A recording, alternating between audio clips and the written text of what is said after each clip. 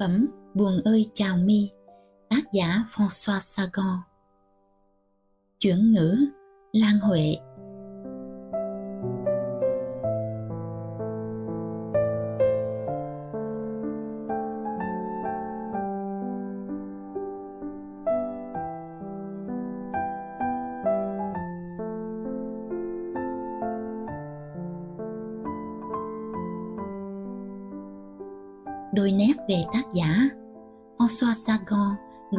Biệt nỗi nổi buồn.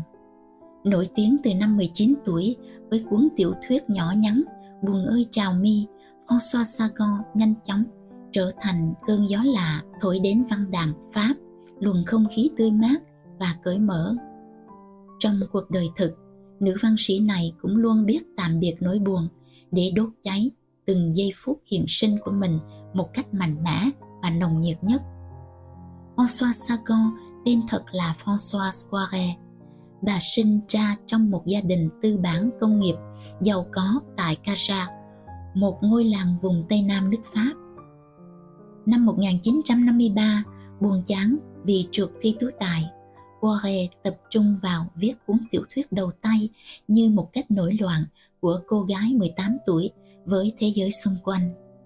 Tựa đề cuốn tiểu thuyết Monsieur Tristesse được trích từ một câu thơ của Paul elua Adieu tristesse, bonjour tristesse. Buồn ơi vĩnh biệt, buồn ơi xin chào. Bút danh sacon xuất phát từ tên một nhân vật trong kiệt tác đi tìm thời gian đã mất của Marcel Proust, một nhà văn Pháp mà François rất mến mộ.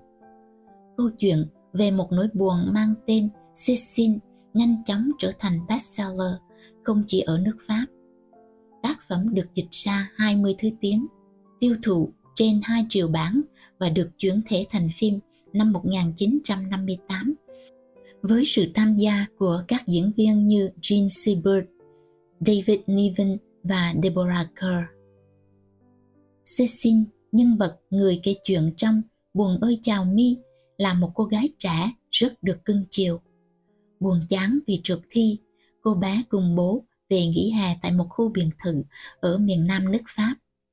Raymond, bố cô, là một người đàn ông ngoài 40, quá vợ và hào hoa. Những mối tình chớp nhoáng của ông với các cô nhân tình, mà người cuối cùng là Elsa, đang sắp sửa chấm dứt. Khi ông định làm đám cưới với Anne Larsen, một người bạn cũ của vợ, vốn sống phóng khoáng, yêu tự do và thù ghét cuộc sống thanh bình. Cecil không chịu nổi lối sống mực thước, gò bó mà An định liệu. Cô bé tìm cách chọc tức An.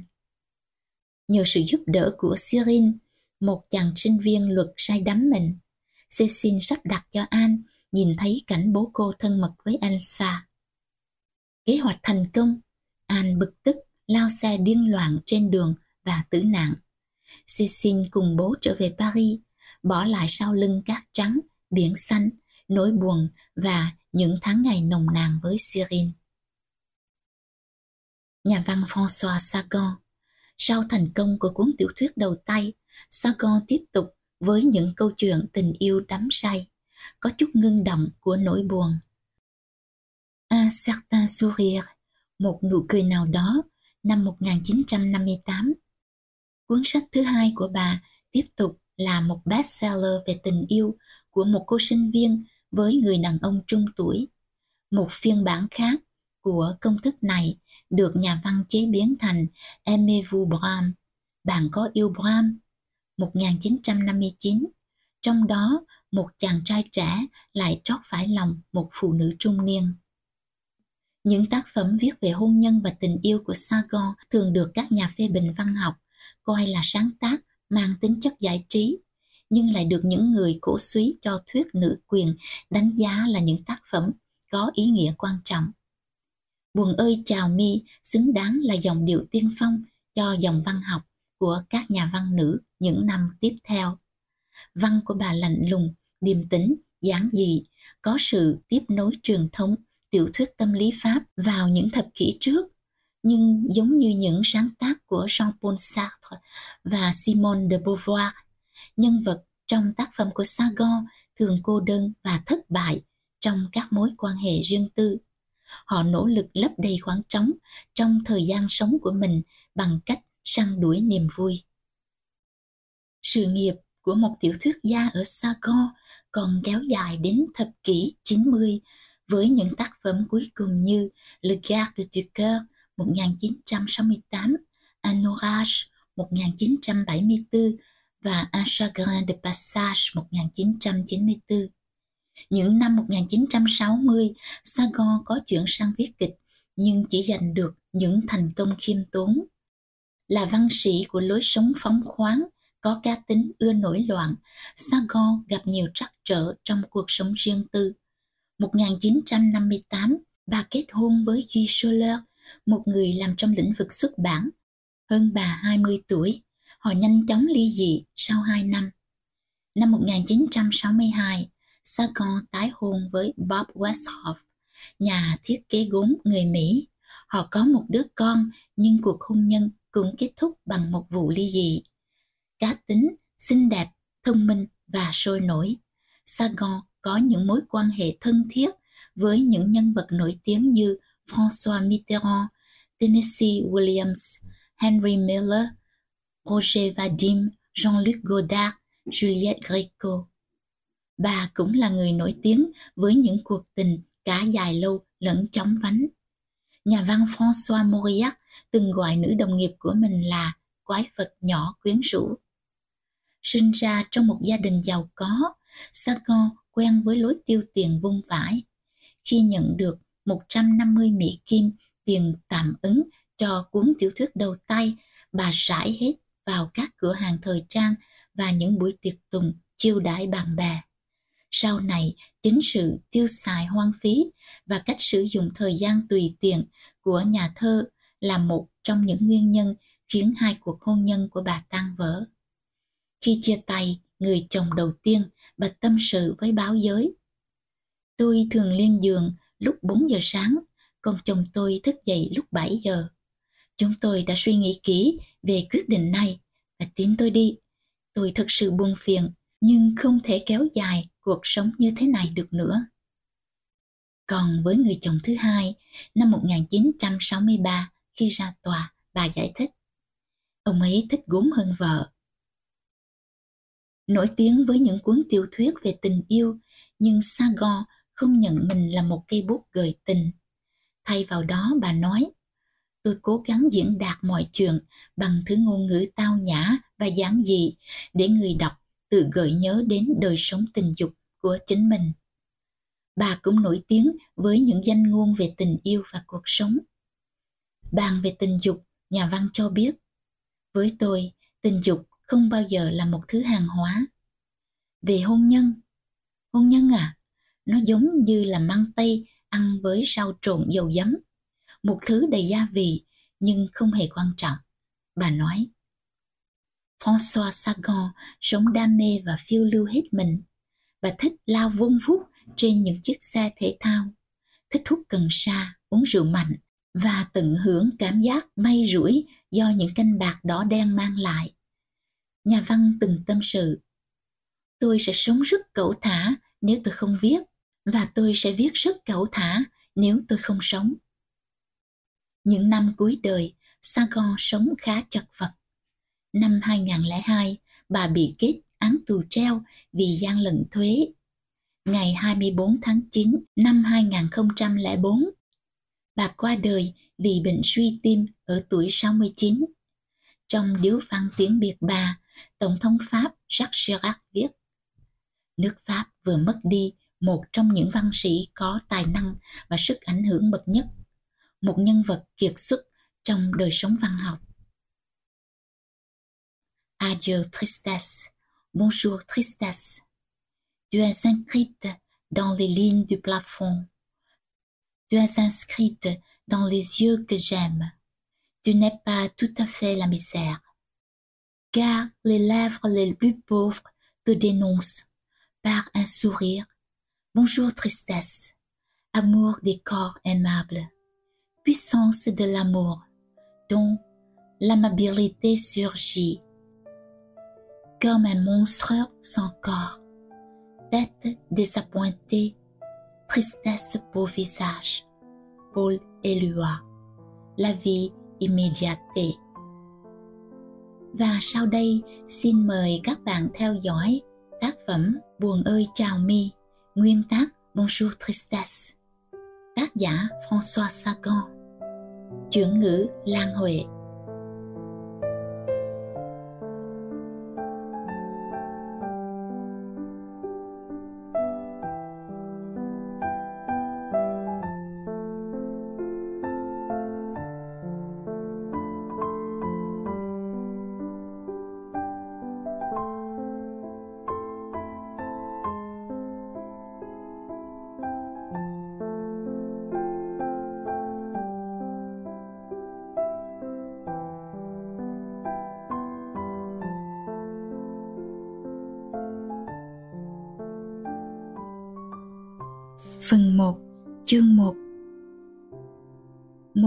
Buồn lạ lùng thấm nhập vào tôi. Nỗi buồn mà tôi ngại ngùng đặt cho nó một cái tên nghiêm chỉnh và xinh đẹp là muộn phiền. Ý tưởng về muộn phiền từ nào đến giờ luôn luôn hấp dẫn tôi. Nhưng giờ đây hầu như tôi phải hổ thẹn vì tính cách vị kỷ vô cùng của nó.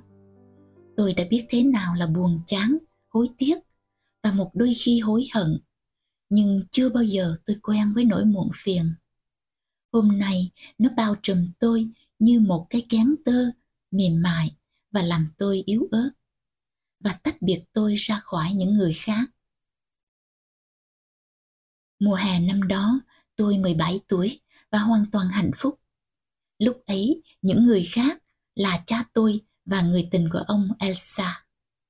Tôi phải giải thích chuyện này tức thì, nếu không sẽ gây hiểu lầm.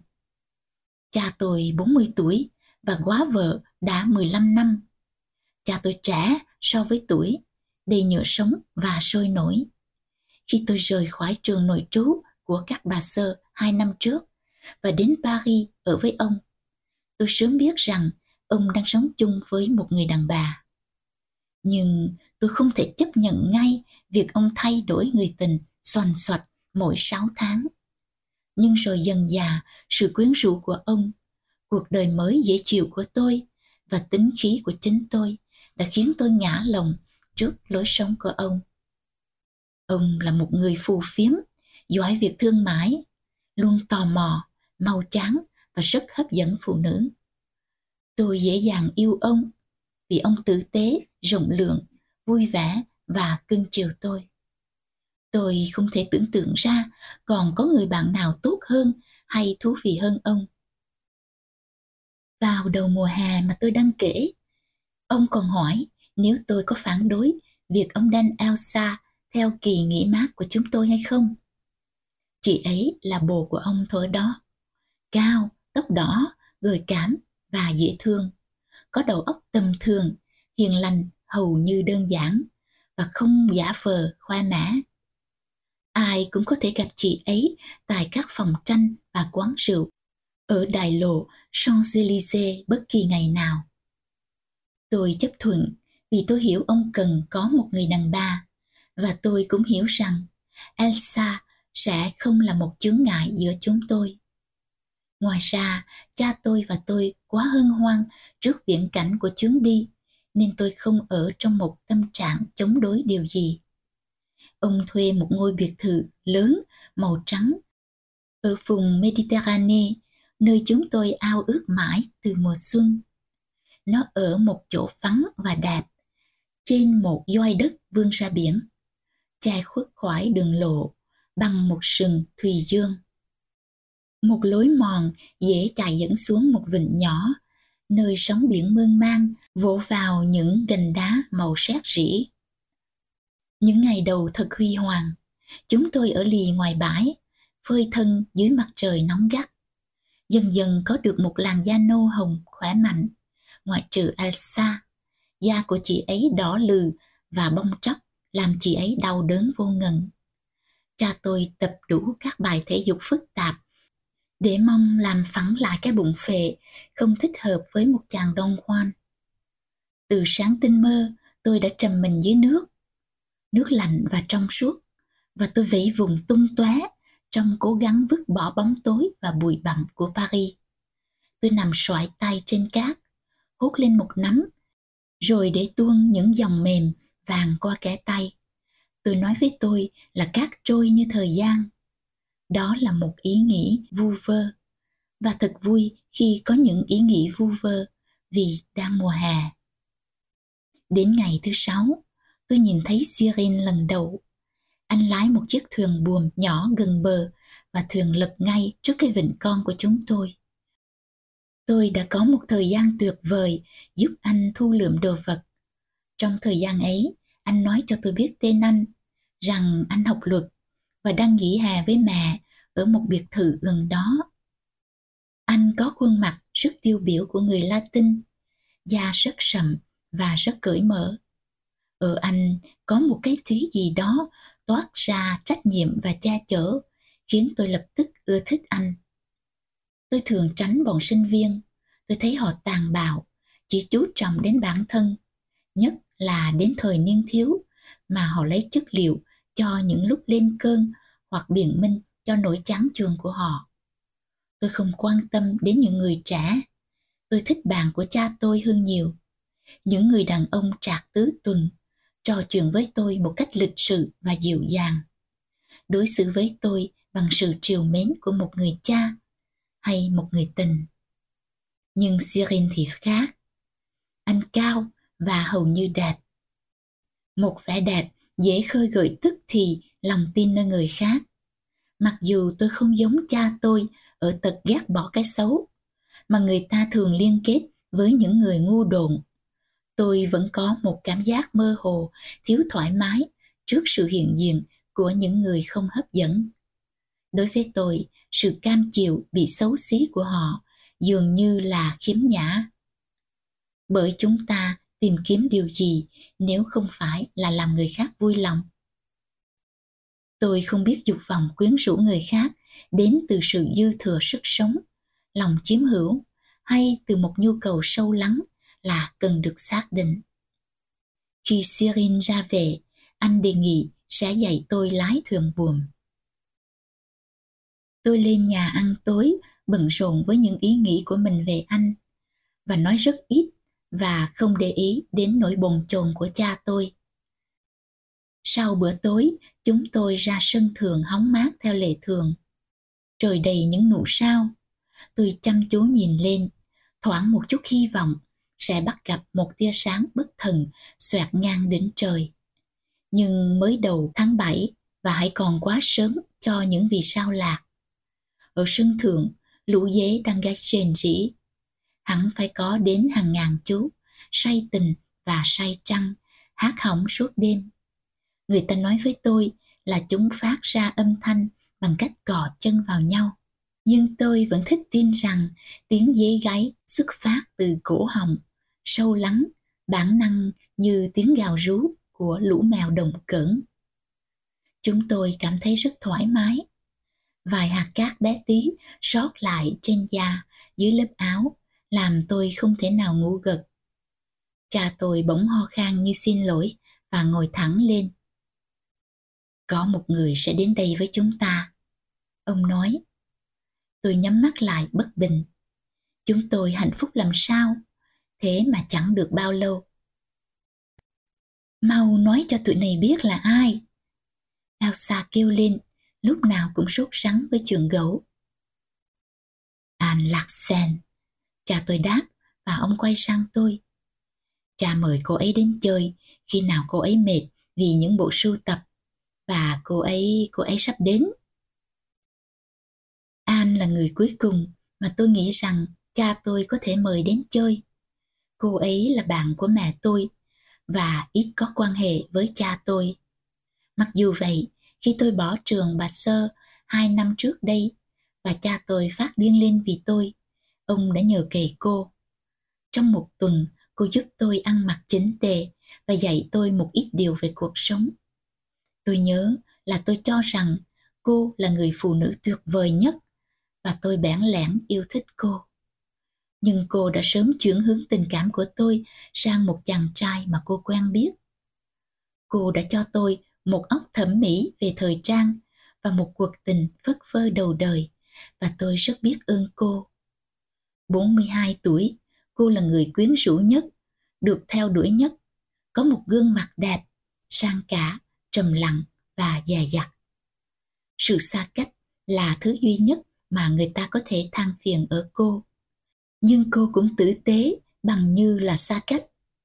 Ở cô toát ra một ý chí cứng rắn, một nội tâm thanh thản, một điều đáng nể. Mặc dù đã ly dị, dường như cô không có người yêu.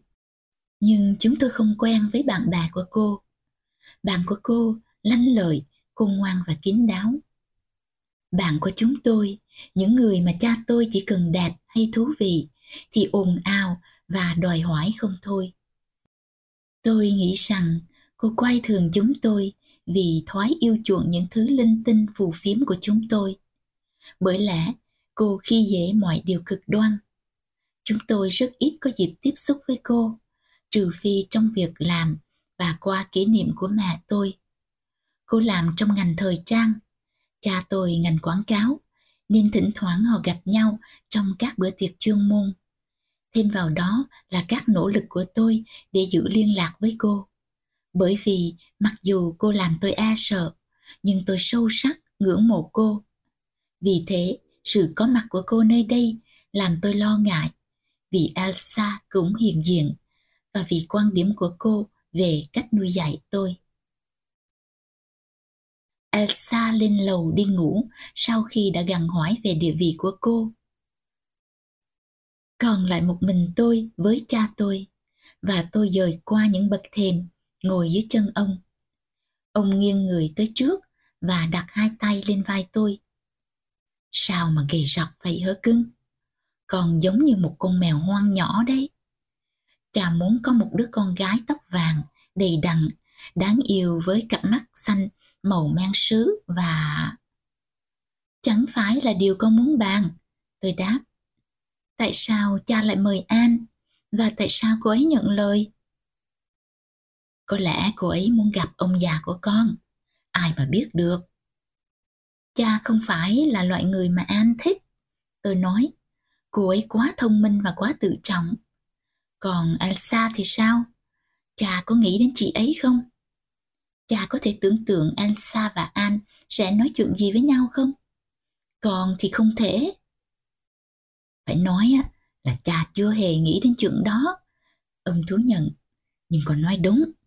Thật là một ý tưởng đáng sợ. Cecile còn yêu quý của cha, hay là mình nên trở lại Paris? Ông cười nhà và xoa xoa lên gáy của tôi. Tôi ngoái cổ lại để nhìn ông. Đôi mắt sẫm màu của ông long lanh, những vết nhăn li ti ngộ nghĩnh viền quanh. mùi ông hơi cong lên. Ông trông như là một thần dê. Tôi cười to với ông, như tôi vẫn luôn luôn cười mỗi khi ông tạo ra một tình huống phức tạp cho chính mình. Còn nhảy ranh tầng phạm của cha. Ông nói, nếu không có con á, cha biết làm sao bây giờ? Giọng nói của ông quá nghiêm trang, nhưng cũng quá đổi ngọt ngào, đến độ tôi biết ông sẽ thật sự khổ sở nếu không có tôi. Chúng tôi trò chuyện đến khuya về tình yêu, về sự phức tạp của nó. Trong mắt cha tôi, chúng đều là sản phẩm tưởng tượng. Ông chối bỏ tất cả các ý niệm về lòng chung thủy hay cam kết nghiêm chỉnh. Ông giải thích rằng chúng chỉ tùy tiện và khô cằn. Nếu xuất phát từ người khác, những quan điểm như thế sẽ làm tôi chới với. Nhưng tôi biết trong trường hợp của ông, chúng không loại trừ sự dịu dàng và tận hiến. Những cảm xúc càng dễ đến với ông một khi ông quyết định rằng chúng chỉ là tạm bờ. Tôi thấy nhận thức về những mối tình mau đến mau đi, đầy sóng gió kiểu này rất quyến rũ. Tôi không ở lứa tuổi mà sự chung tình là hấp dẫn. Và dĩ nhiên, tôi chẳng biết một tí gì về tình yêu, những hẹn hò, những nụ hôn, sự mỏi mệt rã rời sau đó.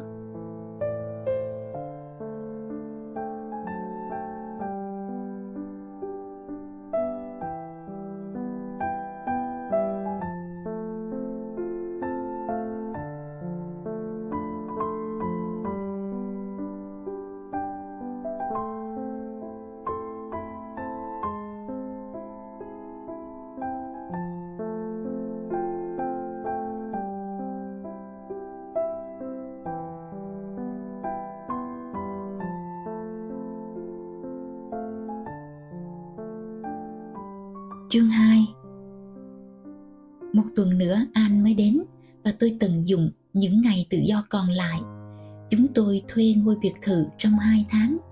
Nhưng tôi biết một khi cô ấy có mặt ở đây, sẽ không có ai có thể thoải mái được nữa. An khoác lên sự vật và lời nói, một hình dạng và ý nghĩa mà cha con tôi chỉ muốn phớt lờ cô dựng nên một tiêu chuẩn thẩm mỹ và kén chọn tinh tế mà ta không thể không nhận ra trong những lúc cô bất ngờ nín lặng vẻ mặt xa vắng và chịu đựng điều ấy khiến chúng tôi vừa phấn khích vừa mệt lã nhưng về lâu về dài lại hổ thẹn vì tôi không thể không hiểu rằng cô đã đúng vào ngày cô đến chúng tôi quyết định rằng cha tôi và Ansa sẽ ra Fréjus tôi nhất định không đi theo. Trong tuyệt vọng, cha tôi cắt tất cả hoa Gleyon trong vườn để tặng cô khi cô xuống tàu. Lời khuyên duy nhất của tôi là cha đừng để cho Ansa cầm bó hoa. Khi họ đi rồi, tôi xuống bãi biển. Ba giờ chiều và trời nóng kinh hồn. Tôi đang mơ màng nằm trên cát khi Sirin réo gọi. Tôi mở mắt, bầu trời nắng lóa lung linh cái nóng Tôi không trả lời vì tôi không muốn nói chuyện với anh hay với ai. Tôi như đóng đinh trên cát bởi sức nóng hừng hực của mùa hè. Tay nặng như chì, cổ họng khô khốc. Em chết rồi hả? Anh nói. Nhìn từ xa, trông em như một vật gì bị sóng giạt vào bờ ấy. Tôi mỉm cười, anh ngồi xuống cạnh tôi và tim tôi khởi sự đập nhanh hơn, mạnh hơn bởi một bàn tay của anh vừa chạm lên vai tôi. Trong tuần qua, tay nghề đi biển xuất sắc của tôi đã khiến chúng tôi rơi tóm xuống nước hàng chục lần. Tay quấn vào nhau và tôi chẳng cảm thấy một chút rung động nào. Nhưng hôm nay, cái nóng, tình trạng ngái ngủ của tôi và sự va chạm vô tình của anh một cách nào đó đã phá vỡ hàng rào phòng vệ của tôi. Tôi quay mặt qua anh. Tôi hiểu anh nhiều thêm anh có tính cách nhất quán và có lẽ khổ hạnh hơn những người đồng tuổi. Vì lý do đó, tình huống của gia đình tôi, bồ ba thất thường chúng tôi đã làm anh sửng sốt. Anh quá hiền hoặc quá ruột rè để nói cho tôi biết. Nhưng tôi cảm nhận điều ấy trong cái nhìn lẫn tránh không chấp nhận mà anh dành cho cha tôi. Có lẽ anh sẽ vui lòng nếu tôi cho anh biết là tôi cũng vậy bị dằn vặt bởi tình thế ấy. Nhưng tôi nào có. Thật ra, nỗi khổ đau duy nhất của tôi trong giây phút này chỉ là cách trái tim tôi đang thùng thục đập. Anh cúi xuống, tôi nghĩ đến một ngày qua, đến cảm giác bình an và sự tự tin khi tôi ở bên anh và tôi muốn từ chối sự tiếp xúc của đôi môi mềm đầy của anh trên môi tôi. Serine, tôi nói, chúng ta đang vui mà nhưng nụ hôn của anh thật dịu dàng. Tôi nhìn lên trời mà không thấy gì cả ngoại trừ bầu ánh sáng vỡ bùng dưới đôi mi nhắm nghiền của tôi. Sức nóng, sự say sẩm, choáng váng của tôi và hương vị của những nụ hôn đầu kéo dài một lúc lâu. Tiếng còi xe tách rời hai đứa chúng tôi, lúng túng. Tôi bỏ Sirin không nói một lời và đi lên nhà. Tôi ngạc nhiên vì xe trở về quá sớm xe lửa của An đâu thể nào đã đến. Nhưng kìa, An đang ở sân lụ tiên, vừa bước xuống xa của cô. Yên lặng cứ như là nhà của người đạp ngủ say ấy. Cô nói, già của cháu nâu hồng đến thế à Cecil? Cô rất vui gặp lại cháu. Cháu cũng vậy, tôi đáp. Vậy cô lái xe từ Paris đến à? Cô quyết định lái và nhân tiện cô đang mệt cháu à? Tôi dẫn cô về phòng riêng và mở cửa sổ, hy vọng bắt gặp dáng thuyền của Sirin. Nó đã biến mất. An ngồi xuống giường. Tôi nhận ra quần thâm dưới mắt cô. Biệt thự đẹp quá, cô nói. Thế ông chủ nhà đâu rồi? Dạ ông ấy ra ga xe lửa đón cô cùng với Elsa. Tôi đặt hành lý của cô trên ghế và khi xoay người lại tôi giật mình.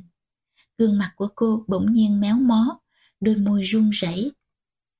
Ansa Mackenburg, ông ấy mang theo Ansa Mackenburg à? Tôi không nghĩ ra điều gì để nói.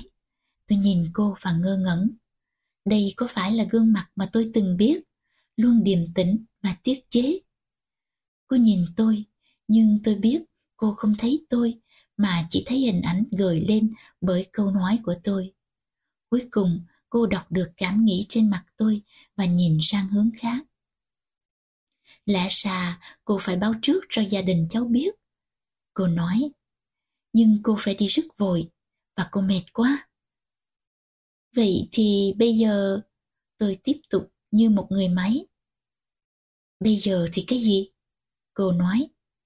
Gương mặt của cô chỉ đơn thuần là một câu hỏi lấp liếm những gì vừa xảy ra, như không có chuyện gì cả. Vâng, bây giờ cô đang ngồi ở đây. Tôi ngu ngơ nói, hai tay xoa vào nhau. Cô không biết á, là cháu vui đến mức nào đâu. Cô tháo hành lý và nghỉ ngơi nha. Và cháu đợi cô dưới nhà. Nếu cô thích uống á, quầy rượu có khá nhiều rượu cô ạ. À. Nói năng lũng củng, tôi bước ra khỏi phòng và xuống lầu với một tâm trí quay cuồng. Cái gì đã thình lình tạo nên gương mặt méo mó, giọng nói thẳng thốt và vẻ mặt đau khổ ấy. Tôi ngồi trên chiếc ghế dài và nhắm mắt. Tôi cố nhớ những nét mặt kia của An, đôi khi lạnh nhạt, đôi khi tình cảm, những tâm trạng mỉa mai, quyền lực. Tôi cảm thấy vừa xúc động, vừa khó chịu vì đã khám phá ra nhược điểm của cô. Có phải cô đang si tình cha tôi? Có thể nào cô lại đem lòng yêu cha tôi cho được chứ? Ông ấy hoàn toàn không phải là mẫu người mà cô ưa chuộng. Ông yếu đuối, phù phiếm và một đôi khi không thể tin cậy. Nhưng có lẽ đó chỉ là sự mệt nhọc sau chướng đi, hoặc là nỗi bất bình về mặt đạo đức. Tôi mất cả tiếng đồng hồ để suy đoán. Đến 5 giờ, cha tôi và Elsa về tới. Tôi thấy ông bước xuống xe. Một lần nữa tôi tự hỏi, có lẽ nào An phải lòng cha tôi? Ông bước nhanh đến bên tôi, đầu hơi ngã ra sau. Ông đang mỉm cười. Dĩ nhiên rồi, An có thể yêu ông lắm chứ. Cũng như bất cứ người nào cũng đều có thể yêu ông. Không thể An ở đó. Ông nói với tôi. Cha mong là cô ấy không rơi khỏi xe lửa. Cô ấy đang nghỉ trên phòng. Tôi nói. Cô ấy lái xe đến đây. Không à, tuyệt. Vậy con đem bó hoa lên cho cô ấy nhé. Anh mua hoa cho em đấy à? Chồng của An vang lên. Anh thật là đáng yêu. Cô bước xuống cầu thang đến gần ông, tươi mát, mỉm cười trong chiếc áo, không một vết nhàu bởi đường xa. Tôi nhớ cô chỉ xuất hiện khi nghe tiếng xe. Nếu muốn trò chuyện với tôi, cô đã có thể xuống nhà sớm hơn. Dù chỉ để hỏi thăm kết quả thi cử của tôi. Tiền thể xin nói, kỳ thi mà tôi đã trượt. Ý tưởng sau cùng này an ủi tôi. Cha tôi bước vội đến và hôn tay An. Anh đứng ở sân ga suốt 15 phút. Cầm bó hoa này mà thấy ngốc dễ sợ. Cảm ơn trời em đã ở đây. Em biết Elsa Mackenburg chưa? Tôi nhìn sang chỗ khác. Chúng em hẳn đã gặp nhau. Anh nói thân thiện. Anh dành cho em căn phòng ấm cúng quá. Anh thật là tử tế đã mời em đến chơi. Em đang kiệt sức. Cha tôi khịt mũi sung sướng. Trong mắt ông, mọi thứ đều diễn tiến tốt đẹp. Ông gửi chuyện, khui rượu, nhưng tôi vẫn tiếp tục suy ngẫm. Trước nhất, đến nét mặt đam mê của Sirin, rồi gương mặt của An. Cả hai đều in dấu bạo lực. Và tôi tự hỏi liệu phần hè còn lại sẽ không phức tạp như cha tôi tin tưởng không? Buổi ăn tối đầu tiên thật vui. Cha tôi và An nhắc đến những người quen chung, tuy ít nhưng đều huê dạng. Tôi cảm thấy dễ chịu cho đến khi An nói rằng người cộng tác với cha tôi là một gã khờ. Ông ấy uống nhiều rượu, nhưng tôi rất thích ông ấy. Và hai cha con tôi đã có những đêm kỷ niệm êm đềm với ông. Nhưng An, Tôi phản đối.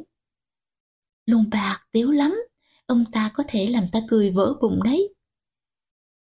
Nhưng cháu vừa nhìn nhận á, là ông ấy có khiếm khuyết, và kiểu khôi hài của ông ấy thì... Có lẽ ông ấy không có đầu óc thông minh cho lắm, nhưng... Cô khoan dung ngắt lời tôi. Thứ mà cháu gọi là đầu óc, thật ra chỉ là kinh nghiệm của tuổi tác. Tôi rất yêu sự nhận xét của cô ấy. Có những câu nói hấp dẫn tôi với ý nghĩa thâm trầm của nó, ngay cả khi tôi không hiểu tận tường. Tôi bảo An là tôi muốn ghi vào sổ tay của tôi câu nhận xét ấy. Cha tôi phá lên cười. Ít ra là còn không giận dỗi. Làm sao tôi dối hơn cho được khi An không cố ý làm tôi buồn. Tôi cảm thấy cô rất công bằng, rằng những phê phán của cô không bén ngót với hận thù. Vì thế, chúng lại càng hữu hiệu. Đêm đầu tiên, dường như An chẳng để ý đến việc Ansa công khai đi vào phòng ngủ của cha tôi. An tặng tôi một chiếc áo len mà cô vẽ kiểu, nhưng không cho phép tôi cảm ơn. Chỉ là nhàm chán khi bị cảm ơn, cô nói, và vì tôi rất vụng về trong việc biểu lộ lòng biết ơn. Tôi cảm thấy dễ chịu. Cô nghĩ là Ansa rất dễ thương. Cô nói khi tôi sắp bước chân ra khỏi phòng cô để đi ngủ. Cô nhìn thẳng vào mặt tôi và không mỉm cười. Thách tôi nhớ lại phản ứng trước đây của cô. Tôi hiểu rằng tôi phải quên nó đi. Vâng ạ, chị, chị ấy có duyên lắm, rất hùng hậu. Tôi lắp bắp. Cô cười lớn và tôi lên giường tức tối. Tôi chìm vào giấc ngủ. Nhớ Serin có lẽ giờ phút này đang khiêu vũ ở can với cùng loại con gái duyên dáng như thế. Tôi ý thức là tôi bỏ sót một yếu tố quan trọng. Độ gần của biển với nhịp sóng vỗ không ngừng. Tôi cũng quên không nhắc đến bốn cây đoan trồng ở khuôn viên trường bà Sơ và mùi hương của chúng. Hay nụ cười của cha tôi khi chúng tôi đứng ở sân ga xe lửa ba năm về trước, lúc cha tôi đến đón tôi về. Nụ cười xấu hổ của ông vì tóc tôi còn tết bím và tôi mặc một chiếc áo sậm màu xấu xí. Và rồi trên xe lửa, niềm hân hoan đột ngột của ông vì ông thấy tôi có đôi mắt, cái miệng của ông và tôi sắp sửa trở thành món đồ chơi yêu dấu nhất, tuyệt vời nhất của ông. Tôi hoàn toàn trong trắng. Ông sẽ cho tôi đến Paris sang trọng, cuộc sống vui tươi. Tôi dám nói rằng hầu hết những hạnh phúc của tôi trong thời gian ấy đều dựa vào tiền. Thú vui được ngồi trong xe mã lực cao lái như bay. Mua một chiếc áo mới, có nhiều đĩa hát, sách và hoa. Ngay cả hiện thời tôi cũng không hổ thẹn vì hưởng thụ chúng. Thực tình tôi tin rằng tôi đương nhiên được hưởng những niềm vui ấy. Chẳng thà tôi chối từ các tâm trạng huyền bí hay tuyệt vọng của mình, còn hơn là từ bỏ những nuông chiều ấy. Ưa chuộng lạc thú dường như là bộ mặt kiên định duy nhất của bản chất của tôi. Có phải vì tôi không đọc đủ sách? Ở trường, ta chỉ đọc những tác phẩm khai trí. Ở Paris, không có thời gian để đọc. Sau giờ học, lũ bạn trai của tôi hấp tấp đẩy tôi vào rạp chiếu bóng. Họ ngạc nhiên khi thấy tôi mù tịt tên tuổi các ngôi sao. Tôi ngồi với họ trong những quán cà phê lộ thiên ngập nắng.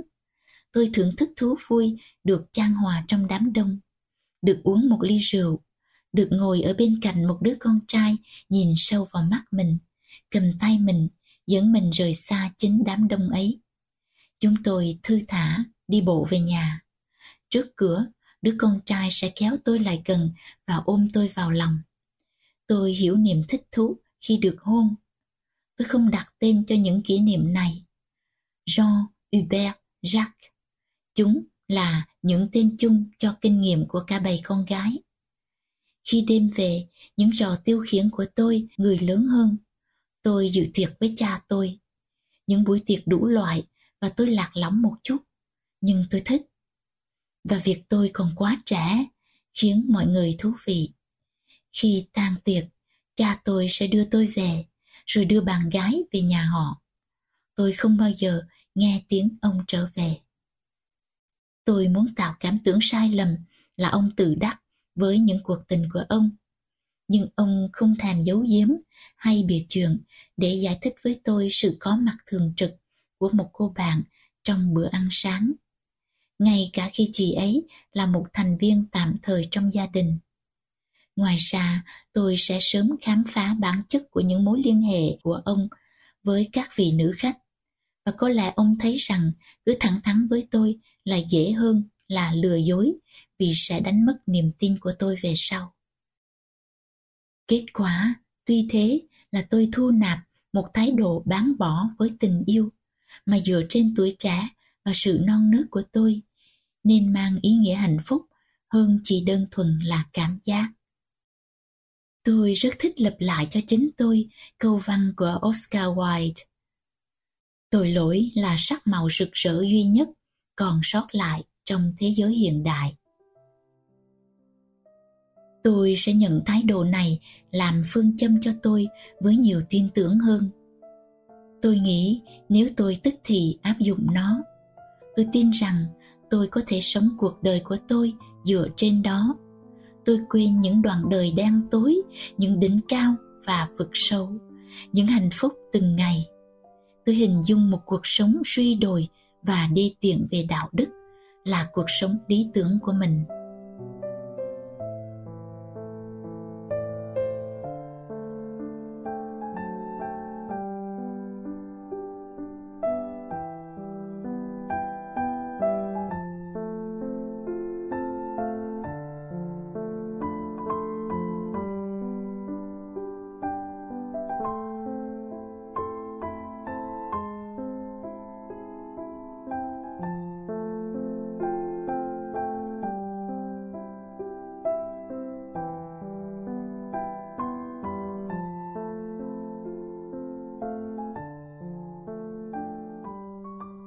Chương 3 Sáng hôm sau tôi bị đánh thức bởi một tia nắng nóng chiếu nghiêng nghiêng phả xuống khắp giường, kết thúc những giấc mơ lạ lùng và khá rối rắm của tôi. Nửa mê nửa tỉnh, tôi đưa tay che mặt để chặn bớt sức nóng da dẳng ấy, nhưng rồi chịu thua. 10 giờ, tôi vẫn mặc bộ quần áo ngủ, đi xuống sân thượng và gặp đôi mắt của An ngước nhìn từ sau trang nhật báo tôi nhận thấy cô trang điểm đơn sơ nhưng hoàn hảo. Rõ ràng cô không bao giờ thôi trang điểm dù chỉ một ngày.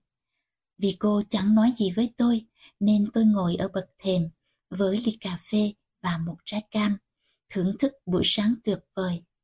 Tôi ngoạm vào trái cam để chất nước ngọt ngào của nó ứa vào miệng, rồi hớt một ngụm cà phê đen nóng bỏng và ngoạm tiếp trái cam.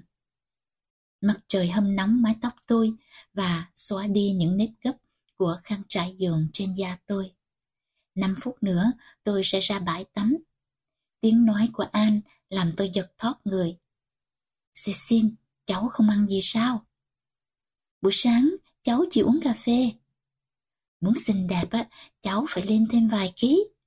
Gò má hóp và thân hình gầy trơ bẹ xương như thế kia cháu làm ơn vào nhà, ăn một chút bánh mì và bơ đi. Tôi xin cô đừng ép buộc tôi và khi cô đang thuyết giảng tầm quan trọng của sự ăn uống, cha tôi xuất hiện trong chiếc áo choàng lụa có điểm những chấm tròn sang trọng của ông. Thật là một cảnh tượng đáng yêu. Ông nói, hai cô bé tắm nắng và bàn luận về bánh mì và bơ. Thằng ơi, chỉ có một cô bé mà thôi, An vui vẻ đáp. Đừng quên, em cùng một lứa tuổi với anh, môn thân mến.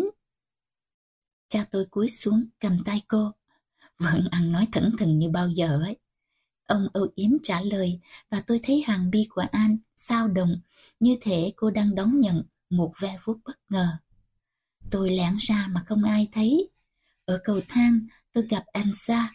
Rõ ràng chị vừa bước xuống giường, mắt bụp, môi nhạt da đỏ và bong từng mảng vì tắm nắng quá độ. Suýt chút nữa, tôi đã chần chị lại để bảo rằng An đã xuống nhà dưới, mặt mày thanh tao và tuyệt hảo, rằng An sẽ cẩn thận phơi nắng và không để cho da bị phỏng.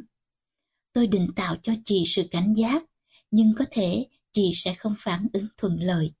Chị 29, trẻ hơn An 13 tuổi, và dường như đối với chị, đó là một quân bài chủ.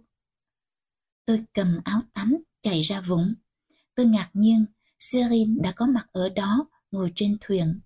Anh bước lại gần tôi, nghiêm trang, cầm tay tôi và dẫn tôi về phía thuyền. Anh xin em tha lỗi cho anh hôm qua. Anh nói, lỗi của em.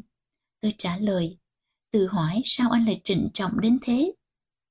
Anh ghét anh lắm. Anh nói tiếp, đẩy thuyền xuống nước. Không có lý do nào cả, tôi vui vẻ nói. Nhưng anh vẫn. Tôi đã ngồi trong thuyền, anh còn đứng, nước cao tới gối, hai tay tựa lên mạn thuyền như thế, đó là lan can của phần móng ngựa. Tôi đã rất quen với gương mặt của anh nên tôi có thể hiểu được những biểu lộ của nó.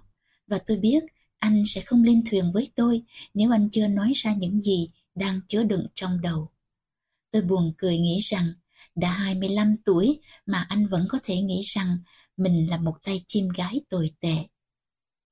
Đừng cười, anh nói. Anh đã có thể đi đến tận cùng chiều qua. Em không có cách gì tự vệ. Hãy nhìn tấm gương của cha em và người đàn bà ấy. Không chừng anh là thằng điểu giả nhất mà em biết đấy. Tôi không thấy anh vô lý. Tôi thấy anh hiền lành. Và anh đang ở ven bờ của tình yêu chân thật. Tôi nghĩ cũng tốt cho tôi nếu tôi cũng yêu anh. Tôi vòng tay qua cổ anh và áp má lên mặt anh. Anh có bờ vai rộng, thân thể anh cứng chắc trên tôi. Anh thật dịu dàng Serin, tôi thì thầm, anh sẽ là anh trai của em. Anh khép chặt vòng tay, gừ lên một âm thanh bất bình, rồi nhẹ nhàng kéo tôi khỏi thuyền. Anh nhấc tôi lên và ôm sát tôi vào lòng. Đầu tôi dựa trên vai anh. Trong giây phút ấy, tôi yêu anh. Trong nắng sáng, anh cũng nâu đồng, cũng mềm mại, cũng dễ xúc cảm như tôi và anh sẽ che chở tôi. Khi môi anh chạm môi tôi, cả hai đứa run lên trong hoang lạc. Nụ hôn của chúng tôi không nhóm màu hổ thẹn hay hối tiếc. Nó chỉ là một tìm kiếm sâu sắc, thỉnh thoảng bị ngắt đứt bởi những lời thủ thỉ. Cuối cùng tôi tách ra và bơi về thuyền, đang bập bình trôi xa. Tôi úp mặt lên làn nước xanh như ngọc cho tươi tỉnh, một cảm giác hạnh phúc hoang dại tràn ngập hồn tôi. Lúc 11 giờ rưỡi, Siren đi về. Cha tôi và hai người đàn bà của ông xuất hiện trên lối mòn. Ông đi giữa, tay đỡ lưng họ, với sự duyên dáng tự nhiên của riêng ông. An vẫn mặc chiếc áo choàng đi biển. Cô ung dung cởi áo, không để ý là chúng tôi đang hau háu nhìn và nằm xuống cát. Cô có chiếc eo thon và đôi chân tuyệt hảo, và không ngờ gì nữa, kết quả của một đời nâng niu, chăm sóc, một làn da hầu như không chút tì vết.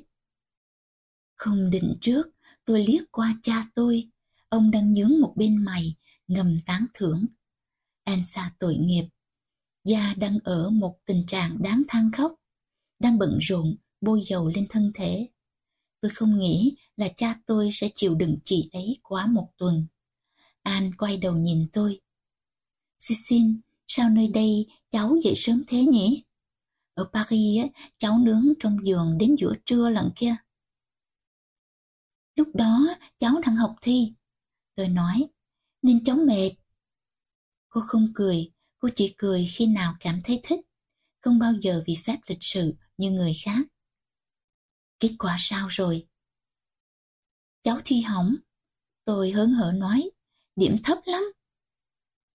Nhưng cháu phải thi đổ kỳ tháng 10, nhất định phải thế. Tại sao nó phải thi đổ Cha tôi can thiệp. Anh chẳng có bằng cấp nào, thế nhưng anh vẫn có một cuộc sống phong lưu. Anh may mắn đã thừa hưởng một gia tài từ đâu.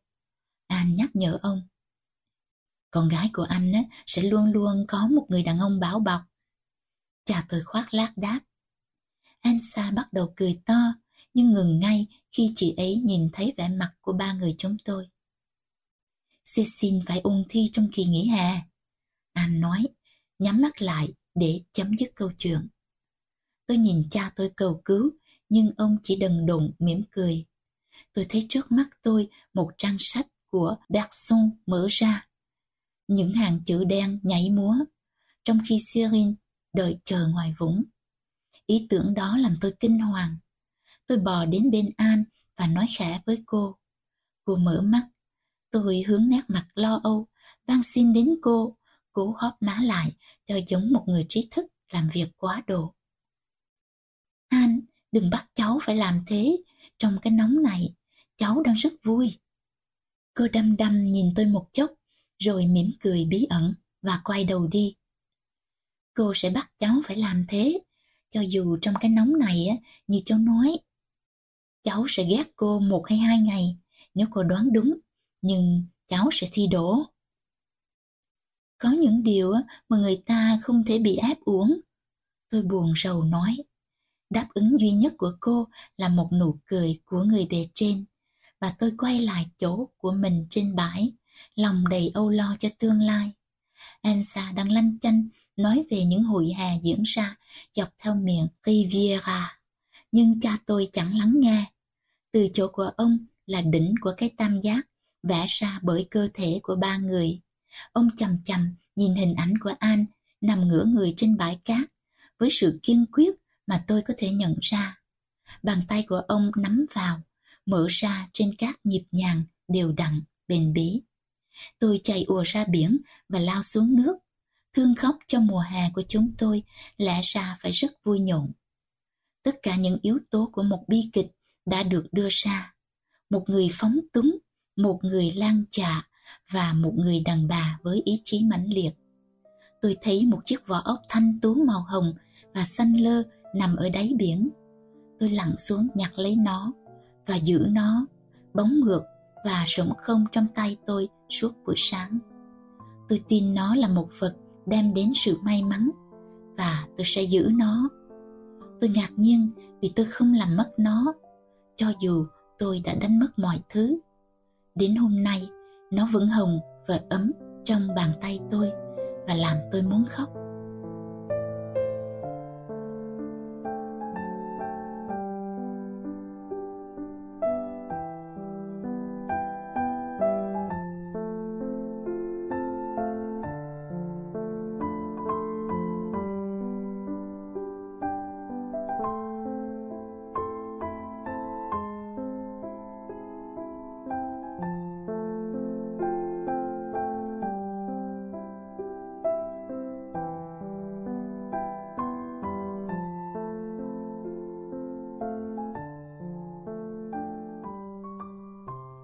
4 An rất tử tế với Ansa trong những ngày sau đó.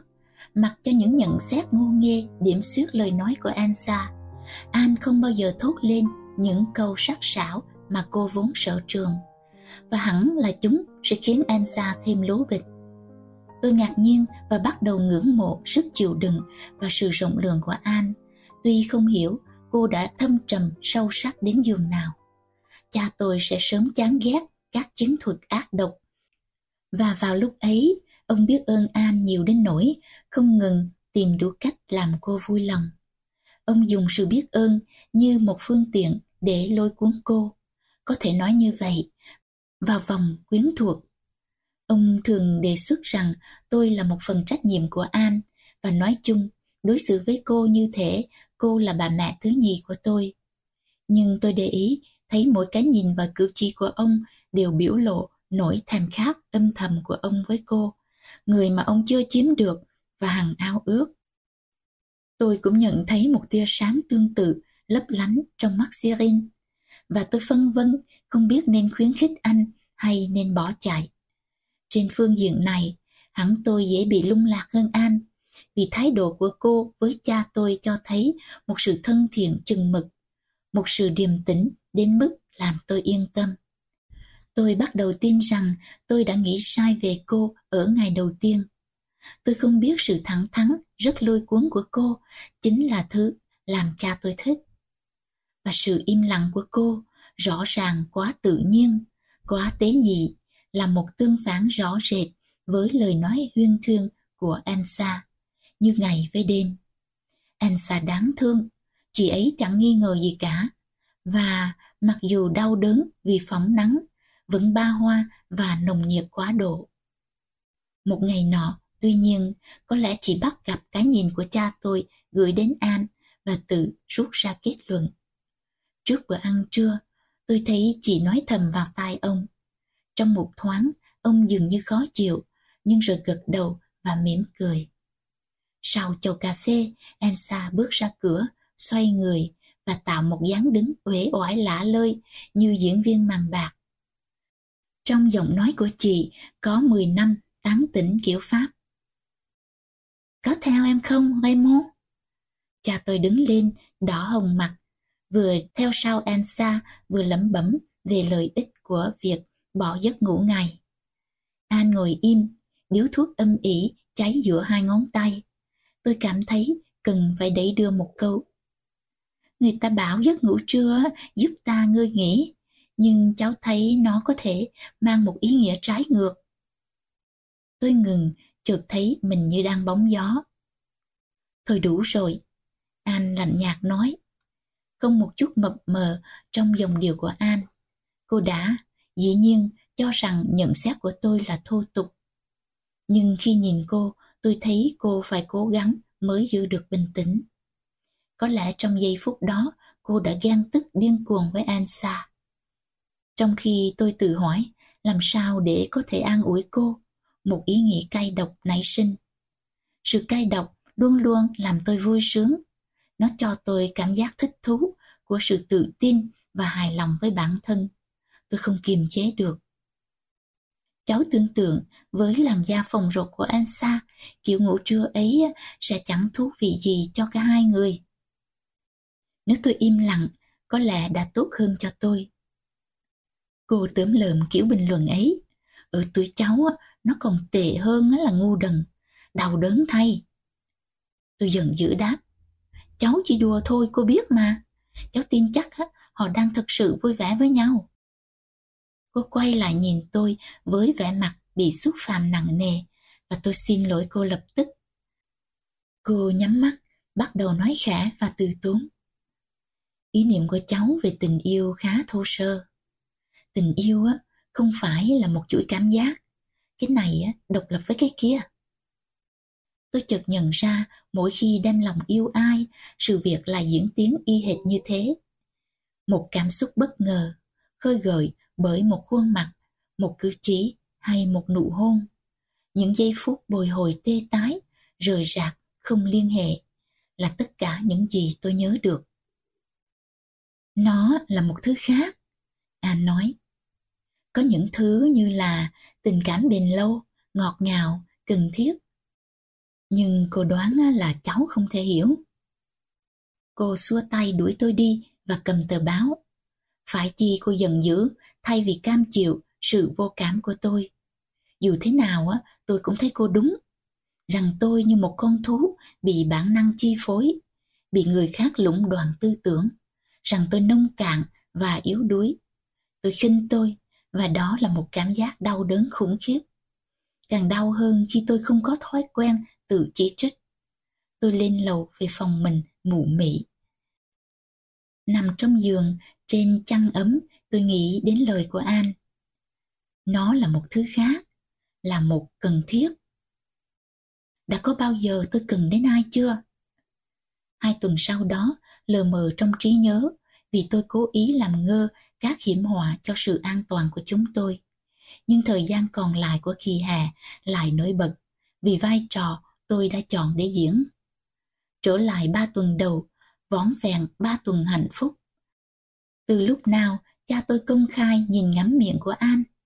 Có phải đó là ngày ông trách móc thái độ xa vắng của cô? Trong khi giả vờ cười nhạo nó, hay đó là ngày ông so sánh sự tinh tế của cô với sự ngớ ngẩn gần như đần độn của Elsa. Tôi đã yên lòng vì ý tưởng ngu ngốc của tôi rằng họ đã quen nhau 15 năm. Và nếu như có thể phải lòng nhau, hẳn họ đã yêu nhau từ lâu, không cần đợi đến bây giờ.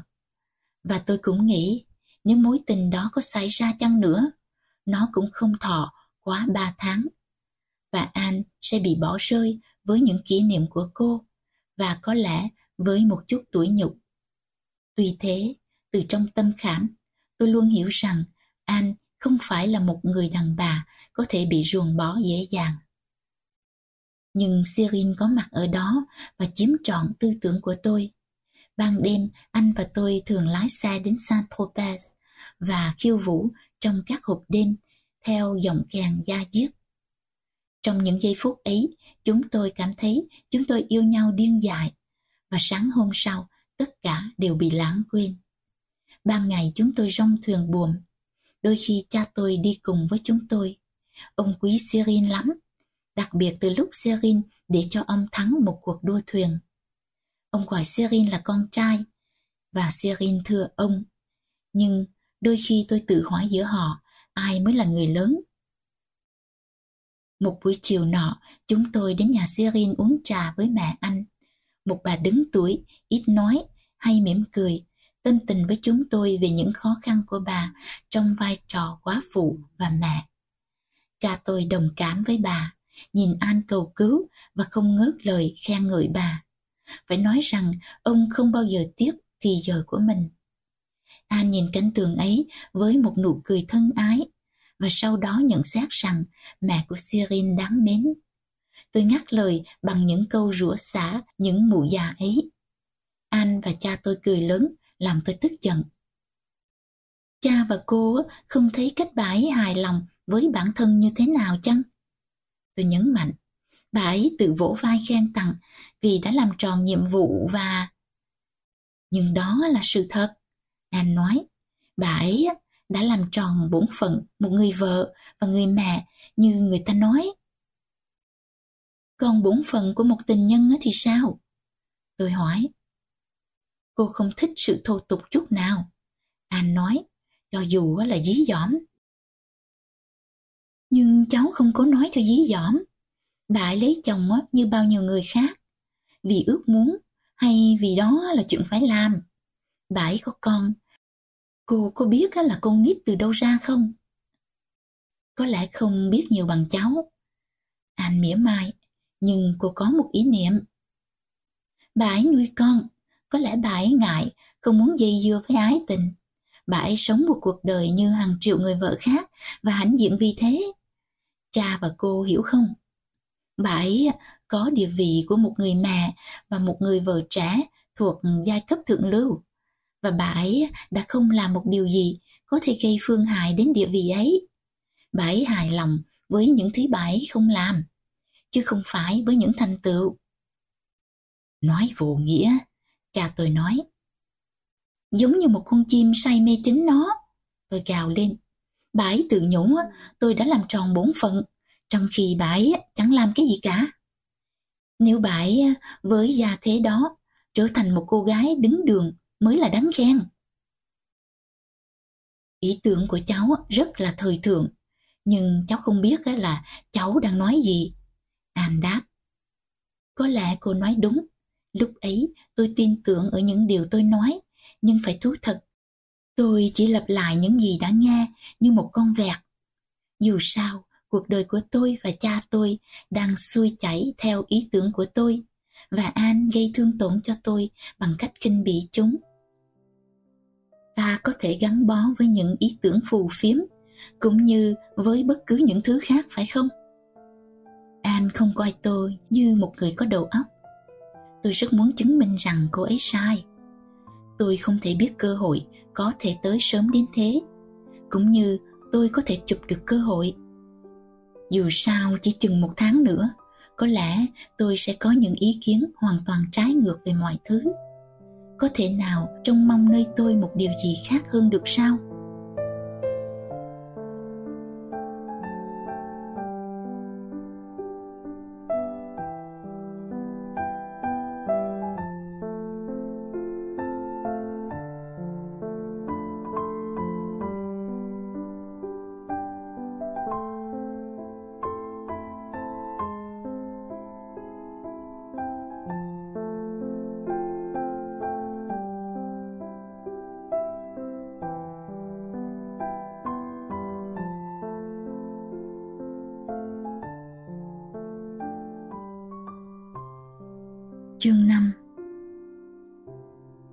Và rồi một ngày kia, mọi việc đều dẫn đến cao điểm. Từ sáng, cha tôi đã nói ông muốn đêm ấy đi can để khiêu vũ ở casino và có lẽ sẽ đánh bạc nữa. Tôi còn nhớ Elsa vui vẻ biết bao. Trong khung cảnh quen thuộc của sông bài, chị ấy hy vọng đóng tiếp vai trò một femme fatale. Vừa mới đây bị lu mờ vì làn da bóng nắng và lối sống nửa phần cô lập của chúng tôi. Ngược với điều tôi nghĩ, anh không phản đối dự tính ấy. Cô còn có vẻ khá hài lòng. Vừa ăn tối xong, tôi đã chạy lên phòng riêng để mặc áo dạ hội. Cũng chính là chiếc áo dạ hội duy nhất mà tôi sở hữu. Cha tôi đã chọn áo này, may bằng một loại vải hiếm có ở nước ngoài. Có lẽ quá lạ, quá hiếm cho một cô gái ở lứa tuổi tôi. Nhưng cha tôi, vì khuynh hướng hay vì thói quen, thích cho tôi ăn mặc tinh tế và tao nhã. Tôi gặp ông ở chân cầu thang, phong lưu trong cái áo dạ tiệc mới và tôi quàng tay quanh cổ ông. Cha là người đàn ông đẹp trai nhất mà con biết. Ngoại trừ Sirin, ông nói một cách thiếu chân thành. Về phần con á, con là cô gái xinh đẹp nhất mà cha biết. Sau Ansa và An, tôi đáp cũng không tin lời nói của mình. Vì họ chưa xuống và cả gan á, bắt cha chờ đợi. Vậy con khiêu vũ với ông bố già nua thấp khớp này nhá. Một lần nữa tôi lại có cảm giác rào rực. Thứ cảm giác luôn luôn khởi đầu những buổi tối chúng tôi đi chơi với nhau. Ông chẳng có một chút gì giống một ông già lòm khòm. Trong khi khiêu vũ, tôi hít thở mùi hương quen thuộc của ông. Một pha trộn của eau de cologne, thân nhiệt và thuốc lá. Ông nháy chậm với đôi mắt khép nửa vời, một nụ cười hạnh phúc, không thể kiềm chế, hệt như nụ cười của tôi, phơn phớt trên môi. Một lúc nào đó còn phải dạy cha điệu bi bốt. Ông nói quên bẵng câu chuyện thấp khớp của mình. Ông dừng nhảy, lịch thiệp chào Elsa. Chị đang bước từng bước xuống thang trong chiếc áo xanh lục, với nụ cười mẫu mực trên gương mặt, nụ cười casino của chị. Chị đã cố sức tô điểm cho mái tóc khét nắng và làn da bong tróc. Nhưng kết quả chỉ đáng khuyến khích hơn là hoàn mỹ. May mà chị không biết điều ấy. Chúng ta đi chứ? Anh chưa xuống, tôi đáp. Con lên lầu xem cô ấy xong chưa? Chắc là phải tới khuya chúng ta mới đến can. Tôi chạy lên, cái váy dài vướng víu nơi chân và gõ cửa phòng An. Cô nói vòng ra bảo tôi vào, nhưng tôi ngừng ở cửa. Cô mặc một chiếc áo xám, một màu xám rất đặc biệt, gần như trắng. Khi ánh đèn chiếu vào, trông như mặt biển lúc bình minh. Với tôi, cô hiện thân của sự quyến rũ chín mùi. Ồ, An, cái áo thật là lộng lẫy làm sao? Tôi nói. Cô mỉm cười với tấm gương như ta mỉm cười với một người mà ta đang từ biệt. Màu xám này á, được nhiều người cho là đẹp. Cô nói. Cô chính là người được nhiều người cho là đẹp.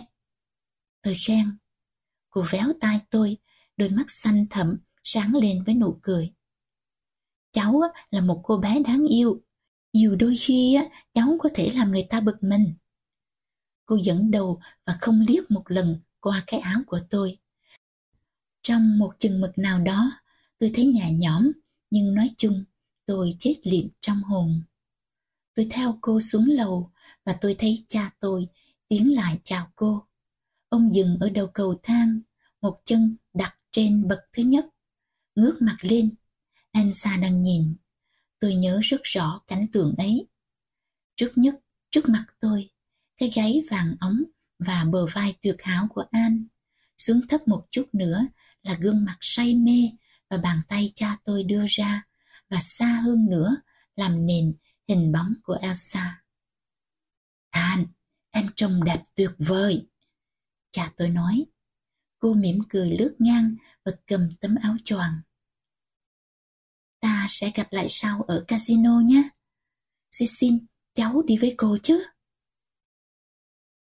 Cô để tôi lái xe. Về đêm, con đường như đẹp hơn, khiến tôi phải lái chậm lại. An im lặng, gần như chẳng để ý tới tiếng radio ồn ào. Khi xe của cha tôi vượt qua xe chúng tôi ở một khúc quanh, cô vẫn không cử động. Tôi thấy mình như bị loại khỏi vòng đua, chỉ theo dõi cuộc tranh tài mà không thể can thiệp. Tại casino, cha tôi cố tình làm chúng tôi sớm mất dấu nhau.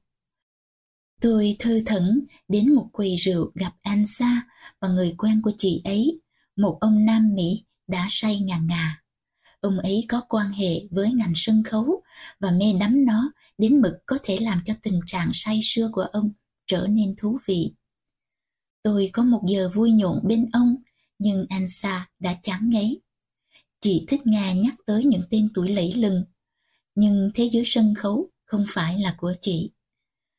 Một cách bất ngờ, chị hỏi tôi cha tôi đang ở đâu, làm như tôi có cách gì để biết. Rồi chị bỏ đi. Ông Nam Mỹ có vẻ bực mình một chút, nhưng một ly whisky khác làm ông vui trở lại. Đầu tôi trống rỗng. Tôi hơi choáng váng vì tôi đã theo phép xã giao uống rượu với ông. Buồn cười hơn nữa là khi ông muốn khiêu vũ, tôi bắt buộc phải đỡ ông đứng dậy và rút bàn chân của tôi bị chèn dưới chân ông. Việc này đòi hỏi sự nhanh nhàn, khéo léo. Chúng tôi đang cười toe toét thì Ansa gõ nhẹ lên vai tôi và tôi nhìn thấy nét mặt Cassandra của chị. Tôi muốn nói thẳng với chị, làm ơn cút đi chỗ khác cho tôi nhờ. Chị không tìm ra họ. Chị nói, trông chị hoàn toàn thảm hại. Phấn đã nhạt, phơi ra nước da trơn bóng và nát bạc ủ dột. Chị là một cảnh tượng thê thảm. Bỗng dưng tôi nổi giận với cha tôi. Ông đã cư xử một cách lỗ mạng, không thể tả. Anh xa, em biết chỗ của họ. Tôi nói, mỉm cười như thế, mọi chuyện đều bình thường và chị không cần phải lo lắng. Em sẽ trở lại ngay. Không còn tôi, ông Nam Mỹ ngã chuối vào cánh tay của Ansa và dường như ông hài lòng ở đó. Tôi hơi buồn hiểu rằng ông trời đã cho chị ấy một thân hình đầy đặn hơn tôi nhiều và tôi không thể hờn trách chị. Casino rất rộng, tôi đi hai vòng mà không thành công. Tôi kiểm qua sân thượng và cuối cùng tôi nghĩ đến xe hơi. Phải một lúc tôi mới tìm được nó trong bãi đậu. Họ đang ngồi trong xe. Tôi lại gần từ đằng sau và nhìn thấy họ qua khung kính. Gương mặt nhìn nghiêng của họ kề bên nhau, nghiêm trang và đẹp lạ lùng dưới ánh đèn đường. Họ ngồi đối diện và hẳn họ nói rất khẽ vì tôi thấy môi họ mất máy. Tôi đã muốn bỏ đi, nhưng ý nghĩ về Elsa lại khiến tôi đến mở cửa xe. Tay của cha tôi còn đặt trên cánh tay của An và họ không để ý tới tôi. Cha và cô vui chứ ạ? À? Tôi lễ phép hỏi. Có chuyện gì thế? Cha tôi bực dọc nói. Con làm gì ở đây? Con cha thì sao? Elsa tìm cha khắp nơi cả tiếng đồng hồ rồi. An chậm rãi và do dự, quay đầu sang tôi. Cha của cháu và cô sắp về nhà, bảo Elsa rằng là cô mệt, và cha của cháu phải đưa cô đi. Khi nào cháu thấy vui chơi đủ rồi thì lái xe của cô về nhé. Tôi run lên vì giận dữ và gần như không thốt nên lời. Đủ vui chơi à? Nhưng cha và cô không biết á, là mình đang làm gì. Kinh tởm quá. Cái gì kinh tởm? Cha tôi ngạc nhiên hỏi. Cha đem một cô tóc đỏ ra biển, làm cho cô ấy phơi nắng là thứ mà cô ấy không chịu được. Và khi da của cô bong tróc ra thì cha ruồng bỏ cô ấy. Dễ quá mà, còn phải ăn nói làm sao với anh xa đây? Hằng quay sang cha tôi với nét mặt ngán ngẩm. Ông mỉm cười với cô, rõ ràng không thèm lắng nghe tôi. Nỗi tuyệt vọng của tôi vô bờ bến. Con sẽ báo Elsa rằng cha đã tìm được một người khác để ngủ. Và chị ấy có thể gọi cha sau, đúng chưa? Tiếng kêu của cha tôi và cái tác của An xảy ra cùng một lúc. Tôi vội vàng rút đầu ra khỏi xe. Cô làm tôi đau điếng. Xin lỗi lập tức. Cha tôi nói. Tôi đứng trơ ra và lặng im với những ý nghĩ quay cuồng như cơn lốc trong đầu. Những câu trả treo thường đến với tôi quá muộn. Lại đây, An nói. Cô không có vẻ giận dữ nên tôi lại gần. Cô đặt tay lên má tôi và nói chậm và nhẹ nhàng như thế tôi đừng lắm vậy. Đừng có hủng như thế. Cô rất tiếc về Elsa. Nhưng cháu đủ khôn khéo để lo cho cô ấy. Ngày mai á, chúng ta sẽ nói chuyện với nhau cặn kẽ. Cô có làm cho cháu đau lắm không? Không đâu. Tôi lịch sự đáp. Sự dịu dàng của cô sau cơn giận dữ bất thường của tôi khiến tôi muốn khóc òa. Tôi nhìn họ lái đi, lòng yếu xìu như một quả bóng xì hơi. Niềm an ủi duy nhất là ý tưởng về sự khéo léo mà cô đã ghi nhận nơi tôi. Tôi lê bước trở lại casino, nơi tôi tìm thấy Ansa với ông Nam Mỹ dính chặt trên tay anh không được khỏe. Tôi nói một cách tự nhiên. Papa phải đưa cô ấy về nhà. Chúng ta uống thêm một ly nữa nhé. Chị nhìn tôi và không trả lời. Tôi cố tìm một câu giải thích thỏa đáng ơn.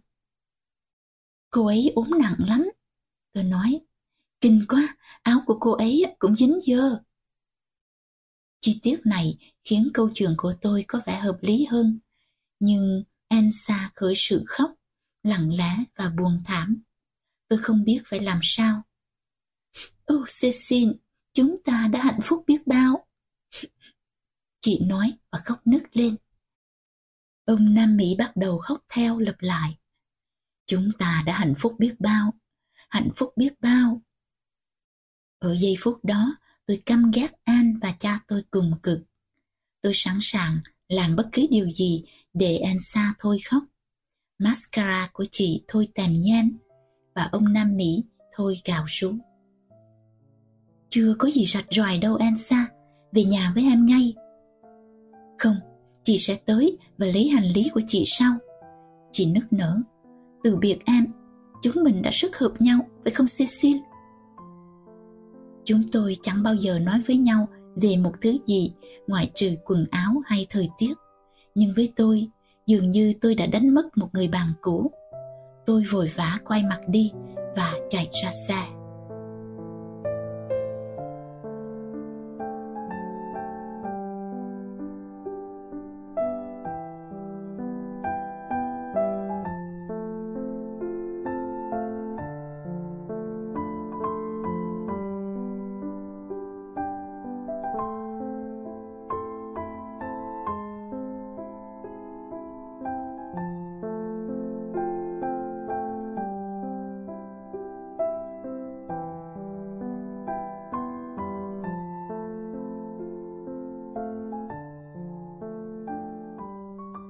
Chương 6 Sáng hôm sau tôi thật khổ sở. Có lẽ vì những ly whisky đã uống đêm qua. Tôi thức dậy trong căn phòng tối đen Thấy mình nằm vắt ngang giường. Lưỡi nặng, tứ chi ẩm ướt Và nhớp nháp không thể chịu được. Một tia nắng duy nhất xuyên qua khe của mảnh cửa sổ và tôi có thể trông thấy hàng triệu vải bụi li ti quay cuồng trong đó. Tôi không muốn dậy, cũng không muốn nằm mãi trên giường. Tôi thắc mắc không biết cha tôi và An phản ứng ra sao nếu như An xa trở lại sáng hôm đó. Tôi bắt tôi phải nghĩ về họ để có thể bước xuống giường. Cuối cùng tôi cùng đứng trên nền gạch mát rượi. Tôi thấy chóng mặt và ê ẩm cả người. Tâm gương phản chiếu một quang cảnh buồn Tôi tựa vào gương và soi mói nhìn trong mắt nở to và đôi môi khô khốc này. Mặt của một người xa lạ. Có phải đó là gương mặt của tôi? Nếu tôi yếu đuối và hèn nhát, có phải vì làn môi này, hình dạng đặc biệt của thân hình này, những giới hạn, thể hình độc đoán ghê tớm này? Và nếu tôi bị giới hạn, sao bây giờ tôi mới có ý thức về nó? Tôi tự làm cho bận rộn bằng cách chán ghét hình ảnh của tôi, ghét cái mặt giống như chó sói, viêu vào hốc hác vì trác tán. Tôi vừa lặp lại trác tán, vừa nhìn vào mắt tôi trong gương. Rồi thình lình tôi thấy tôi mỉm cười. Một thứ trụy lạc tuyệt làm sao.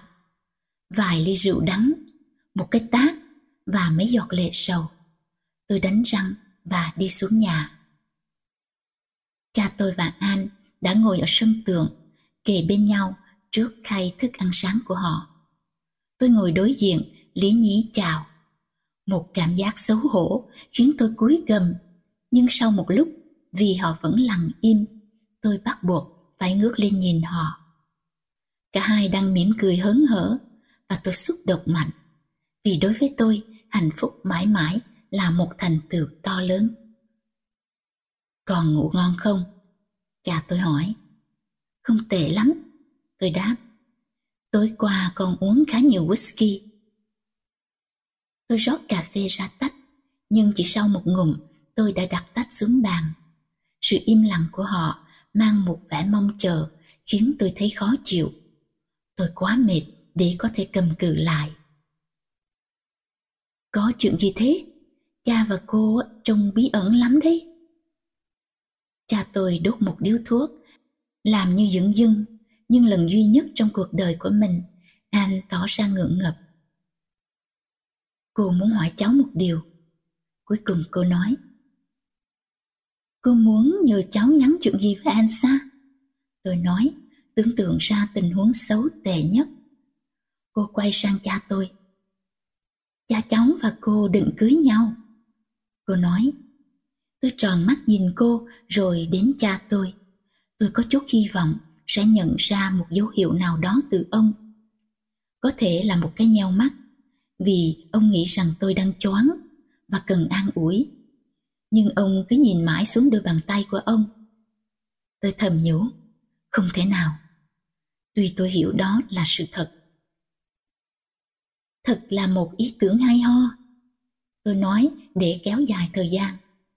Tôi không hiểu vì sao cha tôi, một người luôn luôn chống đối một cách bướng bỉnh hôn nhân và những xiềng xích của nó, lại có thể quyết định kết hôn chỉ trong một đêm. Chúng tôi sắp đánh mất sự độc lập của chúng tôi. Tôi có thể hình dung ra một đời sống gia đình trong tương lai được cân bằng bởi trí thông minh và sự tao nhã của An. Một cuộc sống mà tôi từng ghen tị với cô. Chúng tôi sẽ có những người bạn lanh lời, khéo léo và những đêm vui êm đềm. Tôi thấy tôi khinh khi những buổi tiệc ồn ào, người Nam Mỹ và hạng con gái như Ansa. Tôi thấy mình kiêu hãnh và cao sang. Thật là một ý tưởng tốt đẹp, tôi lặp lại và tôi mỉm cười với họ. Cha biết con sẽ rất vui lòng con gái cưng ạ. Cha tôi nói, ông nhẹ nhõm và vui sướng. Gương mặt của An thay đổi vô cùng tinh tế bởi tình yêu như dịu dàng thêm, cho ta cảm giác gần gũi hơn bao giờ hết. Đến đây con gái cưng, cha tôi nói và giang rồng tay kéo tôi lại gần họ. Tôi nửa đứng nửa quỳ trước mặt họ, trong khi họ vuốt tóc tôi và nhìn tôi âu yếm. Nhưng tôi không thể không nghĩ rằng mặc dù cuộc đời tôi có lẽ ở phút giây ấy đang chuyển sang một hướng hoàn toàn khác lạ. Trong thực tế với họ, tôi chẳng khác một chú mèo con. Một con vật bé bỏng đáng yêu. Tôi cảm thấy họ ở trên cao, gắn bó với nhau bởi quá khứ và tương lai, bởi những mối liên kết mà tôi không biết và không bao gồm tôi. Nhưng tôi cố nhắm mắt và tiếp tục diễn xuất vai trò của mình ghé đầu lên gối họ và cười to. Bởi tôi không sung sướng hay sao? À, được lắm. Không có một chút ác độc ti tiện nào trong cô. Cô sẽ hướng dẫn tôi, gánh vác trách nhiệm cho tôi và sẵn sàng khi tôi cần đến. Cô sẽ giúp cha con chúng tôi trở thành những tuyệt phẩm đức hạnh. Cha tôi đi lấy một chai champagne. Lòng tôi trùng xuống. Ông đang vui sướng đó là điều chính yếu. Nhưng tôi thường trông thấy ông vui sướng vì có một người đàn bà. Cô đã e sợ cháu, Anh nói. Tại sao? Tôi hỏi. Câu ấy có hàm ý rằng sự chống đối của tôi có thể ngăn chặn cuộc hôn nhân của họ. Cô sợ rằng cháu khiếp sợ cô. Cô cười nói. Tôi cũng bắt đầu cười to, vì thực sự tôi đã sợ hãi cô. Cô muốn tôi hiểu rằng cô ý thức được vấn đề đó và tôi không cần phải khiếp đảm vì cô. Cháu có thấy hôn nhân của hai người già như chúng tôi là kỳ cục không? Đâu có già, tôi nhấn mạnh, trong khi cha tôi phấn phở bước vào với chai rượu trong tay. Ông ngồi xuống cạnh An và tròn tay lên vai cô.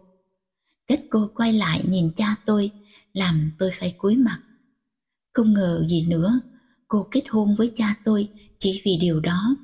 Vì chuỗi cười giòn tan, vòng tay cứng cáp, sinh lực dồi dào và sự nồng nhiệt ân cần của ông.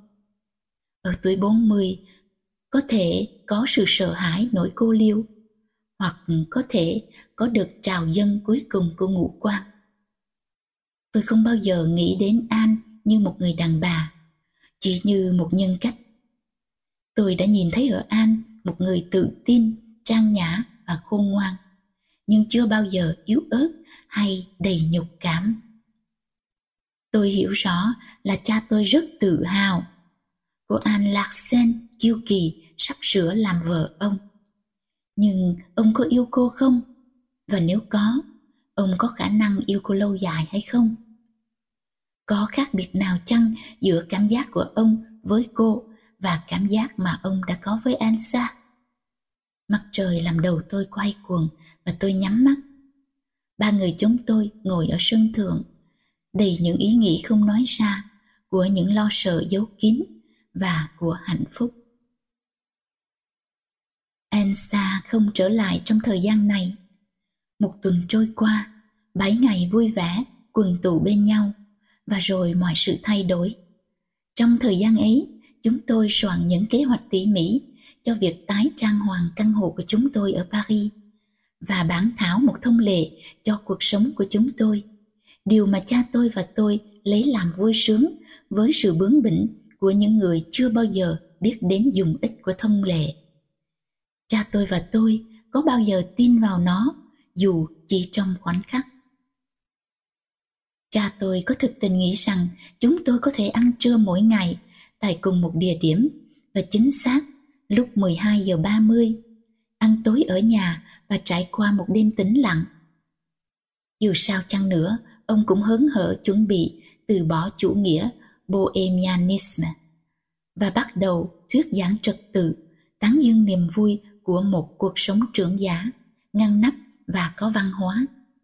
Ông cũng như tôi, không ngờ rằng tất cả những dự tính ấy chỉ là lâu đài trong không khí. Tôi nhớ tuần lễ ấy mới rõ ràng sao. An thanh thản, tin tưởng và rất ngọt ngào. Cha tôi yêu cô say đắm. Tôi gặp họ buổi sáng, bước xuống lầu, dựa vào nhau, nói cười vui vẻ, quần thâm dưới mắt. Và tôi thề rằng tôi không thích điều gì hơn là hạnh phúc đó được kéo dài suốt cuộc đời họ. Buổi tối, chúng tôi thường uống rượu khai vị ở sân lộ thiên của mấy quán cà phê dọc theo bờ biển. Bất kỳ ở đâu, chúng tôi đều được xem như một gia đình bình thường, hạnh phúc. Và tôi, người hay ra ngoài một mình với cha tôi, và gặp những nụ cười láo lĩnh, những ánh mắt độc địa hay tọc mạch, đã sung sướng được đóng một vai trò thích hợp với lứa tuổi của tôi. Họ sẽ làm đám cưới khi trở lại Paris. Sirin đáng thương sững sờ chứng kiến sự biến đổi của cuộc sống chúng tôi, nhưng anh hài lòng với ý nghĩ có lẽ lần này nó sẽ được hợp pháp hóa. Chúng tôi vẫn rong thuyền buồm và hôn nhau mỗi khi chúng tôi muốn. Nhưng có những lúc khi môi anh ép sát môi tôi, tôi lại nhớ gương mặt của An với những đường nét mềm mại mà tôi gặp mỗi buổi sáng. Tôi nhớ vẻ vui tươi thoải mái vẻ uể oải duyên dáng mà tình yêu ban phát cho những cử chỉ của cô và tôi ganh ghét cô. Chỉ hôn suông có thể không thỏa và chẳng ngờ gì nữa nếu Serin không quý tôi đến thế có lẽ tôi đã trở thành người tình của anh trong tuần đó. Lúc 6 giờ, khi chúng tôi từ đảo trở về, serin sẽ kéo thuyền lên bãi cát. Chúng tôi sẽ lên nhà qua cánh rừng dương, theo hàng một, giả vờ là người da đỏ. Hoặc anh sẽ chấp tôi chạy đua cho ấm người. Anh sẽ luôn luôn đuổi kịp tôi trước khi tới nhà và nhảy bổ lên tôi gào to đắc thắng. Lăn tôi trên lớp lá dương, giấu tay tôi dưới thân và hôn tôi. Tôi vẫn còn nhớ hương vị những nụ hôn ngạt thở ấy và tiếng đập của trái tim Sirin hòa với tim tôi theo âm thanh êm đềm của con sóng vỗ bờ. Một, hai, ba, tim anh thùng thục và một, hai, ba, tiếng sóng dạt dào. Rồi dần dần khi hơi thở đã điều hòa trở lại, những nụ hôn của anh sẽ thúc bách hơn. Tiếng sóng biển sẽ nhạt nhòa đi, nhường cho mạch tim thổn thức bên tai. Một chiều nọ, giọng nói của An tách rời chúng tôi. Sirin đang nằm phủ trên tôi. Chúng tôi gần như khỏa thân dưới ánh sáng đỏ âu của mặt trời lặn. Và tôi có thể hiểu vì sao An có thể hiểu lầm những gì trông thấy. Cô gai gắt gọi tôi. Sirin đứng phát dậy. Đương nhiên anh hơi luống cuống. Không rời mắt khỏi An, tôi từ từ đứng lên. Cô trực diện với Sirin và nhìn xuyên qua người anh, nói nhỏ nhẹ. Tôi không muốn gặp cậu nữa. Anh không trả lời nhưng cúi xuống và hôn vai tôi trước khi bỏ đi. Tôi ngạc nhiên và xúc động, như thể cử chỉ đó là một ước thề. An chầm chầm nhìn tôi với cùng ánh mắt nghiêm khắc, xa vắng. Như thể cô đang suy nghĩ về một điều gì khác. Cung cách của cô làm tôi tức giận. Nếu cô đang chìm sâu trong suy tư đến thế, thì cô nói với chúng tôi làm gì? Tôi đi lên gần cô và một cách lễ độ giả vờ xấu hổ. Cuối cùng, cô cũng tỏ vẻ chú ý đến tôi và lơ đỉnh nhặt một cọng lá dương trên cổ tôi và vứt bỏ. Tôi thấy cô đang khoác một lớp mặt nạ khinh thị xinh đẹp, mà vẻ khinh khỉnh và kiêu kỳ rất hợp với cô và luôn luôn khiến tôi e ngại. Cháu nên hiểu là thứ tiêu khiển ấy thường đưa chúng ta vào bệnh viện Cô đứng đó nhìn thẳng mặt tôi trong khi nói và tôi thấy nhục nhã vô cùng. Cô là một trong những người đàn bà có thể đứng im khi nói. Tôi luôn luôn cần sự trợ giúp của một cái ghế hay một vật gì đó để cầm như một điếu thuốc lá hay chia trí bằng cái nhấc một chân lên tréo qua chân kia và nhìn nó đung đưa. Đừng có phóng đại, tôi nói với một nụ cười cháu chỉ hôn Sirin và việc đó không đưa cháu tới bệnh viện nào cả. Xin đừng gặp cậu ấy nữa, cô nói, như không tin tôi. Và đừng chống đối, cháu mới có 17 và cô cảm thấy có một trách nhiệm nào đó với cháu. Cô sẽ không để cho cháu hủy hoại cuộc đời mình. Dù sao đi nữa, cháu cũng phải học thi và sẽ bận rộn suốt các buổi chiều. Cô quay lưng và đi về nhà trong cách thức lãnh đạm của cô. Tôi choáng người, cô mới cương quyết làm sao? Chẳng ít gì mà cãi cọ hay chối bỏ khi cô sẽ đón nhận chúng tôi với một sự thờ ơ còn tồi tệ hơn là kinh bỉ. Như thế tôi chưa từng có mặt. Như thế tôi là một vật gì đó đáng bị giày xéo. Và không phải tôi, Cecil là một người cô quen biết từ lâu. Hy vọng duy nhất của tôi bây giờ là cha tôi. Chắc chắn ông sẽ nói như bao lần trước. Ôi chào, kỳ này là đứa nào thế? Cha hy vọng ít nhất là nó phải đẹp trai và khỏe mạnh. Nhưng còn nhớ tránh xa bầy sói, con gái của cha. Nếu ông không phản ứng như thế, mùa hè của tôi sẽ hỏng bét. Bữa ăn tối là cơn mộng dữ. An không hề trong một khoảnh khắc thân mật nói với tôi là cô sẽ không mách lẻo với cha tôi nếu tôi hứa sẽ chăm học. Tính khí của cô không có chỗ cho sự mặc cả. Một mặt tôi ưa thích cô với tính cách đó.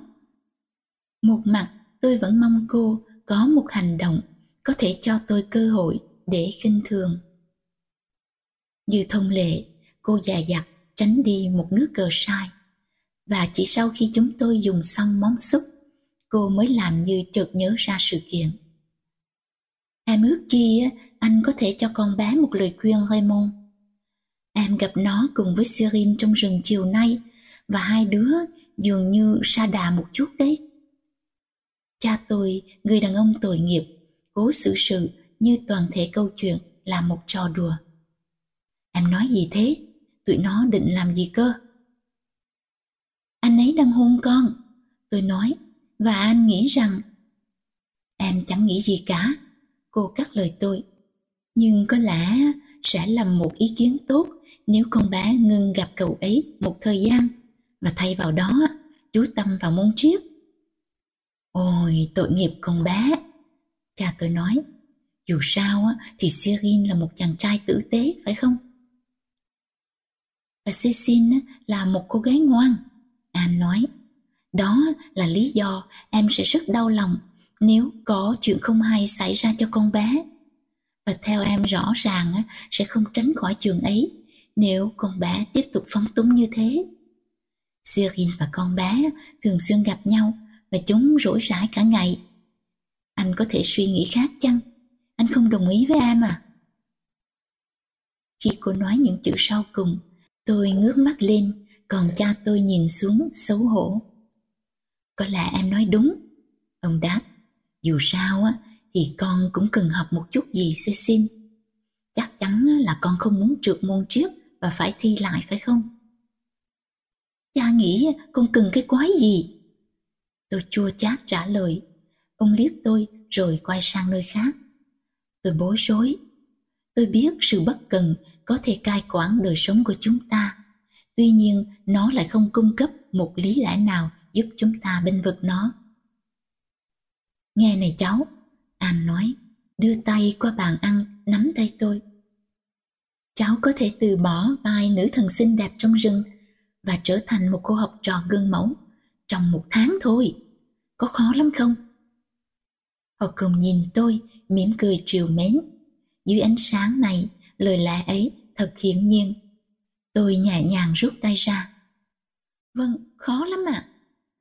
Tôi nói rất khả, đến độ họ không nghe, hay không muốn nghe. Sáng hôm sau, tình cờ tôi đọc được đoạn văn này của Bergson. Phải mấy phút tôi mới hiểu. Cho dù ban đầu ta có thể nghĩ rằng chẳng có tương quan nào giữa nguyên nhân và hậu quả.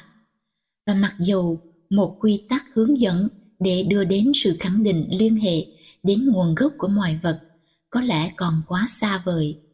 Luôn luôn khi tiếp xúc với năng lực sản sinh cuộc sống, ta có thể chiết xuất từ đó một sức mạnh để yêu thương nhân loại.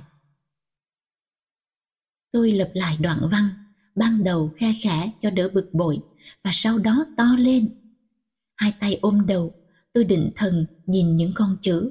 Rốt cuộc tôi cũng hiểu, nhưng tôi cảm thấy lạnh và bất lực như lần đầu tôi đọc. Rõ ràng tôi không thể tiếp tục. Bằng ý chí mạnh nhất trần đời, tôi buộc mình lướt qua những dòng kế tiếp. Nhưng bỗng trong tôi có một cái gì đó bùng lên như dông bão, quật tôi xuống giường. Tôi nghĩ đến Sirin đang mong chờ nơi cái vũng nhỏ yêu dấu, đến chiếc thuyền buồn rập rình trên sóng, đến hương vị những nụ hôn của chúng tôi. Và tôi nghĩ đến An, nhưng theo một cách khiến tôi phải bật dậy, tim đập dồn dập. Và tự nhủ, chẳng qua tôi chỉ là một đứa con gái hư hỏng, biến nhát, quái đản, ngu si, và tôi không có quyền tơ tưởng đến những thứ ấy. Thế mà, dù không muốn, tôi vẫn tiếp tục nghĩ rằng An là một hiểm họa cho tôi và tôi cần loại trừ cô. Tôi nghĩ đến bữa ăn tối mà tôi phải nghiến răng chịu đựng, phải dày vò bởi một niềm oán hận mà chính tôi khinh miệt và chế giễu. Vâng, đây là lý do cho tôi chống đối An. Cô cứ mãi làm tôi không ưa thích tôi. Với bản tính thiên về hạnh phúc và vui nhộn, tôi đã bị cô thúc ép phải tự phê bình chỉ trích và mặc cảm tội lỗi. Không quen với cách chiêm nghiệm nội tâm, tôi hoàn toàn lạc lối. Và cô đã làm được điều gì tốt đẹp cho tôi? Tôi bàng hoàng. Cô muốn cha tôi và cô đã đoạt được. Dần già cô sẽ biến chúng tôi thành chồng và con riêng của An Lạc Sen. Nghĩa là cô sẽ chuyển đổi chúng tôi thành hai con người tự mãn, đức hạnh và văn minh. Bởi chắc chắn cô sẽ tốt cho chúng tôi. Thật dễ dàng sao? Vốn dễ thay đổi và vô trách nhiệm. Chúng tôi sẽ bị khuất phục dưới ảnh hưởng của cô và sẽ bị khép vào khuôn khổ hấp dẫn của lối sống trật tự mà cô vạch ra. Cô hành động hữu hiệu lắm. Cha tôi đã xa rời tôi. Tôi đau lòng bởi gương mặt ông nơi bàn ăn, hổ thẹn, quay sang hướng khác để tránh tôi. Mắt tôi nhòa lệ, nhớ lại những câu khôi hài mà chúng tôi đã chia sẻ. Những tràng cười giòn tan khi chúng tôi lái trên đường phố Paris vắng tên của buổi sáng tinh mơ. Tất cả đều đã hết. Về phần mình, tôi sẽ bị ảnh hưởng, bị chỉnh đốn, bị đổi kiểu bởi An. Tôi sẽ không phiền, bởi cô sẽ đối xử với tôi một cách khéo léo, hóm hỉnh và ngọt ngào. Tôi sẽ không thể kháng cự. Trong sáu tháng, tôi sẽ chẳng còn ý muốn ấy nữa là bằng mọi giá tôi phải tự cứu đoạt lại cha tôi và cuộc đời cũ của chúng tôi hai năm sống với ông giờ đây dường như tuyệt vời vô hạn quãng đời vui tươi mà chỉ vừa hôm kia tôi đã sẵn sàng từ bỏ. Sự tự do trong ý nghĩ của riêng tôi. Dù nghĩ sai hay không nghĩ gì cả, tự do chọn lựa cuộc đời của riêng tôi, chọn lựa là chính tôi. Tôi không thể nói tôi muốn được là chính tôi, bởi tôi hiểu tôi vẫn còn là đất sét non mềm. Nhưng tôi không muốn bị nhào nắng trong khuôn tôi hiểu có vài người sẽ nghĩ tới những động cơ rối rắm cho sự nổi loạn của tôi. Vài người sẽ gán cho tôi những phức cảm như một tình yêu loạn luân với cha tôi hay một đam mê bệnh hoạn với an. Nhưng tôi biết lý do thực là cái nóng, Bergson và serine nói đúng hơn là sự thiếu vắng serine tôi suy nghĩ không ngừng suốt buổi chiều. Tôi đang ở một tâm trạng khó chịu nhất mang đến bởi khám phá ra rằng chúng tôi hoàn toàn trong vòng điều khiển của an. Tôi không quen với sự chiêm nghiệm nội tâm, và điều đó làm tôi cáu kỉnh. Trong buổi ăn tối cũng như hồi sáng, tôi chẳng mở miệng. Cuối cùng, cha tôi cũng gắng trêu chọc tôi một tí. Điều mà cha thích về tuổi trẻ là tính cách ngẫu hứng linh hoạt và đối thoại vui vẻ của họ. Tôi rung lên vì giận dữ. Đúng là ông yêu mến tuổi trẻ, và tôi sẽ nói chuyện với ai nếu không phải với ông? Chúng tôi đã thảo luận về đủ mọi thứ, tình yêu, cái chết và âm nhạc. Giờ đây chính ông là người làm cho tôi im bặt, đã ruồng rẫy tôi. Nhìn ông tôi nghĩ, cha không yêu con nữa, cha đã phản bội con. Tôi cố làm cho ông hiểu mà không cần nói ra tôi tuyệt vọng đến giường nào. Tôi hoàn toàn buông trôi trong cơn cuồng loạn. Rồi thình lình dường như ông nhận ra điều ấy. Có lẽ ông hiểu rằng cái thời đùa cợt này đã qua và mối liên hệ giữa chúng tôi đang rạn nứt. Tôi thấy ông cứng người lại và sắp sửa nói với tôi. An, quay lại tôi. Trông cháu không khỏe lắm. Cô xin lỗi đã bắt cháu học. Tôi không trả lời tôi cảm thấy ghê tởm vì đang ở một tình trạng mà tôi không thể kiểm soát được nữa. Chúng tôi đã dùng xong bữa tối. Nơi sân thượng, trong vuông ánh sáng hắt ra từ cửa sổ, tôi nhìn thấy bàn tay thon dài của an khắc khoải tìm đến bàn tay cha tôi. Tôi nghĩ đến Sirin. Tôi muốn anh ôm tôi vào lòng trên cái sân thượng ấy. Tràn ngập ánh trăng và tiếng giấy xả xích tôi muốn được vuốt ve, an ủi, làm lành với chính tôi. Cha tôi và an im lặng. Họ có một đêm yêu đương chờ đợi họ. Tôi có berson tôi cố khóc, cố thương xót cho bản thân, nhưng không thể. Tôi lại cảm thấy thương xót an. Như thể biết chắc mình sẽ chế ngự được cô.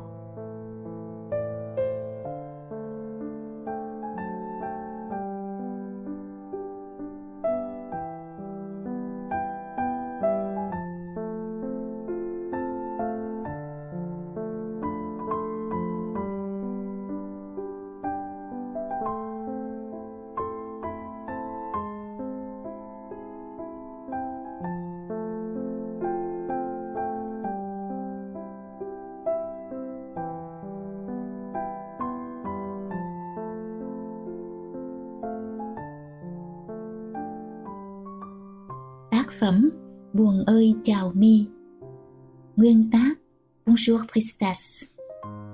Tác giả François Sagan. Chuyển ngữ Lan Huệ. Phần 2 Chương 1 Tôi nhớ những việc xảy ra sau đó rõ ràng làm sao. Ý thức của tôi về mọi người, cũng như về chính tôi bén nhạy hơn. Bản tính bột vô tư, hời hợt, tôi đã sống như thế từ bao giờ. Nhưng vài ngày gần đây đã có nhiều chuyện bực bội, khiến tôi phải suy nghĩ nghiền ngẫm nội tâm. Tôi khổ sở với những cơn truy vấn và tôi vẫn chưa thể hòa giải với chính mình.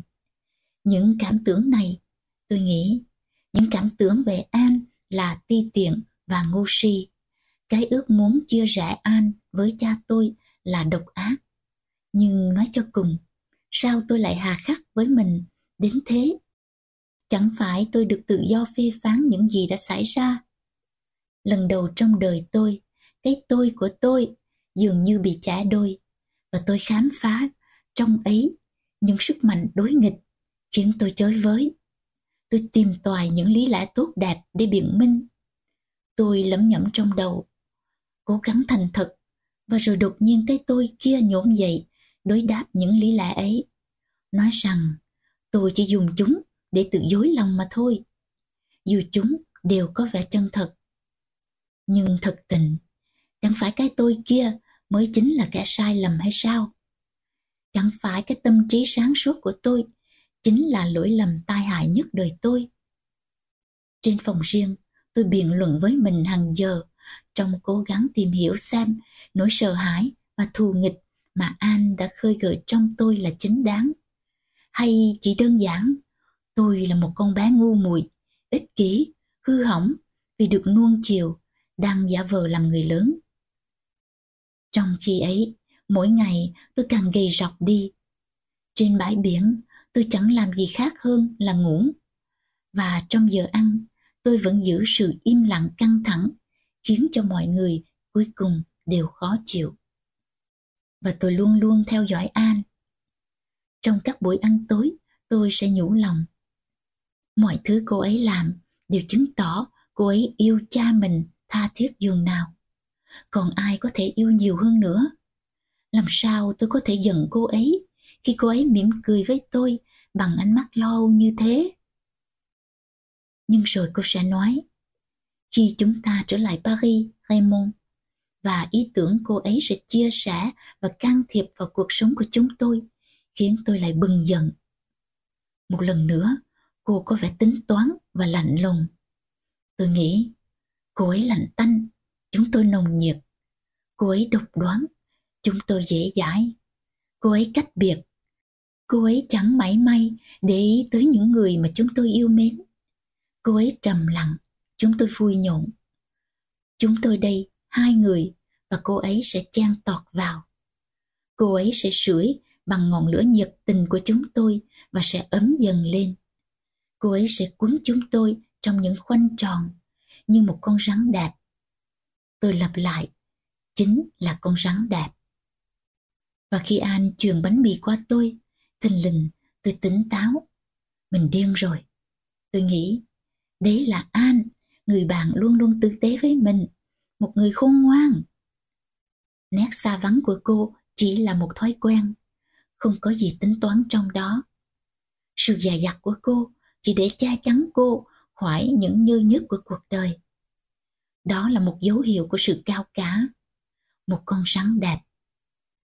Tôi thấy mình tái xanh vì hổ thẹn. Tôi nhìn cô, thầm xin tha thứ. Một đôi khi cô để ý tới nét mặt của tôi và sự ngạc nhiên và quan tâm như một vừng mây phủ bóng đen trên mặt cô và làm cô cắt đứt nửa chừng câu nói. Rồi theo bản năng cô quay mắt sang cha tôi. Nhưng cái nhìn của ông chẳng biểu lộ điều gì khác hơn lòng ngưỡng mộ hay thèm muốn. Ông không hiểu lý do của sự im lặng bất chợt của cô. Từng chút, từng chút một, tôi làm không khí khó thở hơn và tôi ghê tởm mình bởi thế. Cha tôi khổ sở đến mức độ mà bản tính của ông cho phép, nghĩa là chẳng khổ sở tí gì, bởi ông đang điên mê an Ông vô cùng hãnh diện và hạnh phúc. Và với ông, không có điều gì khác tồn tại. Tuy nhiên, một ngày kia, khi tôi đang thiêu thiêu ngủ trên bãi biển sau lượt bơi buổi sáng, ông ngồi xuống cạnh tôi và chăm chú nhìn tôi. Cảm nhận ánh mắt của ông trên tôi và với nét vui vẻ giả tạo mà tôi đã nhanh chóng tạo thành thói quen. Tôi sắp rủ rê ông bơi với tôi khi ông đặt tay lên trán tôi và gọi An bằng một giọng buồn sầu. Đến đây mà nhìn con vật bé bỏng này nè. Nó kỳ như khoe củi ấy. Nếu đây là kết quả của việc học, nó phải ngưng học ngay. Ông nghĩ rằng như thế mọi việc đều ổn thỏa. Và không ngờ chi nữa, có lẽ đã là vậy nếu ông nói như thế 10 ngày trước. Nhưng hiện nay, tôi đã ngục sâu trong sự phức tạp và giờ giấc dành cho việc học buổi chiều, không làm bận lòng tôi nữa. Nhất là từ Bergson đến nay, tôi chẳng mở thêm một trang nào. An đến gần, tôi vẫn úp mặt trên cát, lắng nghe bước chân âm thầm của cô. Cô ngồi xuống phía bên kia. Có lẽ không phù hợp với con bé, cô nói. Nhưng nếu con bé thực sự học một cái gì đó, thay vì cứ bước tới bước lui mãi trong phòng. Tôi phải xoay mình lại và nhìn họ. Làm sao cô biết tôi không học hành chi cả? Có lẽ cô đọc được ý nghĩ của tôi à? Tôi nghĩ là cô có khả năng ấy. Điều đó làm tôi kinh hoàng. Tôi phản đối. Cháu đâu có đi tới đi lui trong phòng. Còn nhớ cậu ấy lắm phải không? Cha tôi hỏi. Không. Điều này không hẳn đúng, nhưng chắc chắn tôi đã không có thì giờ nghĩ tới Sirin. Nhưng dù thế nào á, con cũng không khỏe. Cha tôi quả quyết. An, hãy nhìn cho kỹ. trông nó như là một con gà bị vặt trụi lông và nướng trong nắng ấy. Cecil, cháu yêu. An nói, hãy bình tĩnh lại, học một chút và ăn thật nhiều. Kỳ thi quả thực là quan trọng đấy. Cháu cốc cần kỳ thi ấy. Tôi gào lên. Cô không thể hiểu sao? Cháu chẳng cần gì cả. Tôi nhìn thẳng vào mặt cô một cách tuyệt vọng. Mong cô có thể nhận ra rằng có một thứ khác đang trong cơn nguy biến. Tôi nóng lòng chờ cô hỏi. Ừ, có chuyện gì vậy cháu? Và cực vấn tôi, và tôi phải nói ra tất cả. Rồi tôi sẽ bị chinh phục, và cô có thể làm bất cứ điều gì với tôi. Và tôi sẽ không còn bị dằn vặt đau khổ. Cô đăm đăm nhìn tôi. Tôi có thể thấy màu xanh thẫm của đôi mắt cô tối sầm lại vì sự tập trung và trách móc. Rồi tôi hiểu sẽ không bao giờ cô nghĩ đến chuyện tra vấn tôi và do vậy giải phóng tôi. Bởi vì ngay cả khi một ý nghĩ như thế xuất hiện trong đầu cô, những nguyên tắc đạo đức của cô cũng sẽ ngăn cấm cô làm như vậy. Và tôi cũng thấy rằng cô không có một ý niệm nào về sự xáo động trong tôi. Hay là dù có biết, tôi nghĩ cô cũng sẽ rút lui trong khinh miệt và không chấp nhận chính xác những thứ mà tôi đáng hưởng. An luôn đánh giá mọi việc một cách chuẩn xác. Đó là lý do tôi không bao giờ có thể đồng cảm với cô. Tôi buông mình xuống và để má áp vào làn cát êm ấm. Tôi thở dài rất sâu và khởi sự run rẩy. Tôi có thể cảm nhận bàn tay của An, tĩnh lặng và vững chãi trên gáy tôi, giữ tôi yên trong một lúc. Đủ lâu để ngừng cơn kích động của tôi. Đừng phức tạp hóa cuộc đời của mình. Cô nói, cháu đã quá tự mãn và sống động, quá vô tư. Và giờ đây cháu lại buồn và chiêm nghiệm nội tâm, không thích hợp với cháu. Cháu biết rồi, tôi trả lời. Cháu chỉ là một đứa trẻ hời hợt, khỏe mạnh, vui nhộn và khờ khạo. Đi ăn trưa nhé cháu. Cô nói. Cha tôi đã rời xa chúng tôi. Ông ghét những cuộc thảo luận kiểu ấy. Trên đường về, ông cầm tay tôi.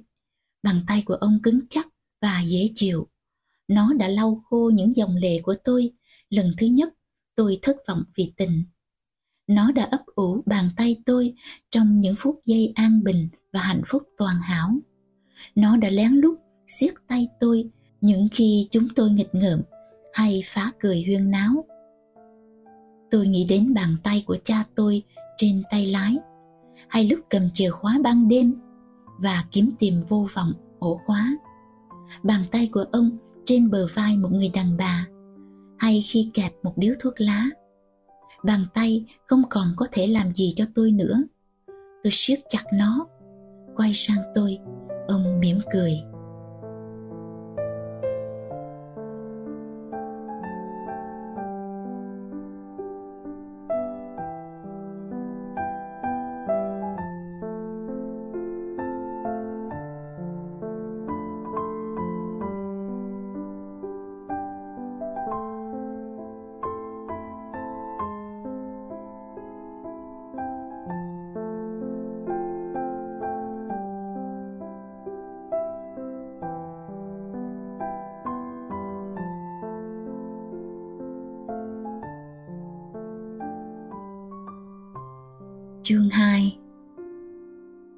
Trôi qua, tôi quanh quẩn mệt nhoài với ám ảnh là An sẽ phá hỏng cuộc đời chúng tôi. Tôi không tìm cách gặp Sirin. Anh có thể an ủi và làm tôi vui thú hơn, nhưng đó không phải là điều tôi muốn. Tôi lại có một cảm giác hài lòng nào đó trong việc đặt ra những câu hỏi không lời giải, nhắc nhở những ngày tháng cũ và lo sợ những ngày sẽ đến trời thật nóng. Tôi khép các cửa chớp để phòng tối lờ mờ. Nhưng dù vậy, không khí vẫn nặng và ấm. Tôi nằm đờ nhìn lên trần. Chỉ lăn trở qua chỗ mát hơn trên tấm trải giường. Tôi không ngủ được. Tôi thường xuyên mở máy hát ở cuối giường. Tôi chọn những đĩa hát nhịp chậm, rã rời, không làn điệu du dương. Tôi đốt thuốc lá liên miên và cảm thấy mình đồi bại. Điều này càng khiến cho tôi khoái trá. Nhưng tôi không bị lừa dối bởi trò chơi giả vờ này. Tôi vẫn buồn và hoang mang. Một buổi chiều, chị người làm gõ cửa phòng và nói một cách bí mật. Có ai đó dưới nhà? Tôi nghĩ ngay đến Sirin và xuống lầu. Không phải Sirin mà là Elsa. Chị chào tôi nồng nhiệt. Nhìn chị, tôi ngạc nhiên trước nhan sắc mới của chị. Cuối cùng, chị cũng có một làn da nâu mịn màng và chị trang điểm tỉ mỉ và rạng người tươi trẻ. Chị đến lấy vali, chị giải thích.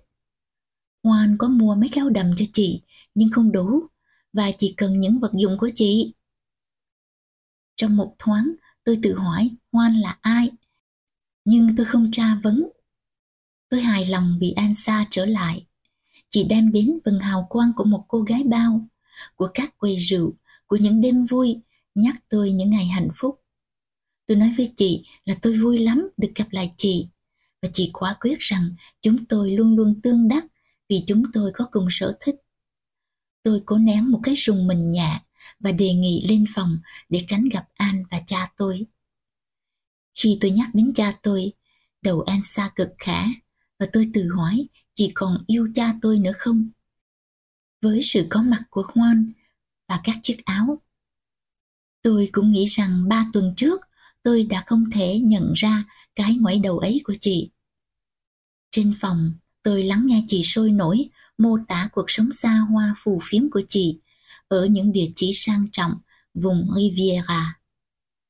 Các ý nghĩ rối bời hình thành trong óc tôi một phần bởi bề ngoài tươi tốt hơn của chị. Cuối cùng chị ngừng nói, có lẽ vì tôi nín thinh. Chị đi mấy bước và không quay đầu lại, bất thần hỏi. Raymond có hạnh phúc không? Trong phút chốc, tôi lập tức hiểu rằng tôi cần nói với chị. Nói hạnh phúc á, là hơi quá lố. Anh chẳng cho em một cơ hội nào để nghĩ rằng ông không hạnh phúc. Cô ấy khôn khéo lắm. À, sức mực. Ansa thở dài. Chị không biết á, cô ấy đã thuyết phục cha em làm cái gì đâu. Cô ấy sắp kết hôn với cha em đấy. Ansa quay gương mặt kinh hoàng sang tôi. Kết hôn với ông ấy à? Raymond thật tình muốn cưới vợ à? Vâng, tôi trả lời. Raymond sắp sửa lập gia đình đấy. Một ham muốn đột ngột được cười to vướng nơi cổ họng tôi. Tay tôi run lẩy bẩy. Elsa khủy xuống, làm như vừa bị tôi đánh trúng. Tôi không thể để chị ấy gầm nhắm cái ý tưởng rằng cha tôi đã tới lứa tuổi thích hợp cho hôn nhân, rằng ông không thể sống những ngày còn lại với các ả giang hồ. Tôi nghiêng mình tới trước và hạ giọng để tạo một ấn tượng sâu sắc hơn. Không thể để cho việc ấy xảy ra an xa. Cha em khổ sở lắm. Đó là một tình trạng không chấp nhận được. Chị thừa sức hiểu đấy.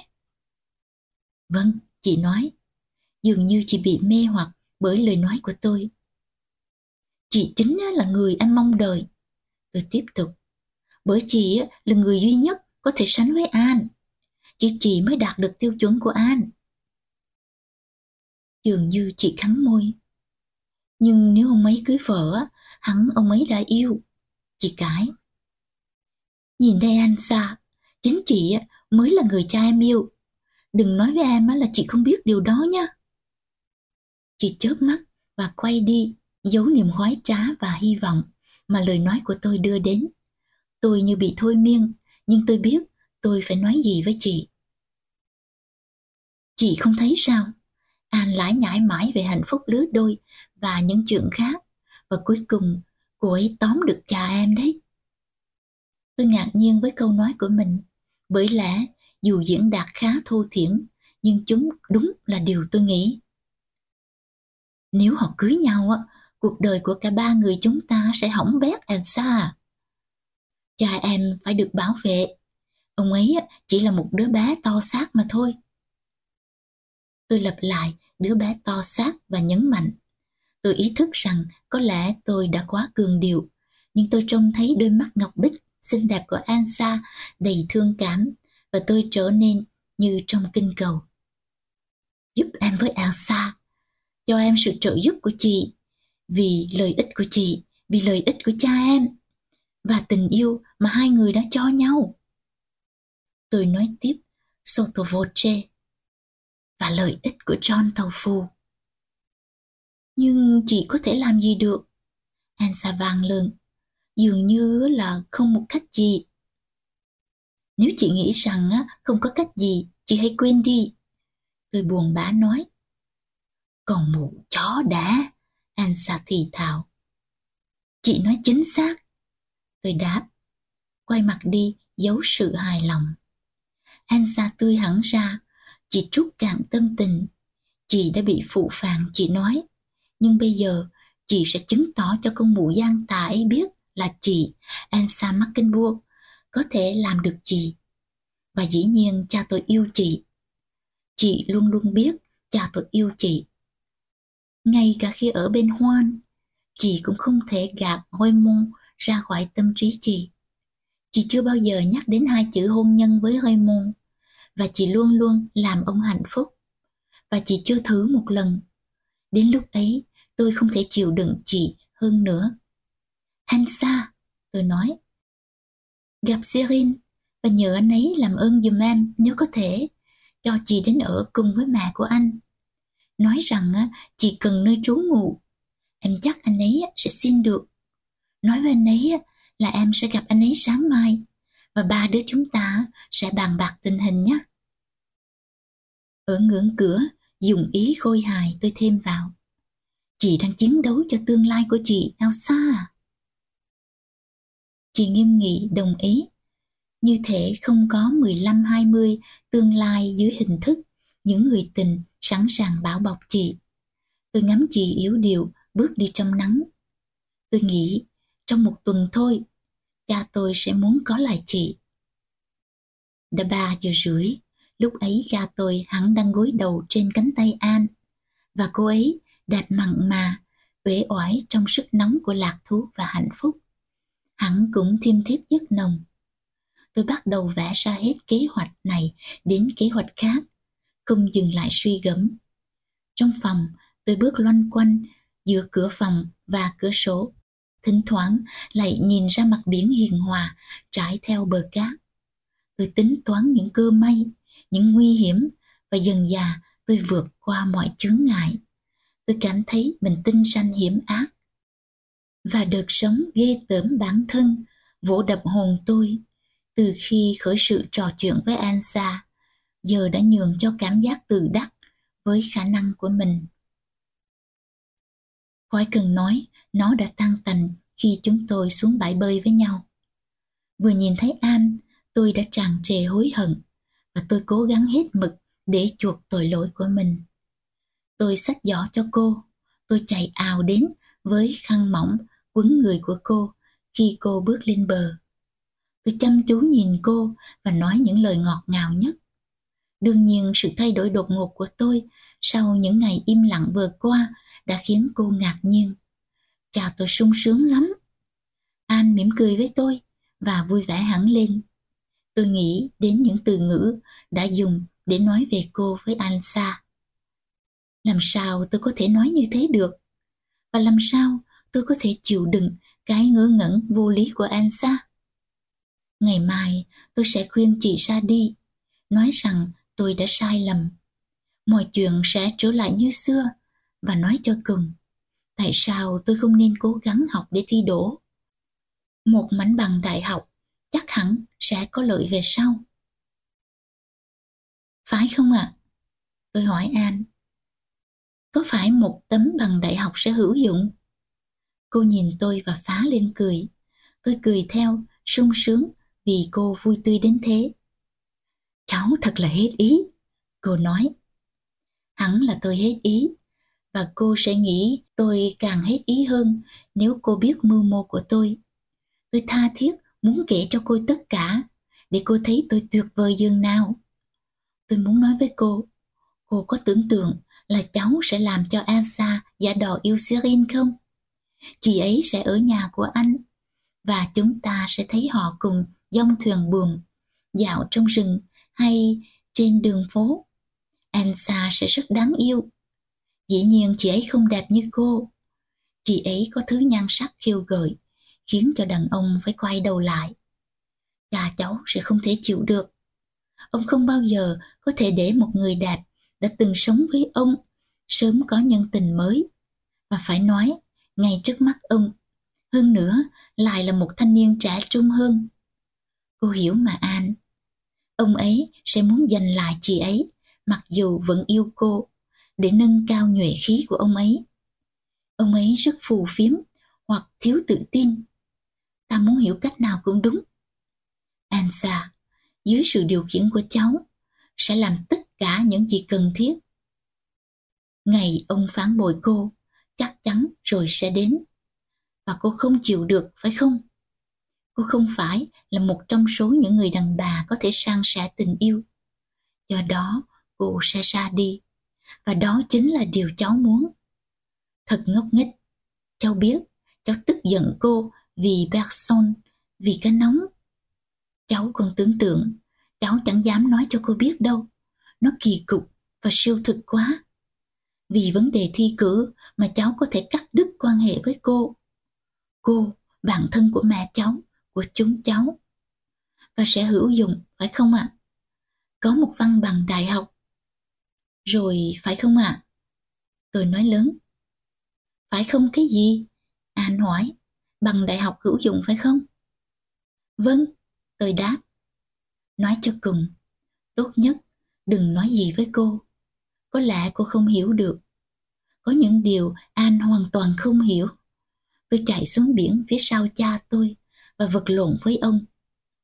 Một lần nữa tôi có thể nô đùa trong sóng nước, bởi lòng tôi thanh thản. Ngày mai tôi sẽ đổi phòng. Tôi sẽ dọn lên gác mái với mớ sách giáo khoa. Nhưng sẽ không có Bergson trong đó. Không cần phải thái quá. Hai giờ mỗi ngày tôi sẽ tập trung học trong cô liêu. Tôi tưởng tượng tháng 10 tôi sẽ thi đỗ vẽ vang và nghĩ đến tiếng cười ngạc nhiên của cha tôi sự chấp thuận của An và văn bằng của tôi. Tôi sẽ thông thái, lịch lãm, xa vắng một tí như An. Không chừng tôi là một trí thức bẩm sinh.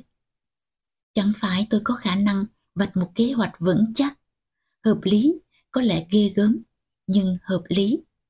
Còn anh Sa thì sao? Tôi biết cách kêu gọi bản tính nhà dạ và ủy mị của chị ấy. Và chỉ trong vòng vài phút đã thuyết phục được chị khi mà mục tiêu duy nhất của chị lúc trở lại là để thu thập hành lý. Tôi cảm thấy kiêu hãnh. Tôi đã tóm gọn chị, tìm ra nhược điểm và cẩn thận sử dụng ngôn từ. Lần đầu trong đời, tôi biết đến lạc thú sâu đậm của sự phân tích tâm hồn người khác và điều khiển họ theo ý mình. Đó là một kinh nghiệm mới. Trong quá khứ, tôi thường quá bồng bột và nếu tôi có tiến gần đến chỗ hiểu được một ai, chỉ là may mắn mà thôi. Giờ đây bỗng nhiên tôi có được một ý niệm loáng thoáng về cơ chế tuyệt vời của phản xạ của con người và quyền lực nằm trong từ ngữ. Tôi rất tiếc tôi đã đến bằng lời gian dối. Sẽ có một ngày tôi điên mê một người và sẽ phải mỏi mệt dịu dàng tìm kiếm con đường dẫn tới trái tim của người ấy.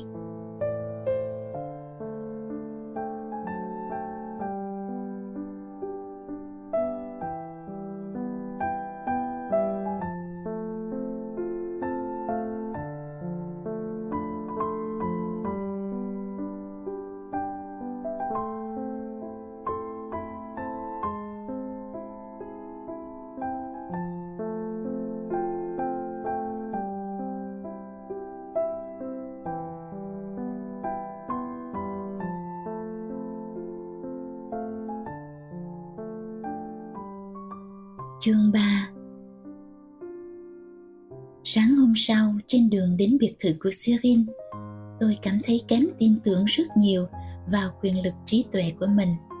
Để mừng sự quy thuận, tối hôm trước tôi đã uống khá nhiều và vui hơn mức cần thiết. Tôi nói với cha tôi rằng tôi sẽ chăm học để đoạt lấy mảnh bằng và sẽ giao du với giới trí thức mà thôi. Tôi muốn nổi tiếng và tả nhạc Tôi nói với cha tôi rằng ông cần áp dụng những mánh khóe gây tai tiếng từng có để làm bệ phóng cho nghề nghiệp của tôi. Chúng tôi cười đùa ầm ý, ba hoa những câu nhăn nhít nhất. An cũng cười, dễ dãi, nhưng không to như chúng tôi. Có khi tôi quá đà, cô nín bặt. Nhưng sự đùa nghịch của chúng tôi đã làm cho cha tôi hạnh phúc đến độ cô không tìm cách chấm dứt nó rồi họ cũng đi ngủ sau khi sửa lại chăn mền u ấm cho tôi. Tôi cảm ơn họ chân thành và nói rằng tôi sẽ không làm được gì nếu thiếu họ. Cha tôi không trả lời. Nhưng An có vẻ như sắp nói ra một ý kiến quyết liệt. Vừa lúc cô nghiêng qua, tôi đã thiếp đi. Đến giữa khuya, tôi thấy khó chịu trong người, và sáng hôm sau là lần thức giấc tồi tệ nhất trong đời mà tôi còn nhớ. Vẫn ngày ngật mệt mỏi, tôi lê bước vào rừng, không buồn nhìn biển hay bầy hải âu sao xác. Sirin đứng ở cổng vườn, anh chạy đến, đưa tay ôm tôi và giữ chặt, nói không đầu không đuôi.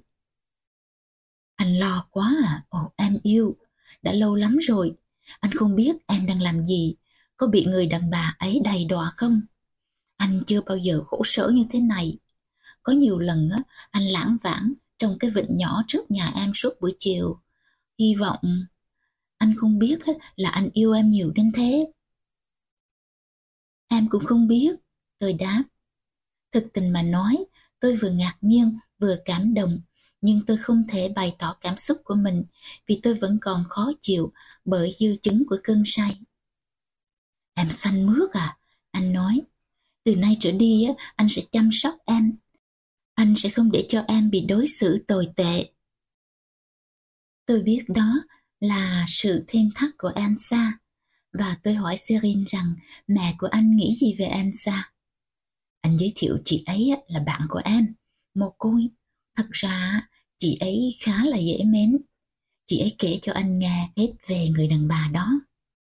Thật lạ lùng sao với gương mặt thanh tú, quý phái như thế mà bà ta lại là có thể một người phóng đảng. Anh xa có lắm cảm xúc bi hài. Tôi yếu ớt nói, nhưng em sắp nói với chị ấy. Anh cũng vậy, có chuyện muốn nói với em. Sirin ngắt lời. Cecil à, anh muốn cưới em. Tôi hoảng hồn mất một lúc. Tôi bắt buộc phải làm hay nói một điều gì đó. Phải chi tôi đang không ngất ngư vì bệnh. Anh yêu em, Sirin nói vào tóc tôi. Anh sẽ bỏ học luật. Bác của anh có hỏi anh muốn làm việc cho ông ấy không? Anh 26 tuổi, anh không còn là một cậu bé nữa. Anh nghĩ về chuyện này một cách nghiêm túc. Em thấy sao? Tôi tuyệt vọng tìm một câu rỗng tuyết, không hẹn ước. Tôi không muốn kết hôn với anh. Tôi yêu anh. Vâng, nhưng tôi không muốn làm vợ anh. Tôi không muốn làm vợ ai. Tôi mệt lắm. Có lẽ được. Tôi ấp úng. Cha em... Ừ. Anh sẽ đối phó với cha em. Sirin nói. Anh sẽ không chấp thuận, tôi nói. Cô ấy không cho rằng em đã lớn. Nếu cô ấy nói không, cha em sẽ nói không. Em đang kiệt lực Sirin à. Những xúc động này làm em mệt lã. Elsa kia rồi. Ansa mặc chiếc áo ngủ dài mỏng thước tha, trông chị tươi tắn rạng rỡ. Còn tôi thì bạc nhược gầy gò. Sirin và Anza đều khỏe mạnh và hăng hái, khiến tôi càng thêm não ruột. Chị rối rít cả lên, làm như tôi mới trốn khỏi trại tù. Tôi ngồi xuống. Gây mô khỏe không em? Chị hỏi. Ông ấy có biết chị ở đây không? Chị có nụ cười hạnh phúc của một người đã tha thứ và đầy hy vọng. Làm sao tôi nói với chị rằng, cha tôi đã quên sự có mặt của chị? Làm sao tôi giải thích với Sirin rằng, tôi không muốn kết hôn với anh? Tôi nhắm nghiền mắt. Sirin đi lấy cà phê. Ensa thao thao nói. Rõ ràng chị nghĩ tôi là một người khôn ngoan mà chị có thể hoàn toàn trông cậy. Cà phê đậm và thơm.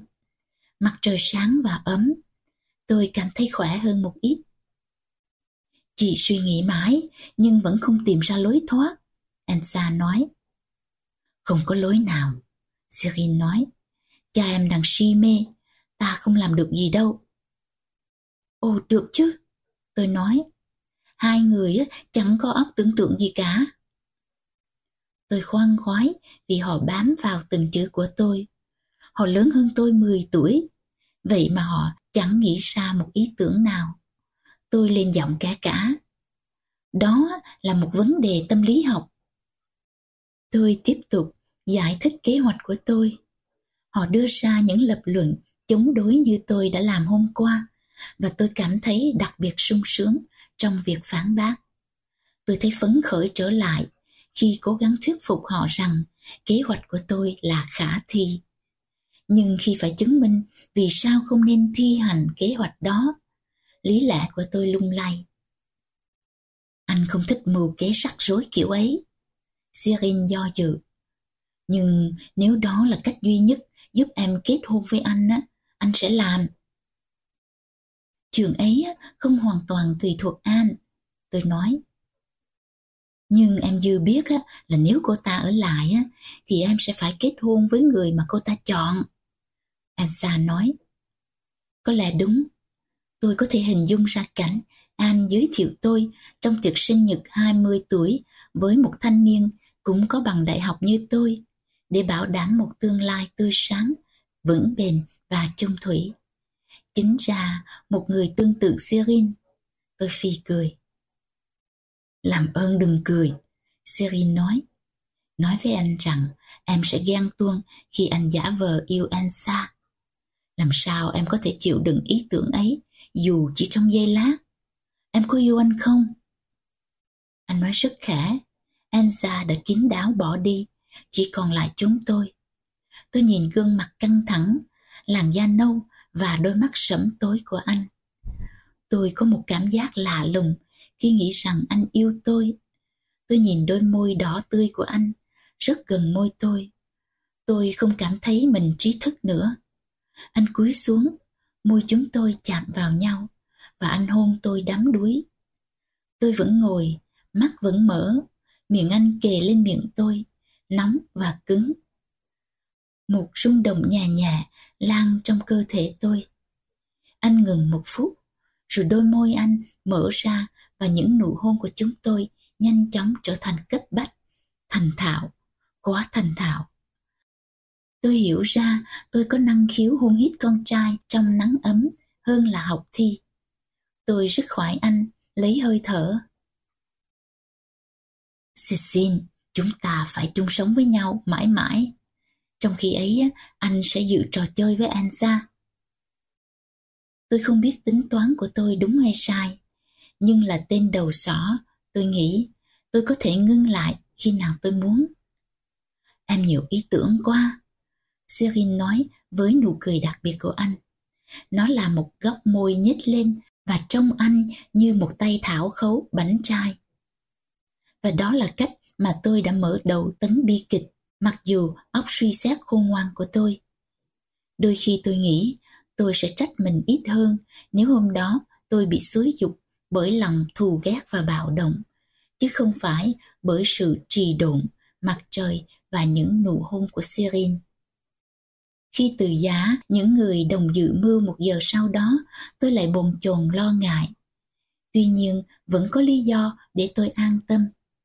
Kế hoạch của tôi có thể tịt ngoài vì lòng đam mê chân thành của cha tôi với An có lẽ sẽ giữ cho ông chung thủy. Ngoài ra, cả Serin lẫn Ansa đều không thể làm gì nếu không có sự thông đồng của tôi. Nếu cha tôi có dấu hiệu mắc bẫy, tôi có thể tìm cách chấm dứt toàn bộ sự việc.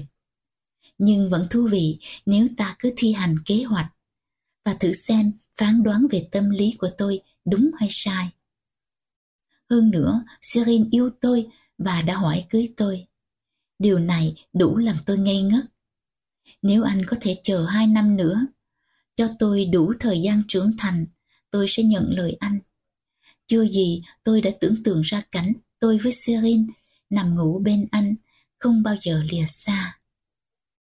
Mỗi Chủ nhật, chúng tôi sẽ đi ăn trưa với An và cha tôi, đôi vợ chồng hạnh phúc, và thỉnh thoảng có thể mời thêm mẹ của Serin một chấm phá cuối cùng cho bức tranh gia đình.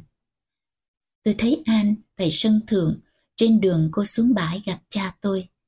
Cô đón tôi với một nụ cười trêu chọc mà người ta thường dành cho những kẻ say mềm đêm trước. Tôi hỏi cô định nói gì với tôi khi tôi thiếp ngủ, nhưng cô chỉ cười và bảo rằng nó có thể làm tôi cáu giận. Khi ấy, cha tôi từ dưới nước bước lên, vai rộng và bắp thịt gân guốc. Tôi nghĩ là ông tuyệt vời. Tôi xuống nước với An. Cô bơi chậm chậm, đầu ngẩng cao khỏi mặt nước để giữ tóc không ướt. Sau đó cả ba chúng tôi nằm dài úp mặt trên cát. Tôi ở giữa. Chúng tôi im lặng và hòa bình. Ngay lúc ấy, một chiếc thuyền xuất hiện sau gành đá. Bùm căng gió. Cha tôi là người đầu tiên thấy nó Vậy là Serin không chịu nổi rồi. Cha cười nói, chúng ta có nên tha thứ cho cậu ấy không An? Nói cho cùng, cậu ấy là một người tốt. Tôi ngẩng đầu lên, đánh hơi sự nguy hiểm. Mà cậu ấy đang làm gì thế? Cha tôi hỏi. Cậu ấy không lái thuyền vào. À, cậu ấy không chỉ một mình. An cũng quay đầu lại nhìn con thuyền lướt ngang vũng biển trước mặt chúng tôi. Trước khi đổi hướng, tôi có thể nhận ra nét mặt của Serin. Tôi âm thầm cầu nguyện cho anh biến mất. Nhưng tôi nghe cha tôi kêu thảng thốt. Anh xa kìa, cô ấy làm trò khỉ gì nơi đó. Ông quay sang An. Không thể tin nổi, hẳn cô ta đã vồ được con mồi xấu số và bắt bà cụ phải chịu đựng. Nhưng An không nghe cha tôi nói. Cô đang quan sát tôi. Tôi nhìn cô vùi mặt trong cát để giấu nỗi hổ thẹn. An đưa tay ra và sờ lên cổ tôi. Nhìn cô này, cháu có phiền trách cô không? Tôi mở mắt, cô khom xuống lo lắng, hầu như vang nài. Lần đầu cô đối xử với tôi như một người bén nhạy, với những cảm giác buồn vui, cũng chính là ngày mà Tôi rên khẽ và quay đầu sang cha tôi để rứt khỏi tay cô. Ông đang nhìn theo con thuyền. Tội nghiệp cháu tôi. An nói rất khẽ. Tội nghiệp bé Cecil. Cô nghĩ rằng tất cả đều do lỗi của cô. Có lẽ cô không nên nghiêm khắc với cháu đến thế. Cô không bao giờ muốn làm cháu khổ. Cháu tin cô không? Cô dịu dàng vuốt tóc và gáy tôi. Tôi nằm thật yên. Tôi có cùng một cảm xúc như khi một làn sóng rút ra biển, kéo theo lũ cát dưới thân. Chưa bao giờ sự giận dữ cũng như ham muốn hoạt động một cách mãnh liệt đến thế trong tôi. Khi mà lòng mong ước của tôi ngay trong giây phút ấy là được thất bại não nề. Ước muốn của tôi là bỏ ngang những kế hoạch và phó thác hoàn toàn trong tay cô suốt cuộc đời còn lại. Chưa bao giờ trong đời tôi đã mất hết tự chủ vì một cảm giác bất lực tuyệt đối. Tôi nhắm mắt, dường như tim tôi ngừng đập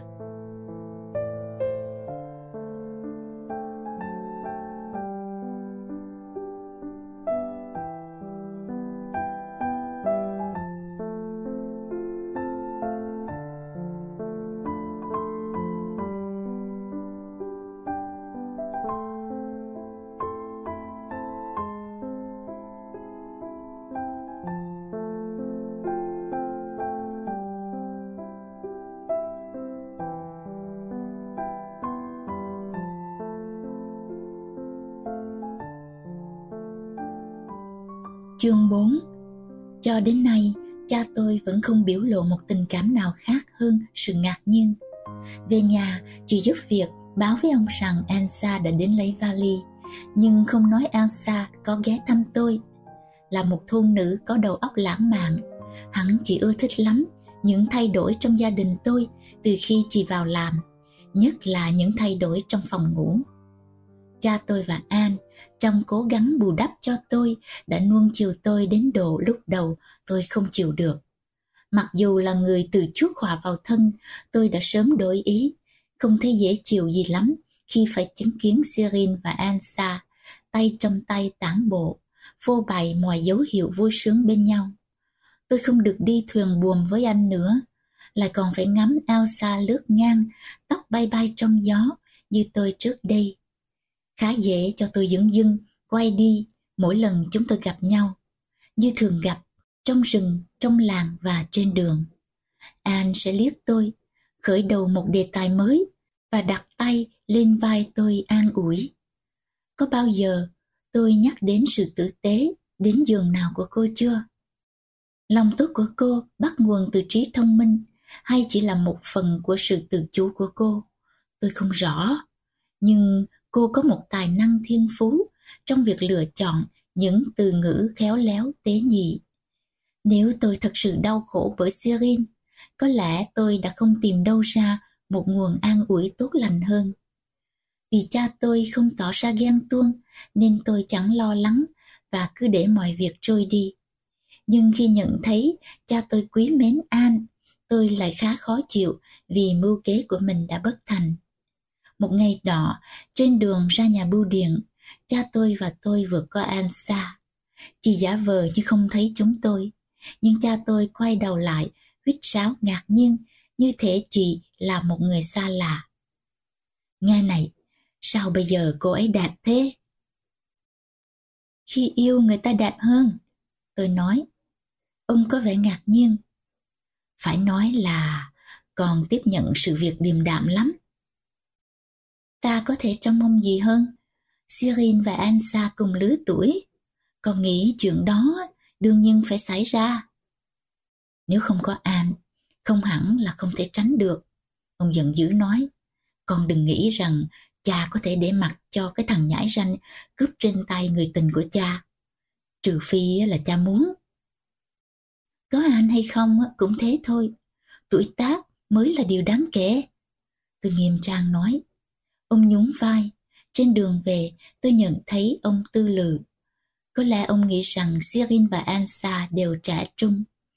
Và khi cưới một người đàn bà trạc tuổi mình, ông không thuộc về nhóm trai tráng nữa. Tôi có một cảm giác thắng lợi ngắn ngủi, nhưng khi nhìn các nếp nhăn li ti ở đuôi mắt và đường nhăn mờ nhạt quanh miệng An, tôi lại cảm thấy tội lỗi. Thật dễ dàng làm theo ý thích sốc nổi của mình rồi hối hận sau đó. Một tuần trôi qua, Sirin và Ansa không có một ý niệm nào về diễn tiến của tình hình. Hẳn phải trong đời tôi mỗi ngày. Tôi ngại không dám gặp họ, vì tôi sợ tôi sẽ yếu lòng gây thêm một trò tai quái khác. Mỗi chiều tôi lên phòng riêng, giả vờ học bài, nhưng thực sự chẳng làm gì cả. Tôi tìm thấy một quyển yoga và dành hết thì giờ thực tập mọi tư thế. Tôi không dám cười to, sợ An nghe thấy. Tôi nói với cô rằng tôi chăm học lắm. Tôi làm như vì thất tình mà tôi cố gắng giật một mảnh bằng để đền bù. Tôi hy vọng cô đánh giá tôi cao hơn và tôi còn đi xa thêm nữa. Nhắc lại Kant ở bàn ăn trước sự ngỡ ngàng của cha tôi. Một buổi chiều nọ, quấn mình trong khăn bông cho giống người Ấn Độ. Tôi đang xếp bằng tròn, miệt mài ngắm mình trong gương.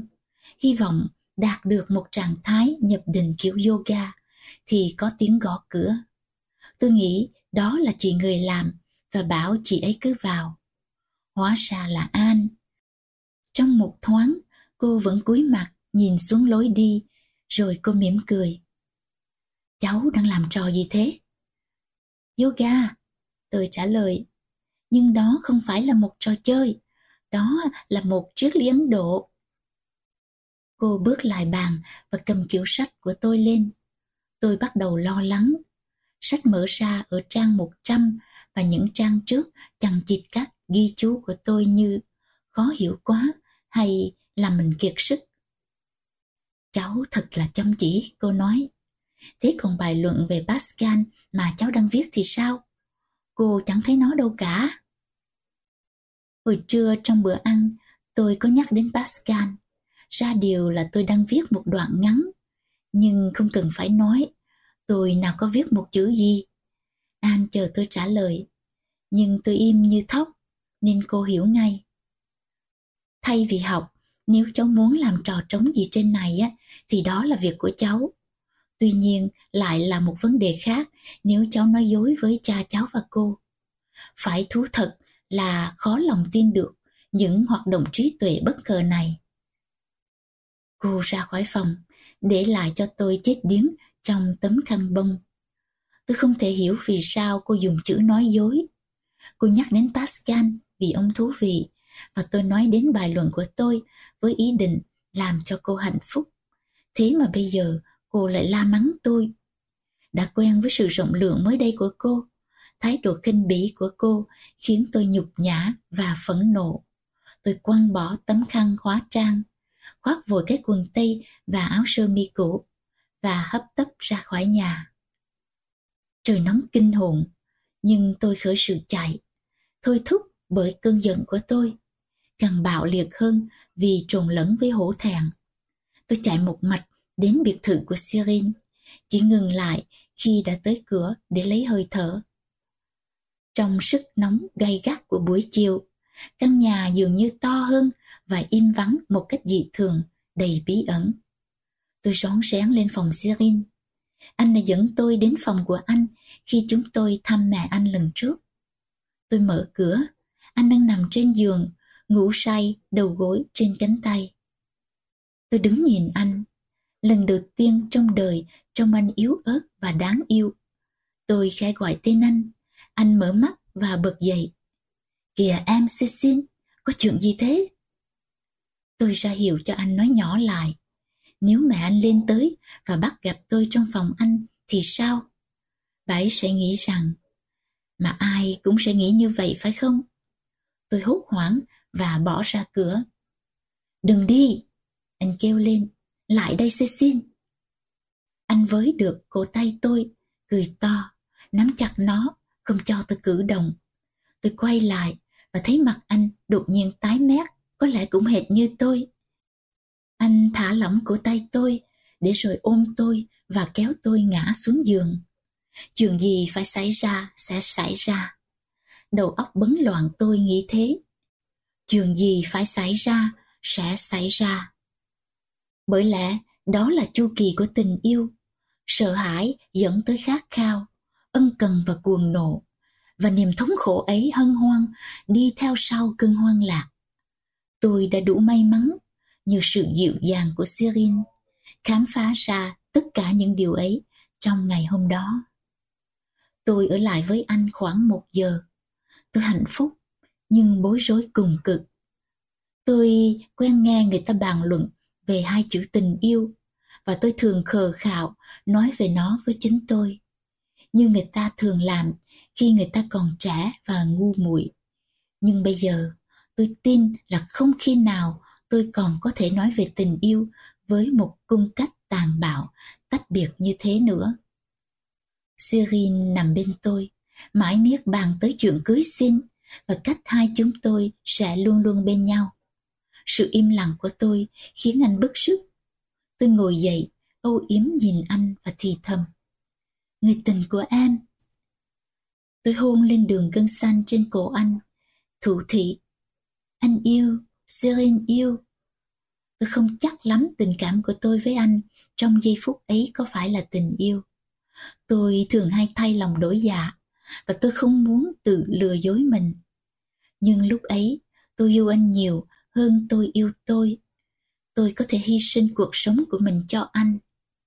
Khi tôi ra về, anh hỏi tôi có phải tôi giận anh không? Tôi chỉ cười. Làm sao tôi có thể giận anh khi anh đã ban tặng tôi một niềm hoang lạc như thế? Tôi thư thả đi bộ về qua rừng Thùy Dương. Tôi yêu cầu Sirin đừng tiễn tôi, sẽ nguy hiểm lắm.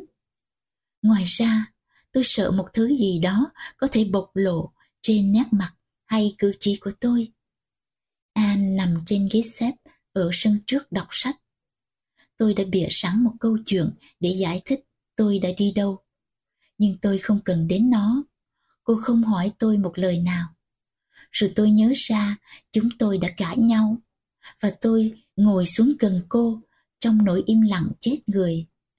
Tôi ngồi bất động, ý thức về hơi thở của tôi, về những ngón tay run rẩy của tôi và nhớ Sirin. Tôi nhón một điếu thuốc lá trên bàn và đánh diêm châm lửa. Nó tắt ngúm. Tôi lập cập đánh thêm một que diêm khác và mặc dù trời không gió, nó cũng thế tắt ngúm. Trong sự bực dọc cực độ, tôi lấy que diêm thứ ba. Và vì một lý do nào đó, que diêm này mang một ý nghĩa hệ trọng. Có thể vì An đang nhìn tôi chầm chập. Thình lình mọi vật quanh tôi mờ nhòe và chẳng còn gì cả ngoại trừ que diêm giữa ngón tay tôi, hộp diêm và đôi mắt của An xoáy lên tôi. Tim tôi đập thùm thụp. Tôi cầm chặt que diêm và quạt mạnh. Nhưng khi tôi cúi xuống, điếu thuốc của tôi dập tắt nó. Hộp diêm rơi xuống thềm và tôi có thể cảm nhận cái nhìn dò xét của An lướt qua mặt tôi. Sự căng thẳng không thể nào chịu đựng. Rồi bàn tay của cô luồn dưới cầm tôi. Và khi cô nâng nó lên, tôi nhắm nghiền mắt vì tôi sợ cô đọc được biểu lộ của chúng và nhìn thấy nước mắt dâng đầy trong đó. Nước mắt của mệt mỏi, của khoái lạc, của tuổi thẹn. Cô khẽ vuốt má tôi, rồi thả tôi ra. Như thế cô quyết định rằng cứ để mọi việc tự nhiên xuôi dòng. Rồi cô đốt một điếu thuốc, đặt lên môi tôi và quay lại với quyển sách của cô. Có lẽ sự kiện đó đã trở thành biểu tượng.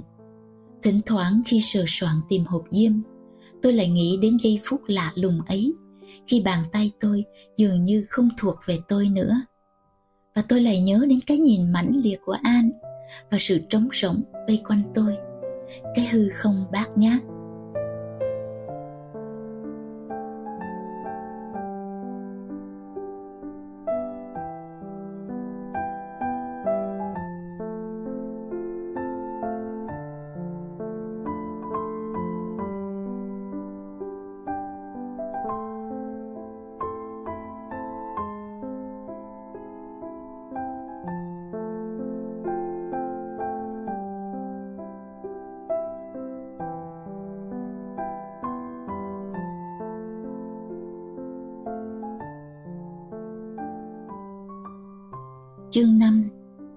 Sự kiện mà tôi vừa mô tả trên đây không phải là không có hậu quả của nó, như một số người khéo kiềm chế và tự tin vào bản thân an không thích thỏa hiệp.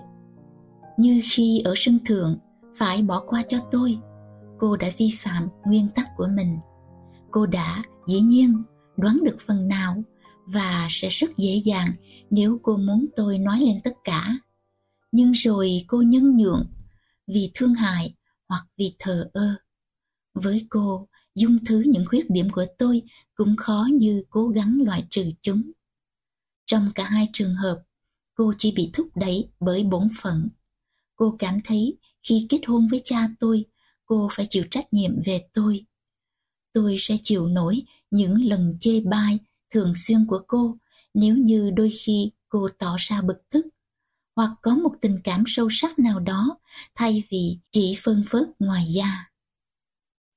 Ta sẽ quen với lỗi lầm của người khác nếu ta không cảm thấy có nhiệm vụ sửa đổi chúng. Trong vài tháng, cô sẽ không quấy rầy tôi và sự lãnh đạm của cô có lẽ sẽ pha trộn với cảm tình.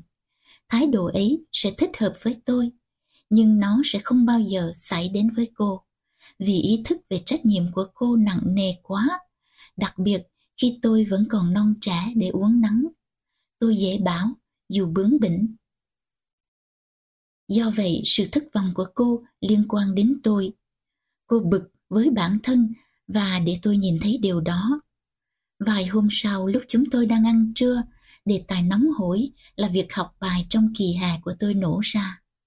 Tôi phản ứng khá sốc nổi và ngay cả cha tôi cũng tỏ ra tức giận nhưng chính Anne lại là người khóa cửa phòng của tôi. Mặc dù cô không hề lớn tiếng trong suốt cuộc tranh cãi. Tôi không biết gì cả. Cho đến lúc tôi muốn ra khỏi phòng để lấy một ly nước. Tôi chưa bao giờ bị nhốt trong phòng. Và ban đầu tôi đã hoảng loạn. Tôi chạy đến cửa sổ. Nhưng ở đó không có lối thoát. Và tôi quăng mình lên cửa phòng, mạnh đến nỗi vai bị bầm tím tôi nghiến răng, dùng cái nhíp gắn sức này ổ khóa. Tôi không muốn gọi ai mở cửa cho tôi. Sau đó tôi đứng yên giữa phòng, cố tập trung tư tưởng. Rồi dần già tôi bình tâm trở lại. Đây là lần đầu tôi tiếp xúc với sự ác độc. Tôi cảm thấy nó lớn dần trong tôi. Như thể các ý nghĩ của tôi là chất liệu nuôi dưỡng nó. Tôi nằm trên giường, duỗi tay chân và bắt đầu tính toán việc trả thù. Sự cuồng nộ của tôi không cân xứng với nguyên nhân gây ra nó. Quả thật có mấy lần tôi mở cửa và ngạc nhiên thấy mình bị cầm giữ. Lúc 6 giờ, cha tôi đến giải cứu tôi. Tôi ngồi dậy khi ông bước vào và mỉm cười với ông. Ông nhìn tôi trong im lặng. Còn không có điều gì nói với cha sao? Ông hỏi về chuyện gì chứ? Tôi nói, cha đã biết chúng ta có những lý lẽ khủng khiếp, chẳng đưa tới đâu cả. Ông có vẻ yên lòng, nhưng còn cần tử tế với an, hãy kiên nhẫn hơn. Cách chọn lựa từ ngữ của ông khiến tôi ngạc nhiên. Tôi mà kiên nhẫn với an à? Ngược lại mới đúng chứ. Tôi hiểu ông nghĩ đến an như một người đàn bà mà ông ép uổng con gái ông chịu đựng không phải điều ngược lại. Rõ ràng vẫn còn chỗ cho hy vọng. Con dữ dằn quá, tôi nói. Con sẽ xin lỗi cô ấy. Con không khổ sở chứ, phải không? Dĩ nhiên là không. Tôi trả lời. Và dù sao á, nếu cô ấy và con cãi nhau nhiều, bất quá con sẽ lấy chồng sớm một chút, vậy thôi. Tôi biết lời nói của tôi sẽ đánh động hồn ông con không nên nhìn sự việc theo cách ấy. Con có phải là bạch tuyết đâu. Con sẽ không bỏ cha đi lấy chồng sớm chứ. Cha con mình sống bên nhau mới có hai năm. Ý tưởng đó thật không thể chịu đựng. Với tôi cũng như với ông. Tôi có thể hình dung ra tôi nỉ non, khóc trên vai ông, than vãn một hạnh phúc đã mất.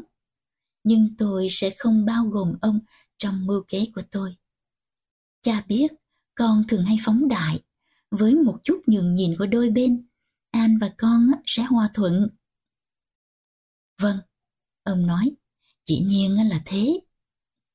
Hắn ông đã nghĩ, cũng như tôi trong phút giây ấy, có lẽ nhường nhịn không thuộc về đôi bên mà chỉ thuộc về tôi. Cha thấy không? Tôi nói, con hiểu rất rõ là An luôn luôn đúng. Cách sống của cô thật sự tốt đẹp hơn cách sống của chúng ta. Nó sâu sắc hơn. Ông trực phản đối, nhưng tôi tiếp tục. Trong một hai tháng nữa, con sẽ thấm nhuần tư tưởng của An và sẽ không còn những trận cãi cọ ngu si nào nữa. Chỉ phải kiên nhẫn hơn. Ông ngạc nhiên ra mặt. Không những ông đánh mất một người bạn vui tính mà luôn cả một mảnh đời quá khứ. Này, đừng có phóng đại nữa. Ông yếu ớt nói. Cha biết cuộc sống mà con đã chia sẻ với cha có lẽ là không thích hợp với con cũng như là với cha về phương diện tuổi tác, nhưng không hề tẻ nhạt hay là buồn thảm. Nghĩ cho cùng á, thì chúng ta chưa bao giờ cảm thấy chán chường hay trầm uất trong hai năm qua, phải không? Ta không cần thay đổi một cách quyết liệt, chỉ vì nhận thức của An về cuộc đời á, khác biệt chút ít với nhận thức của chúng ta. Ngược lại là đằng khác, tôi quả quyết, chúng ta phải đi xa hơn những gì con nói, rũ bỏ hoàn toàn lối sống cũ của chúng ta. Ôi, cha cũng nghĩ thế. Người cha đáng thương của tôi nói khi chúng tôi bước xuống cầu thang. Tôi xin lỗi An không một chút ngượng ngùng. Cô nói tôi đừng ái ngại. Có lẽ trời nóng là nguyên cớ gây ra tranh cãi giữa chúng tôi. Tôi cảm thấy hân hoan và phơi phới. Tôi gặp Sirin trong rừng Thùy Dương như đã định. Tôi báo cho anh các việc cần làm trong những ngày sắp tới. Anh lắng nghe trong cảm xúc sợ hãi, trộn lẫn ngưỡng mộ. Rồi anh ôm tôi vào lòng. Nhưng tôi không thể ở lại vì trời đã về chiều. Tôi ngạc nhiên nhận thấy tôi không muốn xa lìa anh. Nếu anh tìm tòi những phương cách làm cho tôi gắn bó với anh, có lẽ anh đã tìm thấy. Thân thể tôi đáp ứng thân thể anh và rực rỡ nở hoa bên anh. Tôi mê đắm hôn anh. Tôi còn muốn làm anh bầm tím. Để đêm nay không một giây phút nào anh có thể quên tôi và sẽ mơ tưởng đến tôi suốt đêm. Tôi không chịu nổi cái ý tưởng của đêm thiếu vắng anh cạnh tôi, thiếu vắng nỗi cuồng nhiệt đột ngột và sự mơn trớn dài lâu của anh.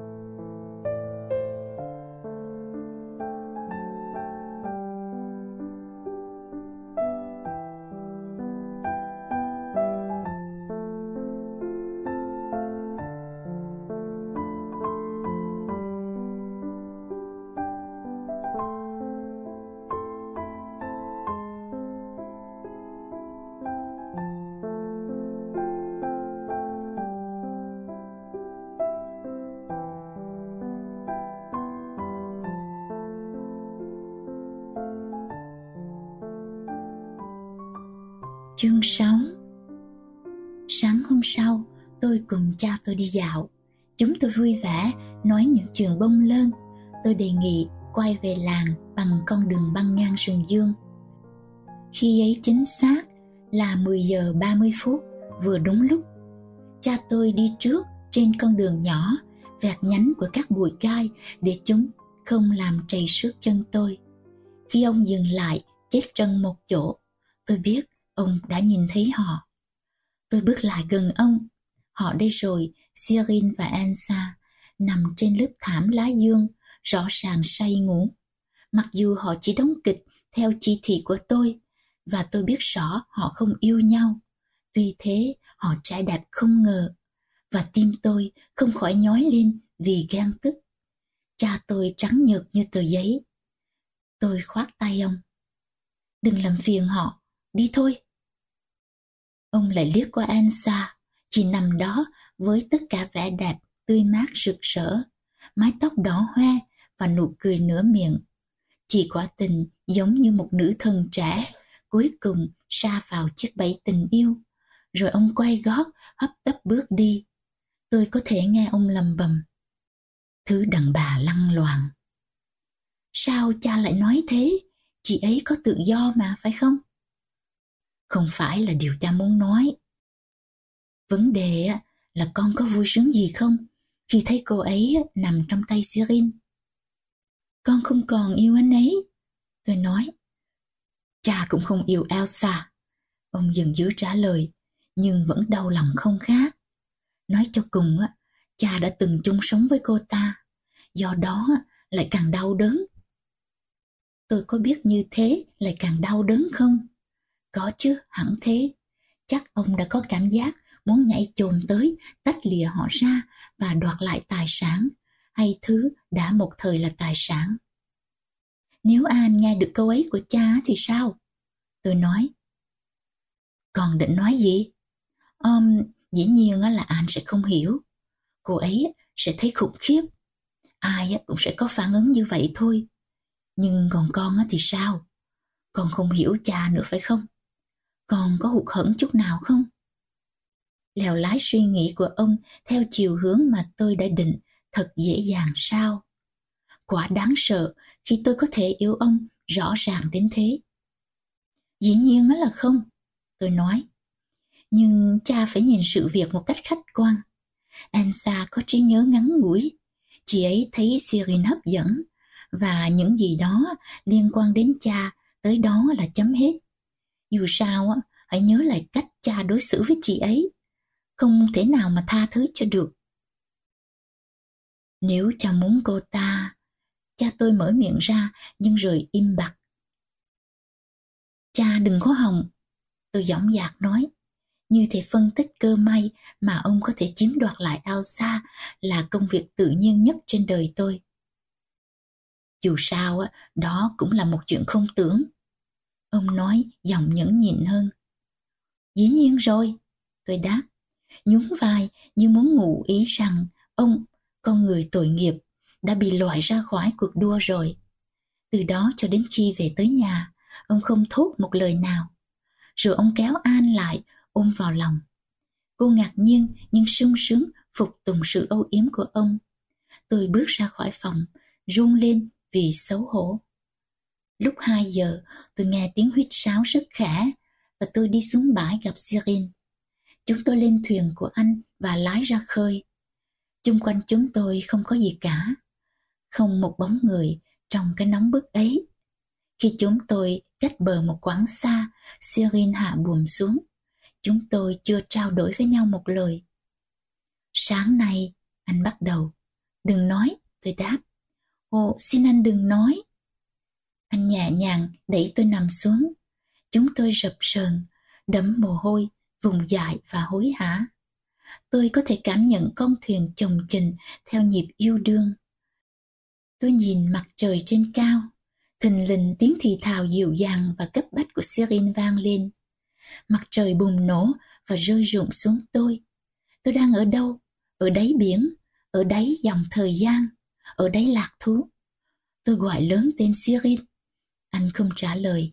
Anh không cần trả lời sau đó là vị mặn của nước biển. Chúng tôi phơi dưới nắng, cười to và hạnh phúc. Chúng tôi có mặt trời và biển, tiếng cười rộn ràng và tình yêu. Tôi tự hỏi liệu có khi nào anh hay tôi sẽ gặp lại nỗi huy hoàng đặc sắc của ngày ấy. Và về phần tôi, nó lại càng đậm đà hơn bởi một luồng sóng ngầm của lo âu và hối hận. Tôi tìm thấy ngoài lạc thú xác thịt của tình yêu, có một thứ lạc thú tinh thần khi ta nghĩ về nó. Chữ làm mang tính vật chất và tích cực, kết hợp với tính trừu tượng, thi vị của chữ tình, làm tôi vui thích. Trước đây, tôi đã nói ra hai chữ này mà không ngượng ngùng hay nhận biết hương vị đặc biệt của chúng. Giờ đây, tôi thấy mình đoan trang hẳn ra. Tôi cụp mắt xuống mỗi khi cha tôi quay sang nhìn An khi cô cười nhẹ, thân mật và suồng sã, khiến chúng tôi, cha tôi và tôi, tái mặt và nhìn ra cửa sổ. Nếu chúng tôi nói cho An biết tiếng cười của cô đã phơi bày cô như thế, hẳn cô sẽ không tin chúng tôi. Cô không cư xử như tình nhân của cha tôi, mà như một người bạn, một người bạn thân thương. Nhưng khi đêm về, tôi không muốn nghĩ tới những chuyện ấy. Tôi ghét những tư tưởng làm tôi bực bội. Thời gian trôi qua thật nhanh. tôi gần như quên bẵng An, cha tôi và Ansa. Bằng tình yêu, tôi đã đi vào một thế giới mới. Tôi mơ màng nhưng vẫn tỉnh thức, yên bình và toại nguyện. Serin hỏi tôi có sợ mang thai hay không. Tôi bảo tôi hoàn toàn tùy thuộc vào anh. Và dường như anh hài lòng với điều đó. Có lẽ tôi đã phó thác mình cho anh vì tôi biết rằng nếu tôi có con, anh sẽ chấp nhận trách nhiệm. Anh sẵn sàng nhận lãnh thứ mà tôi không bao giờ đối mặt. Đó là trách nhiệm. Ngoài ra, tôi không thể nào tưởng tượng ra mình có mang. Với thân hình gầy gò cứng đờ của tôi. Ít ra, tôi cũng một lần cảm ơn tấm thân trẻ thơ của mình. Nhưng Ansa không đủ kiên nhẫn. chỉ dồn dập gạn hỏi tôi. Tôi thường lo sợ bị bắt gặp với chị ấy hay với Siren.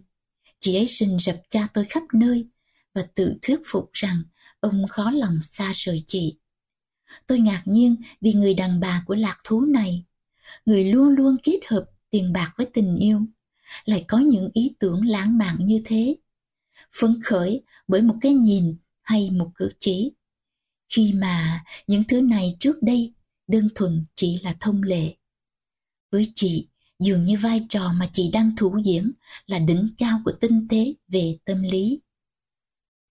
Mặc dù cha tôi dần dần bị ám ảnh với các ý nghĩ về Ansa, dường như An không nhận ra. Ông âu yếm ân cần với cô hơn bao giờ hết. Điều này làm tôi kinh sợ, vì tôi hiểu đó là dấu hiệu của mặc cảm tội lỗi vô thức. Ba tuần nữa, chúng tôi sẽ trở lại Paris, và điều chính yếu là không nên có chuyện gì xảy ra trước ngày ấy. Ansa sẽ biến mất khỏi cuộc đời chúng tôi và cha tôi và An sẽ kết hôn với nhau nếu đến lúc đó họ vẫn không đổi ý. Ở Paris, tôi sẽ có Cyril và cũng như An không thể chia cách chúng tôi ở đây. Cô ấy sẽ thấy là không thể nào ngăn cản tôi gặp anh ấy khi chúng tôi về lại nhà. Tại Paris, Sirin không ở chung với mẹ. Anh có phòng riêng. Tôi đã hình dung được cửa sổ mở ra bầu trời hồng và lam, bầu trời tuyệt vời của Paris, với lũ bồ câu rù rù ở bề cửa sổ và với Sirin nằm cạnh tôi trên chiếc giường hạt.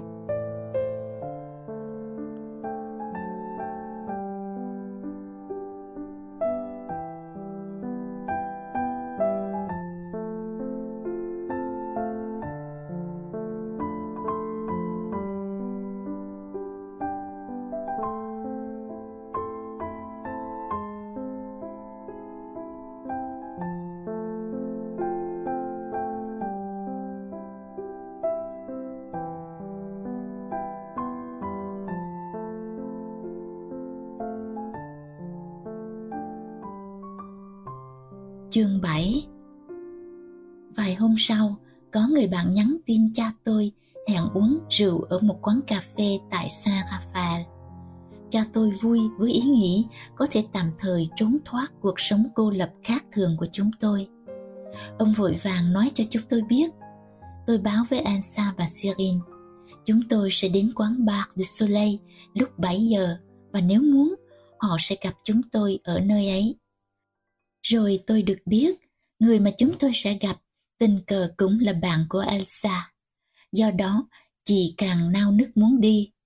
Vì thế tôi hiểu ra, tình hình có thể trở nên rối rắm và tôi tìm cách ngăn cản chị. Charles Webb mê chị lắm. Chị nói hồn nhiên như con trẻ. Nếu ông ấy gặp chị á, cách ông ấy đối xử với chị chắc chắn sẽ làm Raymond muốn có lại chị. San Rafael hay không, Sirin chẳng màng. Qua cái nhìn của anh, tôi biết anh chỉ cần được ở bên tôi, và tôi cảm thấy vui sướng. Lúc 6 giờ ngồi trong xe của An, chúng tôi lên đường. Đó là một chiếc xe Hoa Kỳ mui trần to tướng mà An lái vì địa vị xã hội hơn vì ý thích cá nhân. Nhưng nó hợp với tôi lắm, bởi những phụ tùng hào nhoáng của nó nó có một lời điểm là cả ba chúng tôi có thể ngồi chung ở băng trước. Và tôi chưa bao giờ hạnh phúc đến thế khi ngồi với họ. Chàng chúc tay kề tay, chia sẻ niềm hân hoan, và có lẽ cả cái chết. An ngồi sau tay lái, tượng trưng cho vai trò tương lai của cô trong gia đình. Đây là lần thứ nhất tôi ngồi trên xe cô kể từ đêm chúng tôi đi Cannes.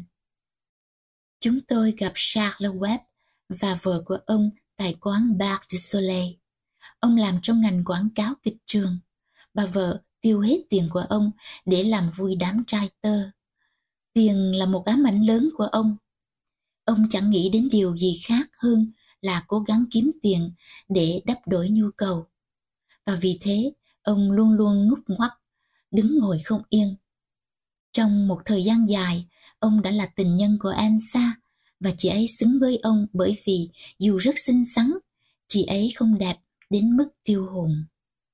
Vợ của Sa là một người độc ác. An chưa hề gặp bà ta, và tôi thấy gương mặt xinh đẹp của An lập tức khoác lên một vẻ kiêu kỳ thường có mỗi khi An ra nơi công cộng. Như thường lệ, Charles huyên thuyên nói, thỉnh thoảng lại ném một cái nhìn dò hỏi về phía An. Rõ ràng, ông đang thắc mắc vì sao An lại cặp cà với Raymond, tay chơi khét tiếng và con gái của hắn. Tôi thú vị khi nghĩ đến phản ứng của ông một khi hiểu ra. Ngay lúc ấy, cha tôi nghiêng mình tới và đột ngột nói. Tôi có tin cho ông, bạn già. An và tôi sẽ làm đám cưới ngày 5 tháng 10. Web sửng sốt, nhìn hết người này qua người khác. Bà vợ vốn yếu mềm với cha tôi lại có phần thờ ơ. Sau một thoáng im lặng, Web gào to. Chúc mừng ông bà, thật là một ý kiến hết sức hay ho. Chị thân mến, chị không biết chị sẽ nhận được gì đâu. Chị tuyệt vời quá. Bồi đâu, lại đây. Chúng ta phải ăn mừng. An mỉm cười bình thản. Rồi tôi thấy mặt web bừng sáng. Không cần quay lại, tôi cũng biết. Elsa, trời thần ơi, Elsa Mackenburg kia. Cô bé chưa nhận ra tôi. Thầy mô này, ông có thấy cô ấy càng lớn càng xinh đẹp hơn không? Thế à? Cha tôi nói ra vẻ chủ nhân ông nhưng rồi ông chợt nhớ ra và xịu mặt. An không thể không nhận ra thay đổi trong giọng nói của cha tôi. Cô quay ngoắt sang tôi, nhưng trước khi cô kịp nói, tôi đã nghiêng tới và thì thầm một cách riêng tư, nhưng vừa đủ lớn để cha tôi có thể nghe. An, cô đang làm người ta mê tít. Có một ông đằng kia không có thể nào mà rời ánh mắt khỏi cô. Cha tôi vặn mình lại để nhìn gã đàn ông mà tôi đang nói tới. Anh không thể dùng dưỡng thứ hành vi ấy. Ông nói cầm tay An. Tình tứ nhỉ? Bà Webb nói mỉa mai. Sạc là chúng mình không nên quấy rầy bọn họ. Đáng lẽ mình chỉ nên mời cô bé Cecil mà thôi.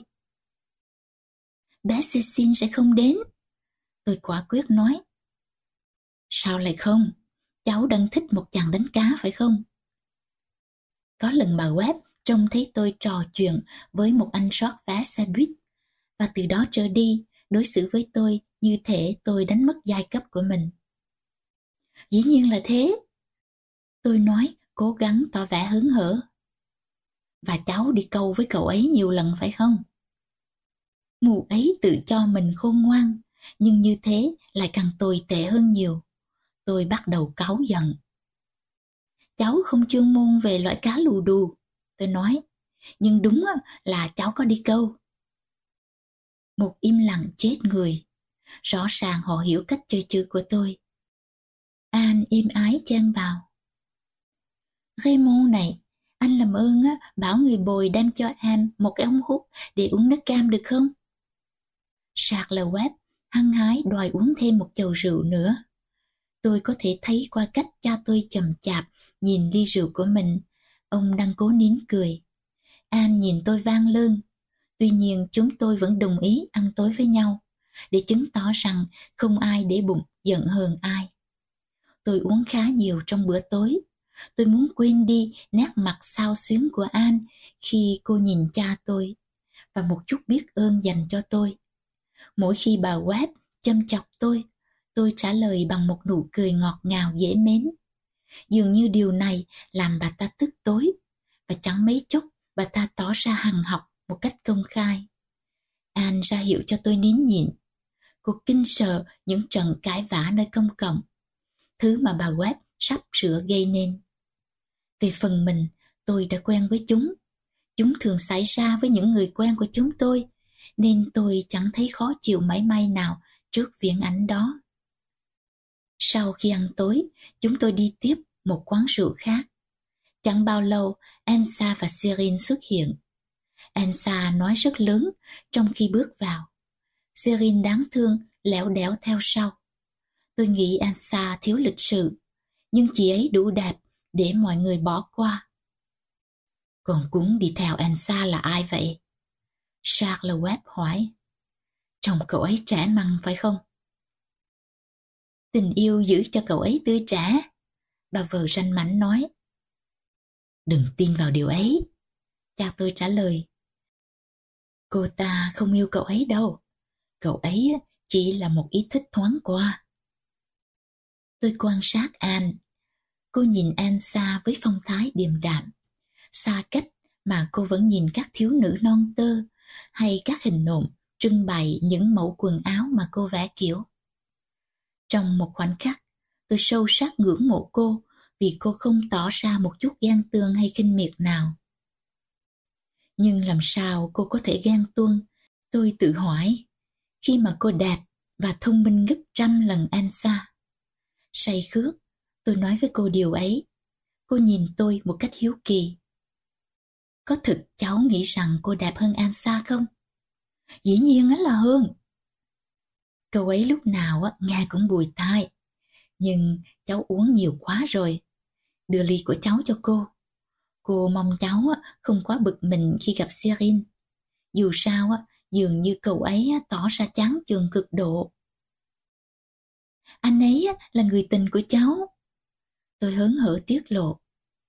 Cháu say rồi, trời ơi, đến lúc phải về thôi. Đỡ qua, được chia tay với ông bà Webb. Tôi khổ sở nói những câu giả từ đúng phép xã giao với họ.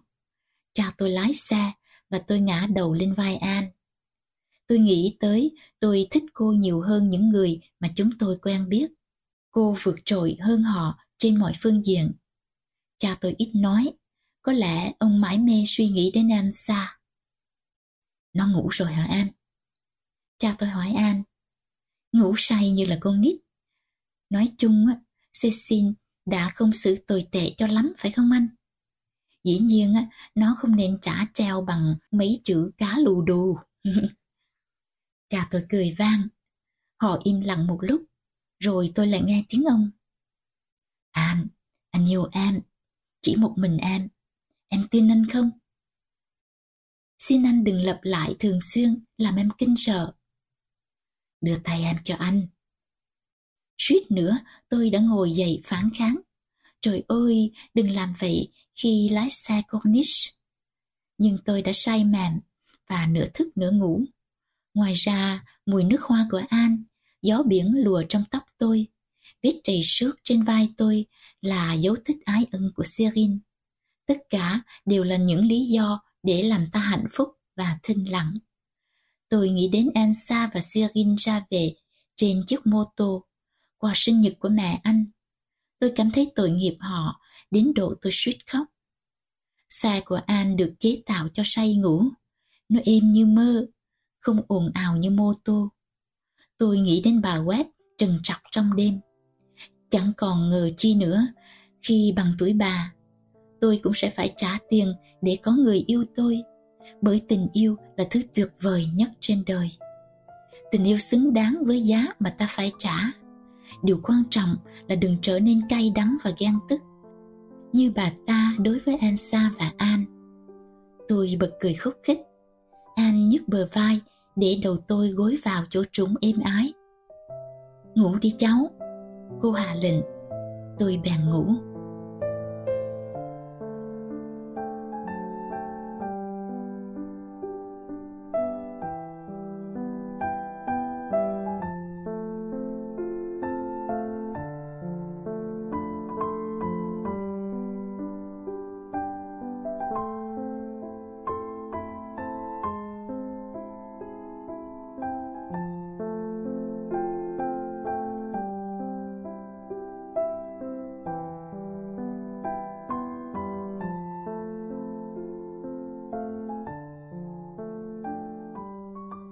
Chương 8 Sáng hôm sau thức dậy, tôi cảm thấy sảng khoái, trừ một chút đau nhức nơi cổ. Giường tôi ngập nắng, cũng như mọi bữa sáng. Tôi lật tấm chăn mỏng và quay lưng ra nắng. Nắng ấm và dễ chịu, như thấm vào tận xương thủy. Tôi quyết định nằm y ở đó nguyên buổi sáng. Tôi miên man nhớ những chuyện xảy ra đêm qua. Tôi nhớ tôi nói với An rằng serin là người tình của tôi. Buồn cười ở chỗ, khi đang say, dù ta có nói ra sự thật, cũng không ai tin. Tôi nghĩ đến bà Webb. Tôi biết loại người đó, các bà cùng lứa tuổi, cùng giai cấp này thường trở thành khó chịu vì họ không đủ cơ hội hưởng thụ cuộc đời.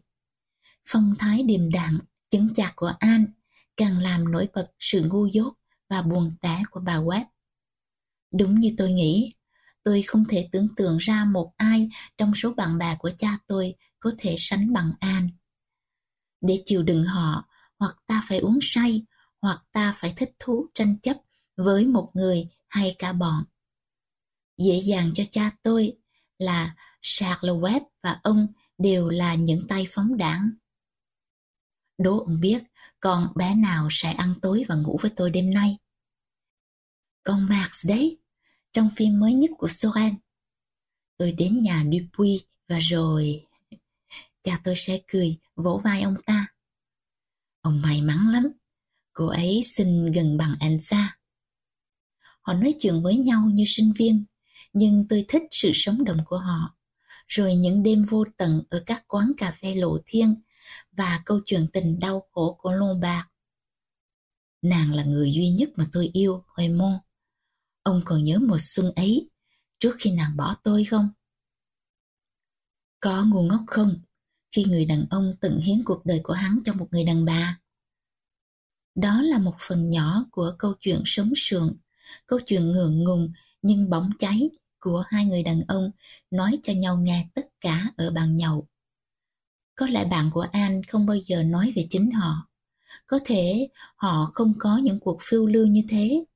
Mà nếu họ có nói chút về họ đi nữa, họ cũng sẽ kèm theo một nụ cười hối lỗi. Chưa gì với bạn bè của mình, tôi đã có một thái độ cả cả như An đã có. Việc này rất dễ lây lan. Một mặt khác, đến độ tam tuần, tôi sẽ giống họ nhiều hơn giống An. Rồi sự im lặng của cô sự lạnh lùng, xa cách của cô có lẽ sẽ làm cho tôi chết ngột. 15 năm nữa, với một chút rã rời, tôi sẽ lả lơi nghiêng mình tới một anh chàng cũng chán trường không kém và sẽ nói Người tình đầu tiên của tôi tên là Sirin. Dạo ấy tôi vừa 18. Trời nóng bên bờ biển. Tôi hình dung ra gương mặt của ông ta. Da cũng có một ít nếp nhăn như cha tôi. Có tiếng gõ cửa, tôi khoác áo pyjama vào và nói Xin mời. An đứng đó, cẩn thận cầm một cái tách trên tay. Cô nghĩ có lẽ cháu muốn uống một chút cà phê. Cháu khỏe không? Khỏe à? Tôi trả lời, chắc tối hôm qua cháu say lắm phải không? Nhưng mọi khi, cháu thú vị lắm. Nhưng phải nói, đêm qua thật là buồn chán. Tôi quên mất mặt trời, quên cả cà phê của tôi. Tôi hoàn toàn cuốn hút vào câu chuyện của An. Tôi không nghĩ về bản thân. Tuy thế, cô lại là người khiến tôi phải lục loại, tìm hiểu động lực của mình. Cuộc sống của tôi qua cô mãnh liệt hơn. Sissin, cháu có thấy những người như ông bà Webb hay Dupuy hấp dẫn hay không? Thường thì họ khủng khiếp lắm, nhưng buồn cười. An ngắm một con ruồi đang đậu ở sân nhà. Lông mi của cô dài và rậm, rất dễ làm cô trông như đang hạ cố. Cháu có thấy đối thoại của họ đã nhạt đến giường nào chăng? Những câu chuyện không dứt về gái đẹp, về áp pha và tiệc tùng không làm cháu chán ngấy à? Sau 10 năm nội trú trường bà Phước, á, tôi đáp, cháu e rằng sự thiếu đạo đức của họ lại chính là điều lôi cuốn đấy. Tôi không dám thêm vào, tôi cũng thích nó. Những hai năm à, cô nói, Tuy nhiên, vấn đề không phải ở chỗ hợp lý hay hợp đạo đức, mà lại là vấn đề có hay không. Khả năng phân biệt, cảm nhận về mặt thẩm mỹ và trí tuệ, một loại giác quan thứ sáu đấy. Tôi nghi mình không có khả năng ấy. Tôi thấy rõ tôi thiếu sót thứ này. An, tôi đột ngột hỏi, cháu có thông minh hay không? Cô bật cười, ngạc nhiên vì sự thẳng thắn của câu hỏi. Dĩ nhiên, sao cháu lại hỏi vậy? Ừ, nếu cháu là một con ngốc, cô cũng sẽ trả lời y hệt. Tôi thở dài.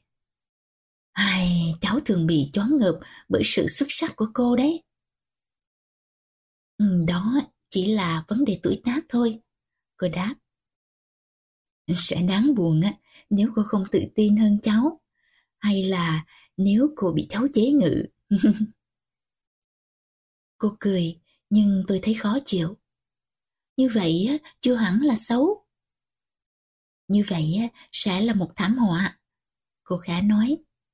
Thình lình, cô ngưng dòng giễu cực và nhìn thẳng vào tôi. Lập tức, tôi cảm thấy lúng túng, tay chân thừa thải.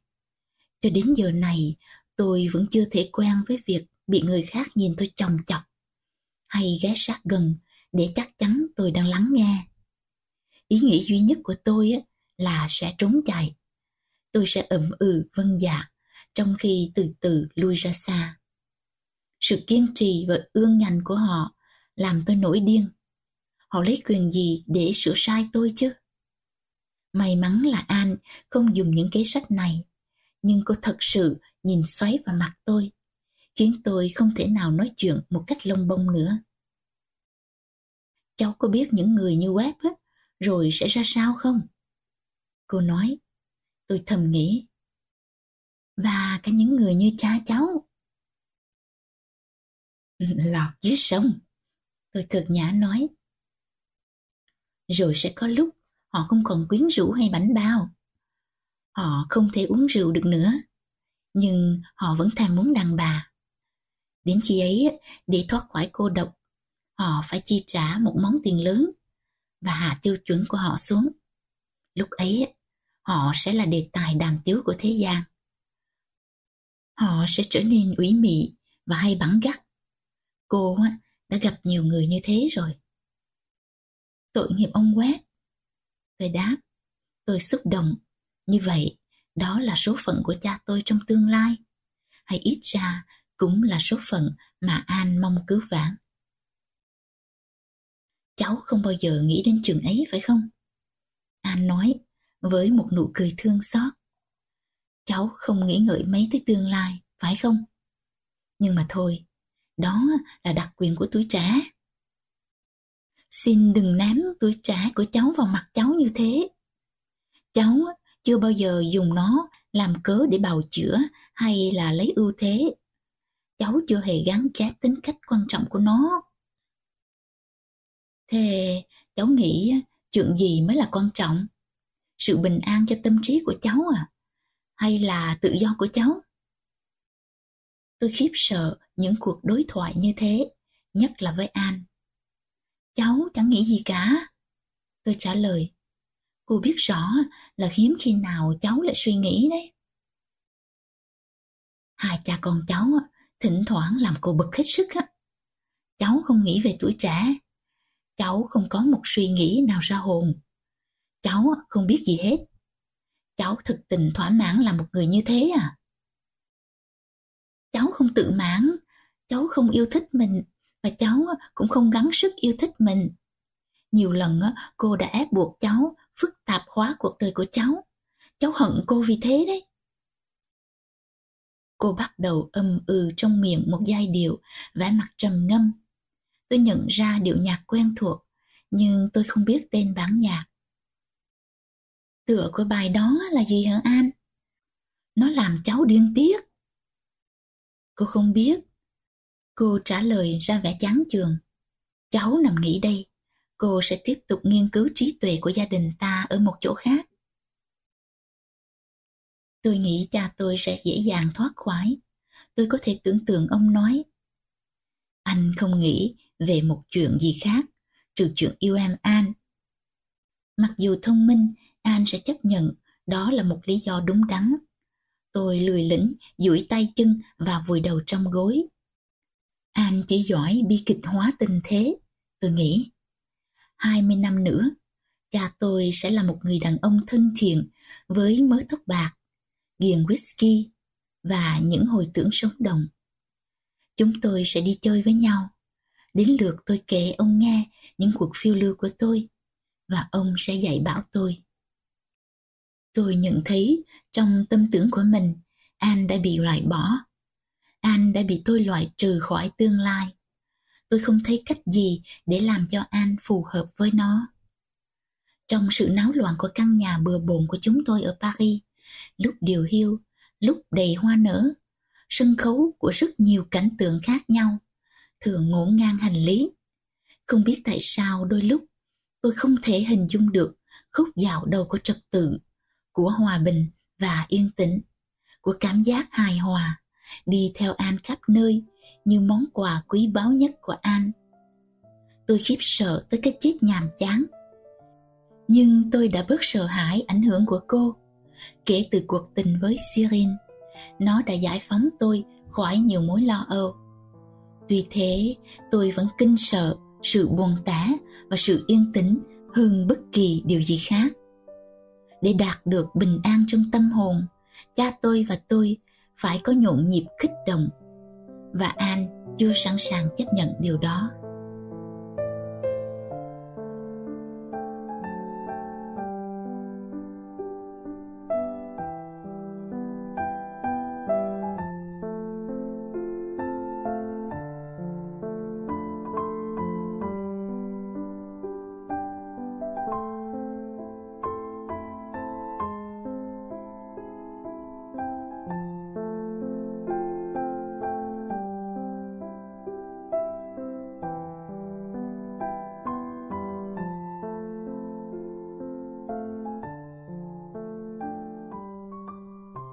Chương 9 Tôi đã nói nhiều về An và tôi, nhưng rất ít về cha tôi. Tuy thế, cha tôi giữ vai trò quan trọng nhất trong chuyện này. Và tình cảm tôi dành cho ông sâu lắng và bền vững hơn tất cả những người khác. Tôi hiểu rõ ông và cảm thấy quá gần gũi để có thể nói bừa bãi về ông. Ông chính là người trên tất cả tôi muốn bào chữa và trình bày dưới một ánh sáng thuận lợi. Cha tôi không phù phiếm, cũng không ích kỷ, ông chỉ nhà dạ, không cách gì thay đổi. Tôi không thể nói rằng ông vô trách nhiệm hay thiếu những tình cảm sâu sắc. Ta không thể qua nhà tình thương của ông với tôi, hay cho rằng nó chỉ là thói quen của bậc sinh thành.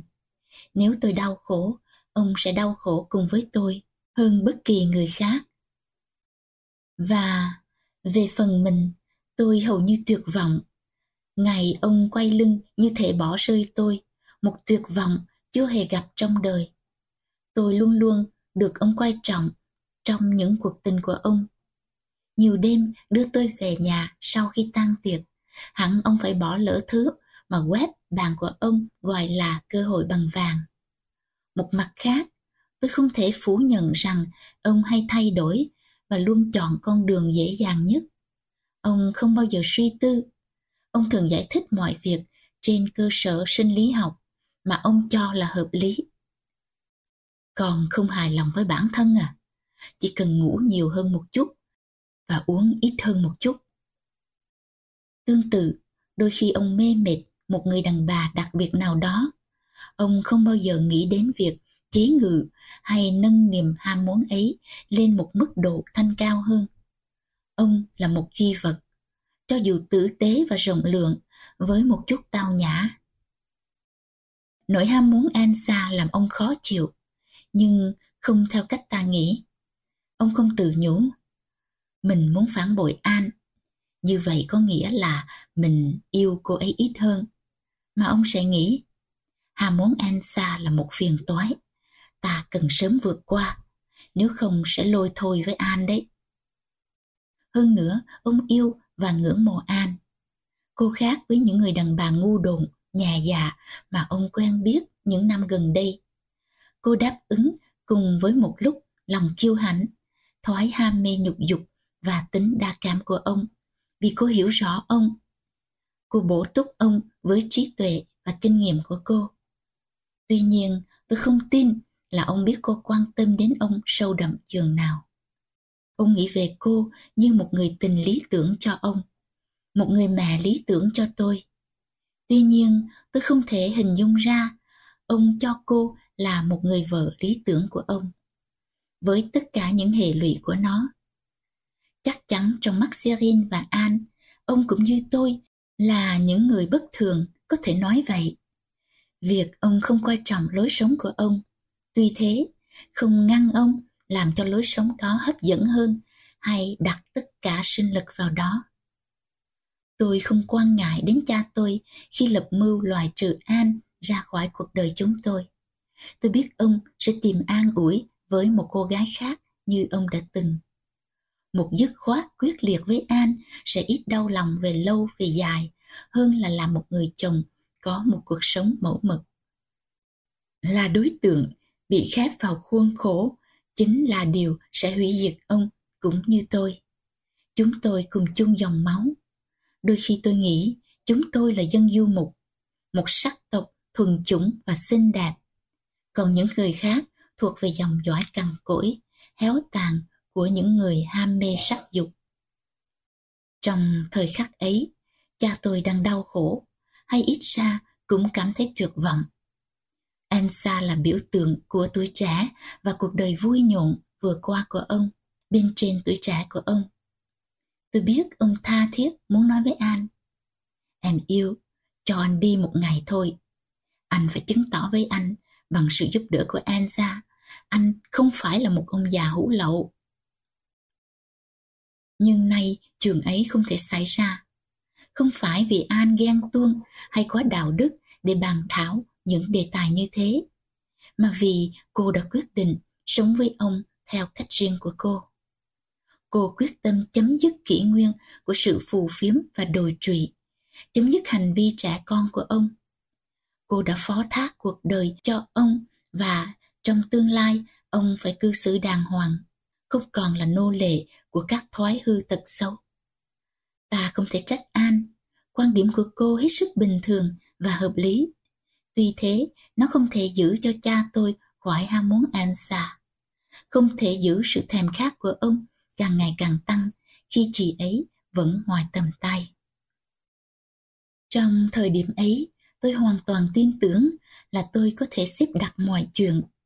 Tôi chỉ cần bảo Ansa đến gặp cha tôi và cho ông làm tình chóng vánh. Tôi có thể dựa vào một nguyên cớ nào đó dễ dàng thuyết phục An theo tôi đến Nice một buổi chiều. Khi về nhà, chúng tôi sẽ thấy cha tôi nhẹ nhàng thoải mái và biết quý trọng thứ tình cảm hợp pháp hay nói đúng hơn, thứ tình cảm sắp sửa được hợp pháp hóa. Nhưng An không thể chịu đựng ý nghĩ mình cũng là tình nhân như những người khác. Cô đã làm cuộc đời của chúng tôi khốn khổ đến giường nào bởi phẩm giá và tự trọng của cô. Nhưng tôi không nói gì với An ra, cũng không mời An đi Nice với tôi. Tôi muốn lòng ham muốn của cha tôi nung nấu, cho đến lúc không thể chịu nổi, ông sẽ tự đầu hàng. Tôi không thể chịu đựng sự kinh miệt của An với quá khứ của chúng tôi, thái độ khinh khỉnh của cô với thứ đã là hạnh phúc của chúng tôi. Tôi không muốn làm nhục cô, chỉ muốn cô phải chấp nhận lối sống của chúng tôi. Vì thế, rất cần để cô khám phá ra sự lăng chà của ông. Nếu ta nghĩ một cách chủ quan, chỉ là một sự nuông chiều thể xác, chứ không phải là một cuộc tấn công vào phẩm cách của cô. Nếu bằng mọi giá, cô muốn là cô đúng ở mọi việc, chúng tôi cần phải sai lầm. Tôi còn giả vờ không để ý đến hoàn cảnh của cha tôi. Không đời nào tôi làm người trung gian cho ông bằng cách chuyển lời của An xa hay lôi kéo An mà dọn chỗ cho họ. Tôi phải giả vờ coi An và tình yêu của ông dành cho cô là thiêng liêng. Và thú thật, trường ấy chẳng có khó gì với tôi. Ý tưởng rằng ông có thể phản bội và thách thức cô khiến tôi kinh khiếp và sợ hãi mông lung. Trong khi ấy, chúng tôi đã có rất nhiều ngày hạnh phúc tôi tận dụng mọi cơ hội để hướng sự chú ý của cha tôi vào Ansa. Gương mặt của An không làm tôi hối hận nữa. Đôi khi tôi tưởng tượng rằng cô sẽ chấp nhận tất cả và chúng tôi có thể sống một cuộc đời thích hợp với cả ba người. Tôi thường gặp Sirin, chúng tôi bí mật yêu nhau và tôi mê đắm như bị bỏ bùa trong mùi nhựa thơm lá dương, trong âm thanh của biển và sự tiếp xúc với thân thể anh. Sirin bắt đầu tự hành hạ bản thân. Anh ghét vai trò mà tôi bắt anh phải đóng. Và anh tiếp tục, chỉ vì tôi làm cho anh tin rằng việc đó cần thiết cho tình yêu của chúng tôi. Tất cả những thứ này cần rất nhiều gian dối. Và phần lớn phải làm một cách lén lút. Nhưng tôi không mấy khó khăn để nói dối vài câu và nói cho cùng, tôi là người chủ động và là người độc nhất phán xét hành vi của tôi. Tôi sẽ lướt nhanh qua giai đoạn này, bởi tôi e rằng nếu xem xét từng tường, tôi sẽ làm sống lại những ký ức quá đau thương. Ngay cả bây giờ, tôi vẫn còn ngàn ngào nhớ lại chuỗi cười hạnh phúc của An, sự ân cần mà cô dành cho tôi. Mỗi khi nhớ lại giây phút ấy, lương tâm của tôi dày vò, đến nỗi tôi phải làm bất cứ điều gì có thể xoa dịu như châm một điếu thuốc, đặt một đĩa hát lên máy hay điện thoại một người bạn. Rồi dần già tôi sẽ nghĩ qua chuyện khác. Nhưng tôi không thích trú ẩn trong lãng quên và phù phiếm thay vì đối mặt với ký ức và tranh đấu với chúng.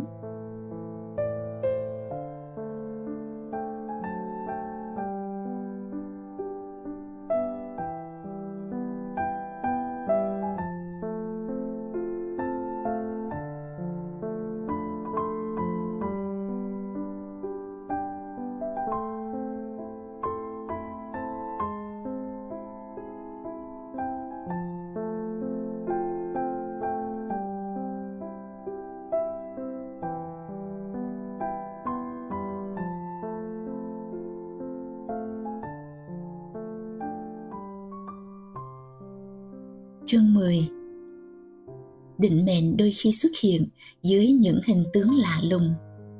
Và mùa hè năm ấy, nó mang hình bóng của Elsa, một người tầm thường tuy quyến rũ. Chỉ có tiếng cười đặc sắc, bất ngờ và dễ lây lan. Tiếng cười chỉ có ở những người khá khờ dại. Tôi sớm nhận ra ảnh hưởng của tiếng cười đó trên cha tôi. Tôi bảo chị hãy tận dụng nó mỗi khi chúng tôi tình cờ bắt gặp chị với Cyril. Chỉ thị của tôi là khi chị biết tôi và cha tôi sắp đến gần, đừng nói gì, chỉ cười. Và khi tiếng cười vang lên, cơn giận hiện trên mặt cha tôi. Vai trò đạo diễn của tôi tiếp tục đầy kích động. Không bao giờ sai mục tiêu. Bởi mỗi khi chúng tôi nhìn thấy Sirin và Ansa công khai bày tỏ mối quan hệ tưởng tượng của họ, cả cha tôi và tôi đều tái mặt vì xúc động mãnh liệt. Cảnh Serin cúi xuống bên Ansa làm tim tôi nhói đau. Trong phút chốc, tôi nghĩ tôi có thể đánh đổi mọi thứ ở thế gian để ngăn cản họ. Quên mất người bày độc kế chính là tôi. Ngoài những sự kiện này, ngày của chúng tôi tràn đầy lòng tự tin, sự dịu dàng và tôi ghét chữ này, hạnh phúc của An. Cô gần với hạnh phúc hơn bao giờ hết. Kể từ lúc đến với chúng tôi, những người ích kỷ, cô tách rời khỏi các ham muốn bạo liệt của chúng tôi, khỏi mưu kế ti tiện của tôi. Tôi hy vọng bản chất xa vắng và kiêu kỳ của cô sẽ khiến cô cố sức giữ chặt ông. Hy vọng cô chỉ dựa trên nhan sắc, trí thông minh và tình yêu với bản thân cô. Tôi bắt đầu tội nghiệp cô và thương hại là một cảm giác dễ chịu làm cho tinh thần phấn chấn như những khúc quân hành. Một sáng đẹp trời chỉ giúp việc háo hức ra mặt, trao tôi lá thư của Elsa. Tất cả đều êm đẹp, đến mau. Tôi có cảm giác thảm họa sắp đổ ập xuống. Tôi ghét lúc cao trào của kịch bản sắp sửa mở ra. Tôi gặp Elsa ngoài bãi, trông chị vẻ vang thắng lợi. Chị vừa nói chuyện với cha em một giờ trước đây. Cha em nói gì? Cha em nói ông rất tiếc về chuyện đã qua. Ông đã cư xử như một tên vô lại. Đúng thật vậy, phải không em? Tôi nghĩ tốt nhất là tôi nên đồng ý. Rồi cha em khen chị theo cách ông ấy, em biết mà, mềm mỏng, hạ giọng, như thế là ông đang đau khổ ấy. Tôi ngắt lời chị. Cha em muốn gì cơ chứ? Uhm, có muốn gì đâu. Ừm, um, mà có, cha em mời chị ra phố uống trà để chứng tỏ là chị không còn buồn giận và tha thứ cho ông ấy. Chị có nên nhận lời không? Quan niệm của cha tôi về nhu cầu tha thứ ở những cô tóc đỏ mới thú vị làm sao. Suýt chút nữa, tôi đã nói rằng điều đó không ăn nhầm gì tới tôi. Rồi tôi nhớ ra, chị ấy tin rằng nhờ tôi mà chị ấy chiến thắng. Tuy vậy, tôi vẫn bực mình. Tôi cảm thấy mình sụp bẫy. Em không biết Ansa, tùy chị. Chị luôn luôn hỏi em rằng chị phải làm gì. Người khác có thể lầm tưởng rằng em là người xúi dục. Nhưng chính là em. Chị nói, hoàn toàn là nhờ em mà. Sự ngưỡng mộ trong giọng nói của chị bỗng nhiên làm tôi hoảng sợ. Nếu chị muốn thì cứ đi. Nhưng em lại chị, đừng bàn tới chuyện này nữa. Nhưng Cecina, à, chẳng phải mục đích của chúng ta là giải thoát cha em khỏi nanh vuốt của con mụ ấy à? Tôi chạy trốn, cứ để cha tôi làm theo ý của ông và An sẽ phải ứng phó theo cách tốt nhất mà cô có thể. Dù sao, tôi đang trên đường tìm gặp Serin. Dường như tình yêu là phương thuốc duy nhất cho chứng bệnh lo âu dai dẳng. Serin ôm tôi vào lòng. Không nói một lời, anh dẫn tôi đi. Bên anh, tất cả mọi việc trở nên dễ dàng, thu nạp năng lượng và lạc thú. Sau đó, nằm duỗi tay chân cạnh cơ thể rám nắng của anh. Mình ướt đẫm mồ hôi, tôi có cảm tưởng như tâm tình bị cạn kiệt, linh hồn tôi tan nát, lạc loài. Và tôi nói với anh là tôi ghét tôi. Tôi mỉm cười khi nói vì mặc dù tôi ngụ ý là vậy, nhưng không có chút đau đớn nào, chỉ có cảm giác nhẫn nhịn dễ chịu. Anh không tin là tôi nói thật. Không sao, anh yêu em nhiều đến độ anh sẽ làm cho em nghĩ về em như anh nghĩ về em. Suốt bữa ăn trưa, tôi nhớ lời anh nói. Anh yêu em nhiều đến độ. Đó là lý do tại sao, dù cố gắng hết sức, tôi không thể nhớ nhiều cho mấy bữa ăn đó. An mặc áo đầm màu hoa cà, tím như bóng mắt ở mi dưới, tím như mắt cô. Cha tôi cười hớn hở, rõ ràng hài lòng với bản thân. Mọi chuyện đều diễn tiến thuận lợi cho ông. Lúc dùng món trắng miệng, ông nói chiều nay ông cần phải ra phố mua sắm một ít thứ. Tôi mỉm cười với tôi. Tôi chán ngay chuyện ấy và để mặc cho định mình đưa đẩy. Tôi chỉ muốn đi bơi. Lúc 4 giờ tôi xuống bãi. Tôi thấy cha tôi ngoài sân thượng sắp sửa ra phố. Tôi không bắt chuyện với ông. Nói chỉ tới việc nhắc nhở ông phải cẩn thận. Nước mềm và ấm. Chưa thấy An đâu. Tôi đoán cô còn ở trong phòng vẽ kiểu cho bộ sưu tập mùa tới của cô. Trong khi ấy, cha tôi sẽ tận dụng thời gian của ông với Ansa. Hai giờ sau, khi đã chán phơi nắng, tôi lên sân thượng và ngồi xuống ghế mở tờ nhật báo. Ngay lúc đó, An xuất hiện từ phía rừng thông. Cô chạy vụng về, nặng nhọc, khuỷu tay kẹp sát bên mình. Tôi có một ấn tượng bất thần và ghê rợn là một bà già đang chạy lại gần tôi và bà sắp té. Tôi ngồi im, cô biến mất sau nhà, về hướng garage. Trong khoảnh khắc như tia chớp, tôi hiểu ra và tôi cũng thế, khởi sự đuổi theo cô.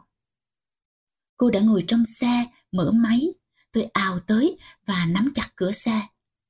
An, tôi gào lên, đừng đi, tất cả là một lỗi lầm, cháu có tội, cháu sẽ giải thích cho cô hiểu. Cô không để ý đến tôi, không người nhã thắng. An, chúng cháu cần cô. Cô ngồi thẳng lên, tôi thấy gương mặt của cô rúng gió, méo sệt. Cô đang khóc. Đó là lần thứ nhất tôi hiểu rằng tôi đã làm thương tổn một sinh vật có sự sống, có tình cảm, chứ không phải chỉ là một cá tính. Cô cũng vậy, ngày xưa chắc hẳn cô là một bé gái nhỏ nhắn, kín đáo, sau đó trở thành một thiếu nữ, và sau đó thành một người đàn bà. Hiện nay cô 40 tuổi và lẻ loi một mình. Cô yêu một người đàn ông, hy vọng sẽ sống 10 hay 20 năm hạnh phúc với hắn. Phần tôi, gương mặt khốn khổ, đáng thương ấy là hậu quả của hành động của tôi. Tôi kinh hoàng, toàn thân run rẩy, tôi dựa vào cửa xe. Cháu không cần ai, cô thì thầm. Cháu cũng như cha cháu. Máy nổ đều, tôi hoảng hốt. Cô không nên lái xe trong trạng thái ấy. Hãy tha thứ cho cháu, cháu van cô. Tha thứ cho cháu à? Vì chuyện gì cơ? Nước mắt ràng rụa trên mặt cô. Dường như cô không biết như vậy. Tội nghiệp cháu bé bỏng của cô. Cô nói. Cô đặt tay lên má tôi một lát, rồi lái đi. Xe cô biến mất đằng sau nhà. Tôi chết điếng. Tất cả mọi việc đều xảy ra thật nhanh. Tôi nhớ lại lần nữa gương mặt của cô. Tôi nghe bước chân ai sau lưng tôi. Đó là cha tôi. Ông đã bỏ thì giờ lau vết son môi của Ansa trên mặt và phủi những đốt lá kim thông khỏi bộ đồ lớn. Tôi quay lại và chồm lên ông. Cha khốn nạn lắm. Và tôi khóc nức lên. Nhưng có chuyện gì thế? An đâu rồi? Cecil, nói cho cha biết. Cecil.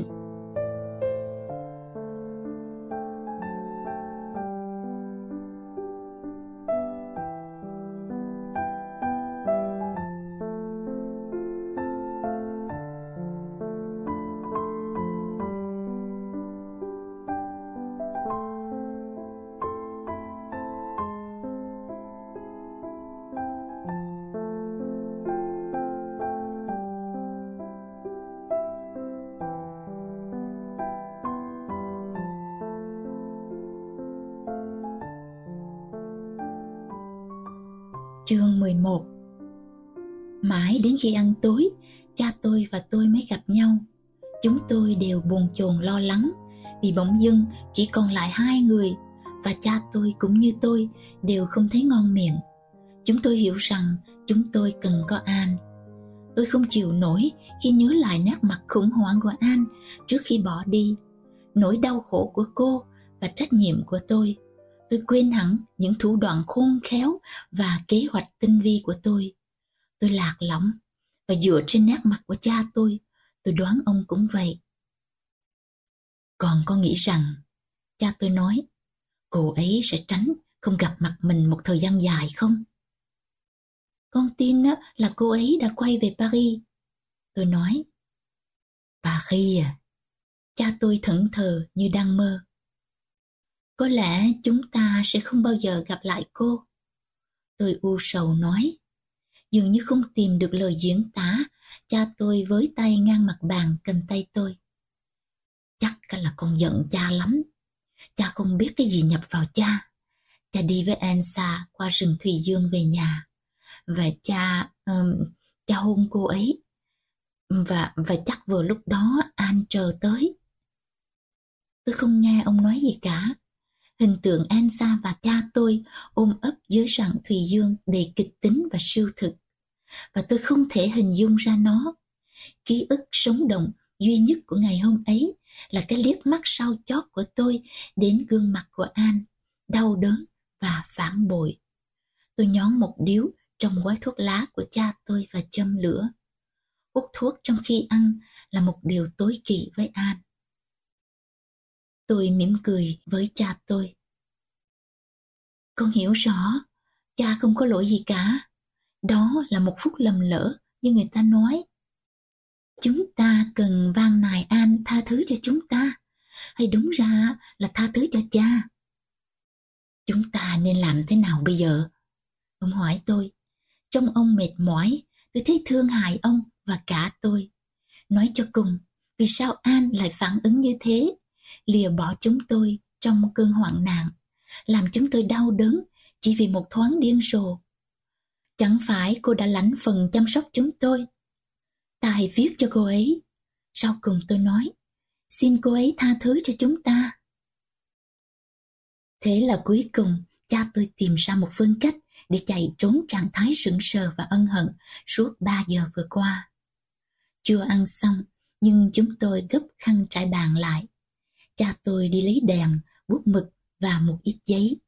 Chúng tôi ngồi đối diện, hầu như mỉm cười vì sự chuẩn bị của chúng tôi gây cảm tưởng là An có thể quay về. Một con dơi bay vòng vòng ngoài cửa sổ. Cha tôi bắt đầu viết. Một cảm giác gớm ghiếc và kinh tởm không chịu được dâng lên khi tôi nhớ lại những lá thư lai láng tình cảm mà chúng tôi viết đêm ấy. Ngồi dưới ánh đèn như hai đứa học trò vụng về, im thiên thít trong cố gắng lôi kéo An trở lại. Tuy thế, chúng tôi cũng sản xuất được hai tác phẩm nghệ thuật, đầy những lời bào chữa, đầy tình yêu và lòng ân hận. Khi tôi viết xong thư của tôi, tôi thấy chắc chắn An sẽ không kháng cự được và sự hòa giải là chuyện hiển nhiên. Tôi hình dung quan cảnh cô tha thứ chúng tôi. Nó sẽ xảy ra tại phòng khách của chúng tôi ở Paris. Anh sẽ bước vào và...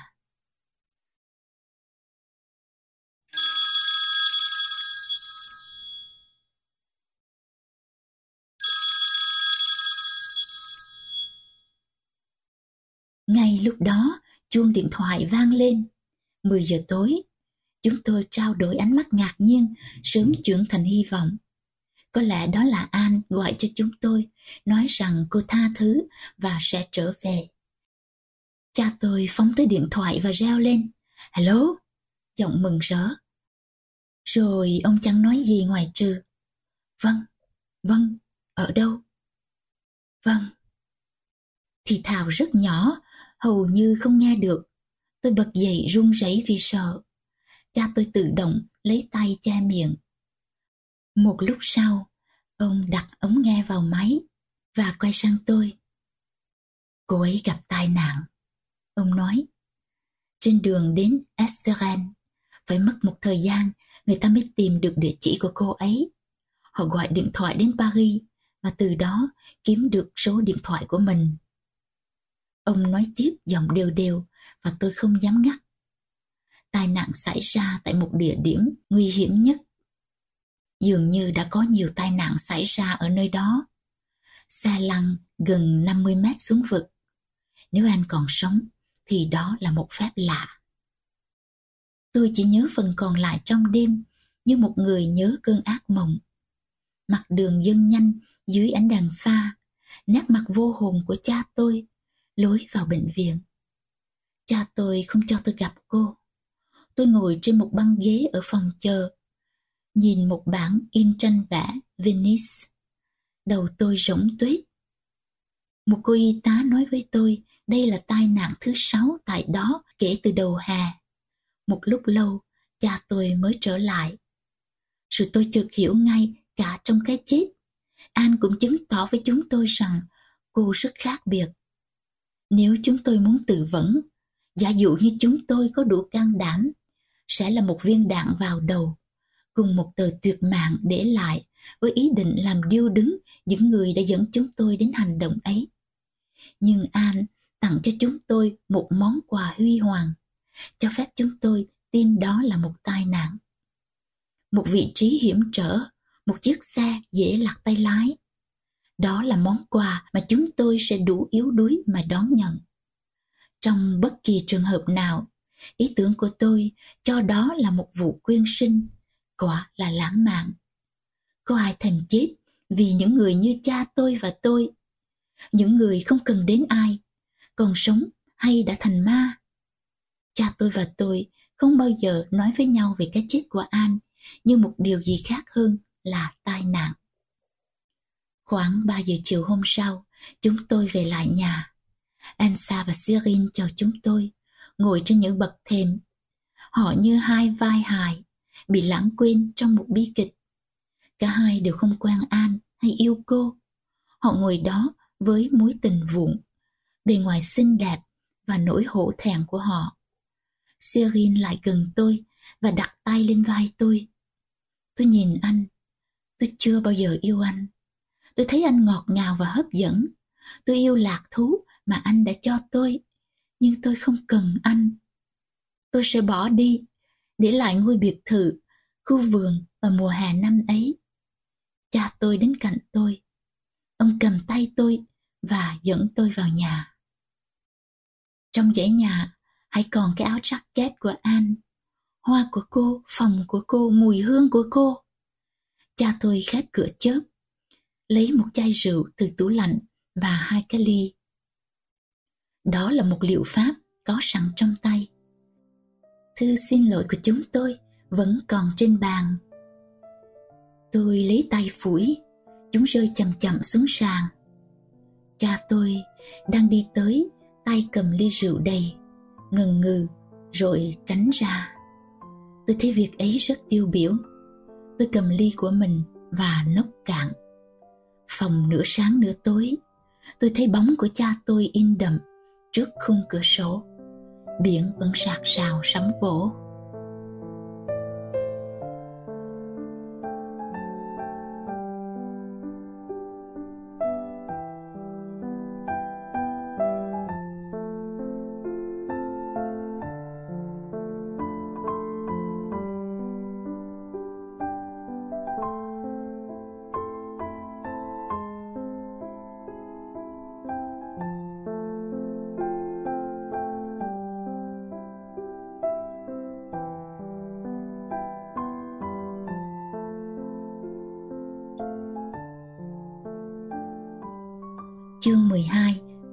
Chương kết. Đám tang cử hành ở Paris một ngày đẹp trời. Vẫn là đám đông, những người hiếu kỳ, vận y phục đen. Cha tôi và tôi bắt tay các người bà con lớn tuổi của An. Tôi thú vị quan sát họ. Lẽ ra họ sẽ đến nhà chúng tôi dùng trà mỗi năm một lần. Mọi người nhìn cha tôi với ánh mắt thương xót. Chắc web đã lan truyền cuộc hôn nhân bất thành của cha tôi. Tôi thấy Sirin tìm tôi sau buổi lễ, nhưng tôi lẫn tránh.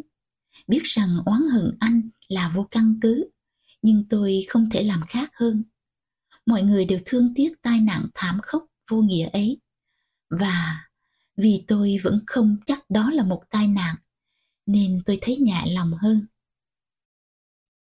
Trong xe, trên đường lái về nhà, cha tôi cầm tay tôi và siết chặt. Tôi nghĩ, bây giờ chỉ còn lại cha với mình. Chúng ta cô độc và không hạnh phúc. Lần thứ nhất tôi khóc. Nước mắt xoa dịu hồn tôi. Chúng không giống chút nào quải hư vô kinh khủng mà tôi cảm nhận ở bệnh viện trước bức tranh Venice. Cha tôi lẳng lặng đưa khăn tay cho tôi. Gương mặt của ông tan nát, thảm sầu. Trong một tháng, chúng tôi sống như một ông quá và đứa con một côi ăn chung tất cả bữa ăn và ngồi rịt trong nhà. Thỉnh thoảng chúng tôi nhắc tới An. Có nhớ ngày mà... Chúng tôi cẩn thận lựa lời và tránh nhìn vào mắt nhau. E rằng sẽ gợi lên những niềm đau hay một thứ gì không thể sửa đổi sẽ chen vào giữa. Sự thận trọng và dè dặt của chúng tôi đưa đến một đền bù. Chẳng bao lâu, chúng tôi có thể nhắc đến An như một người bạn yêu quý, người mà chúng tôi có thể chia sẻ hạnh phúc. Nhưng Chúa đã sớm gọi về trời.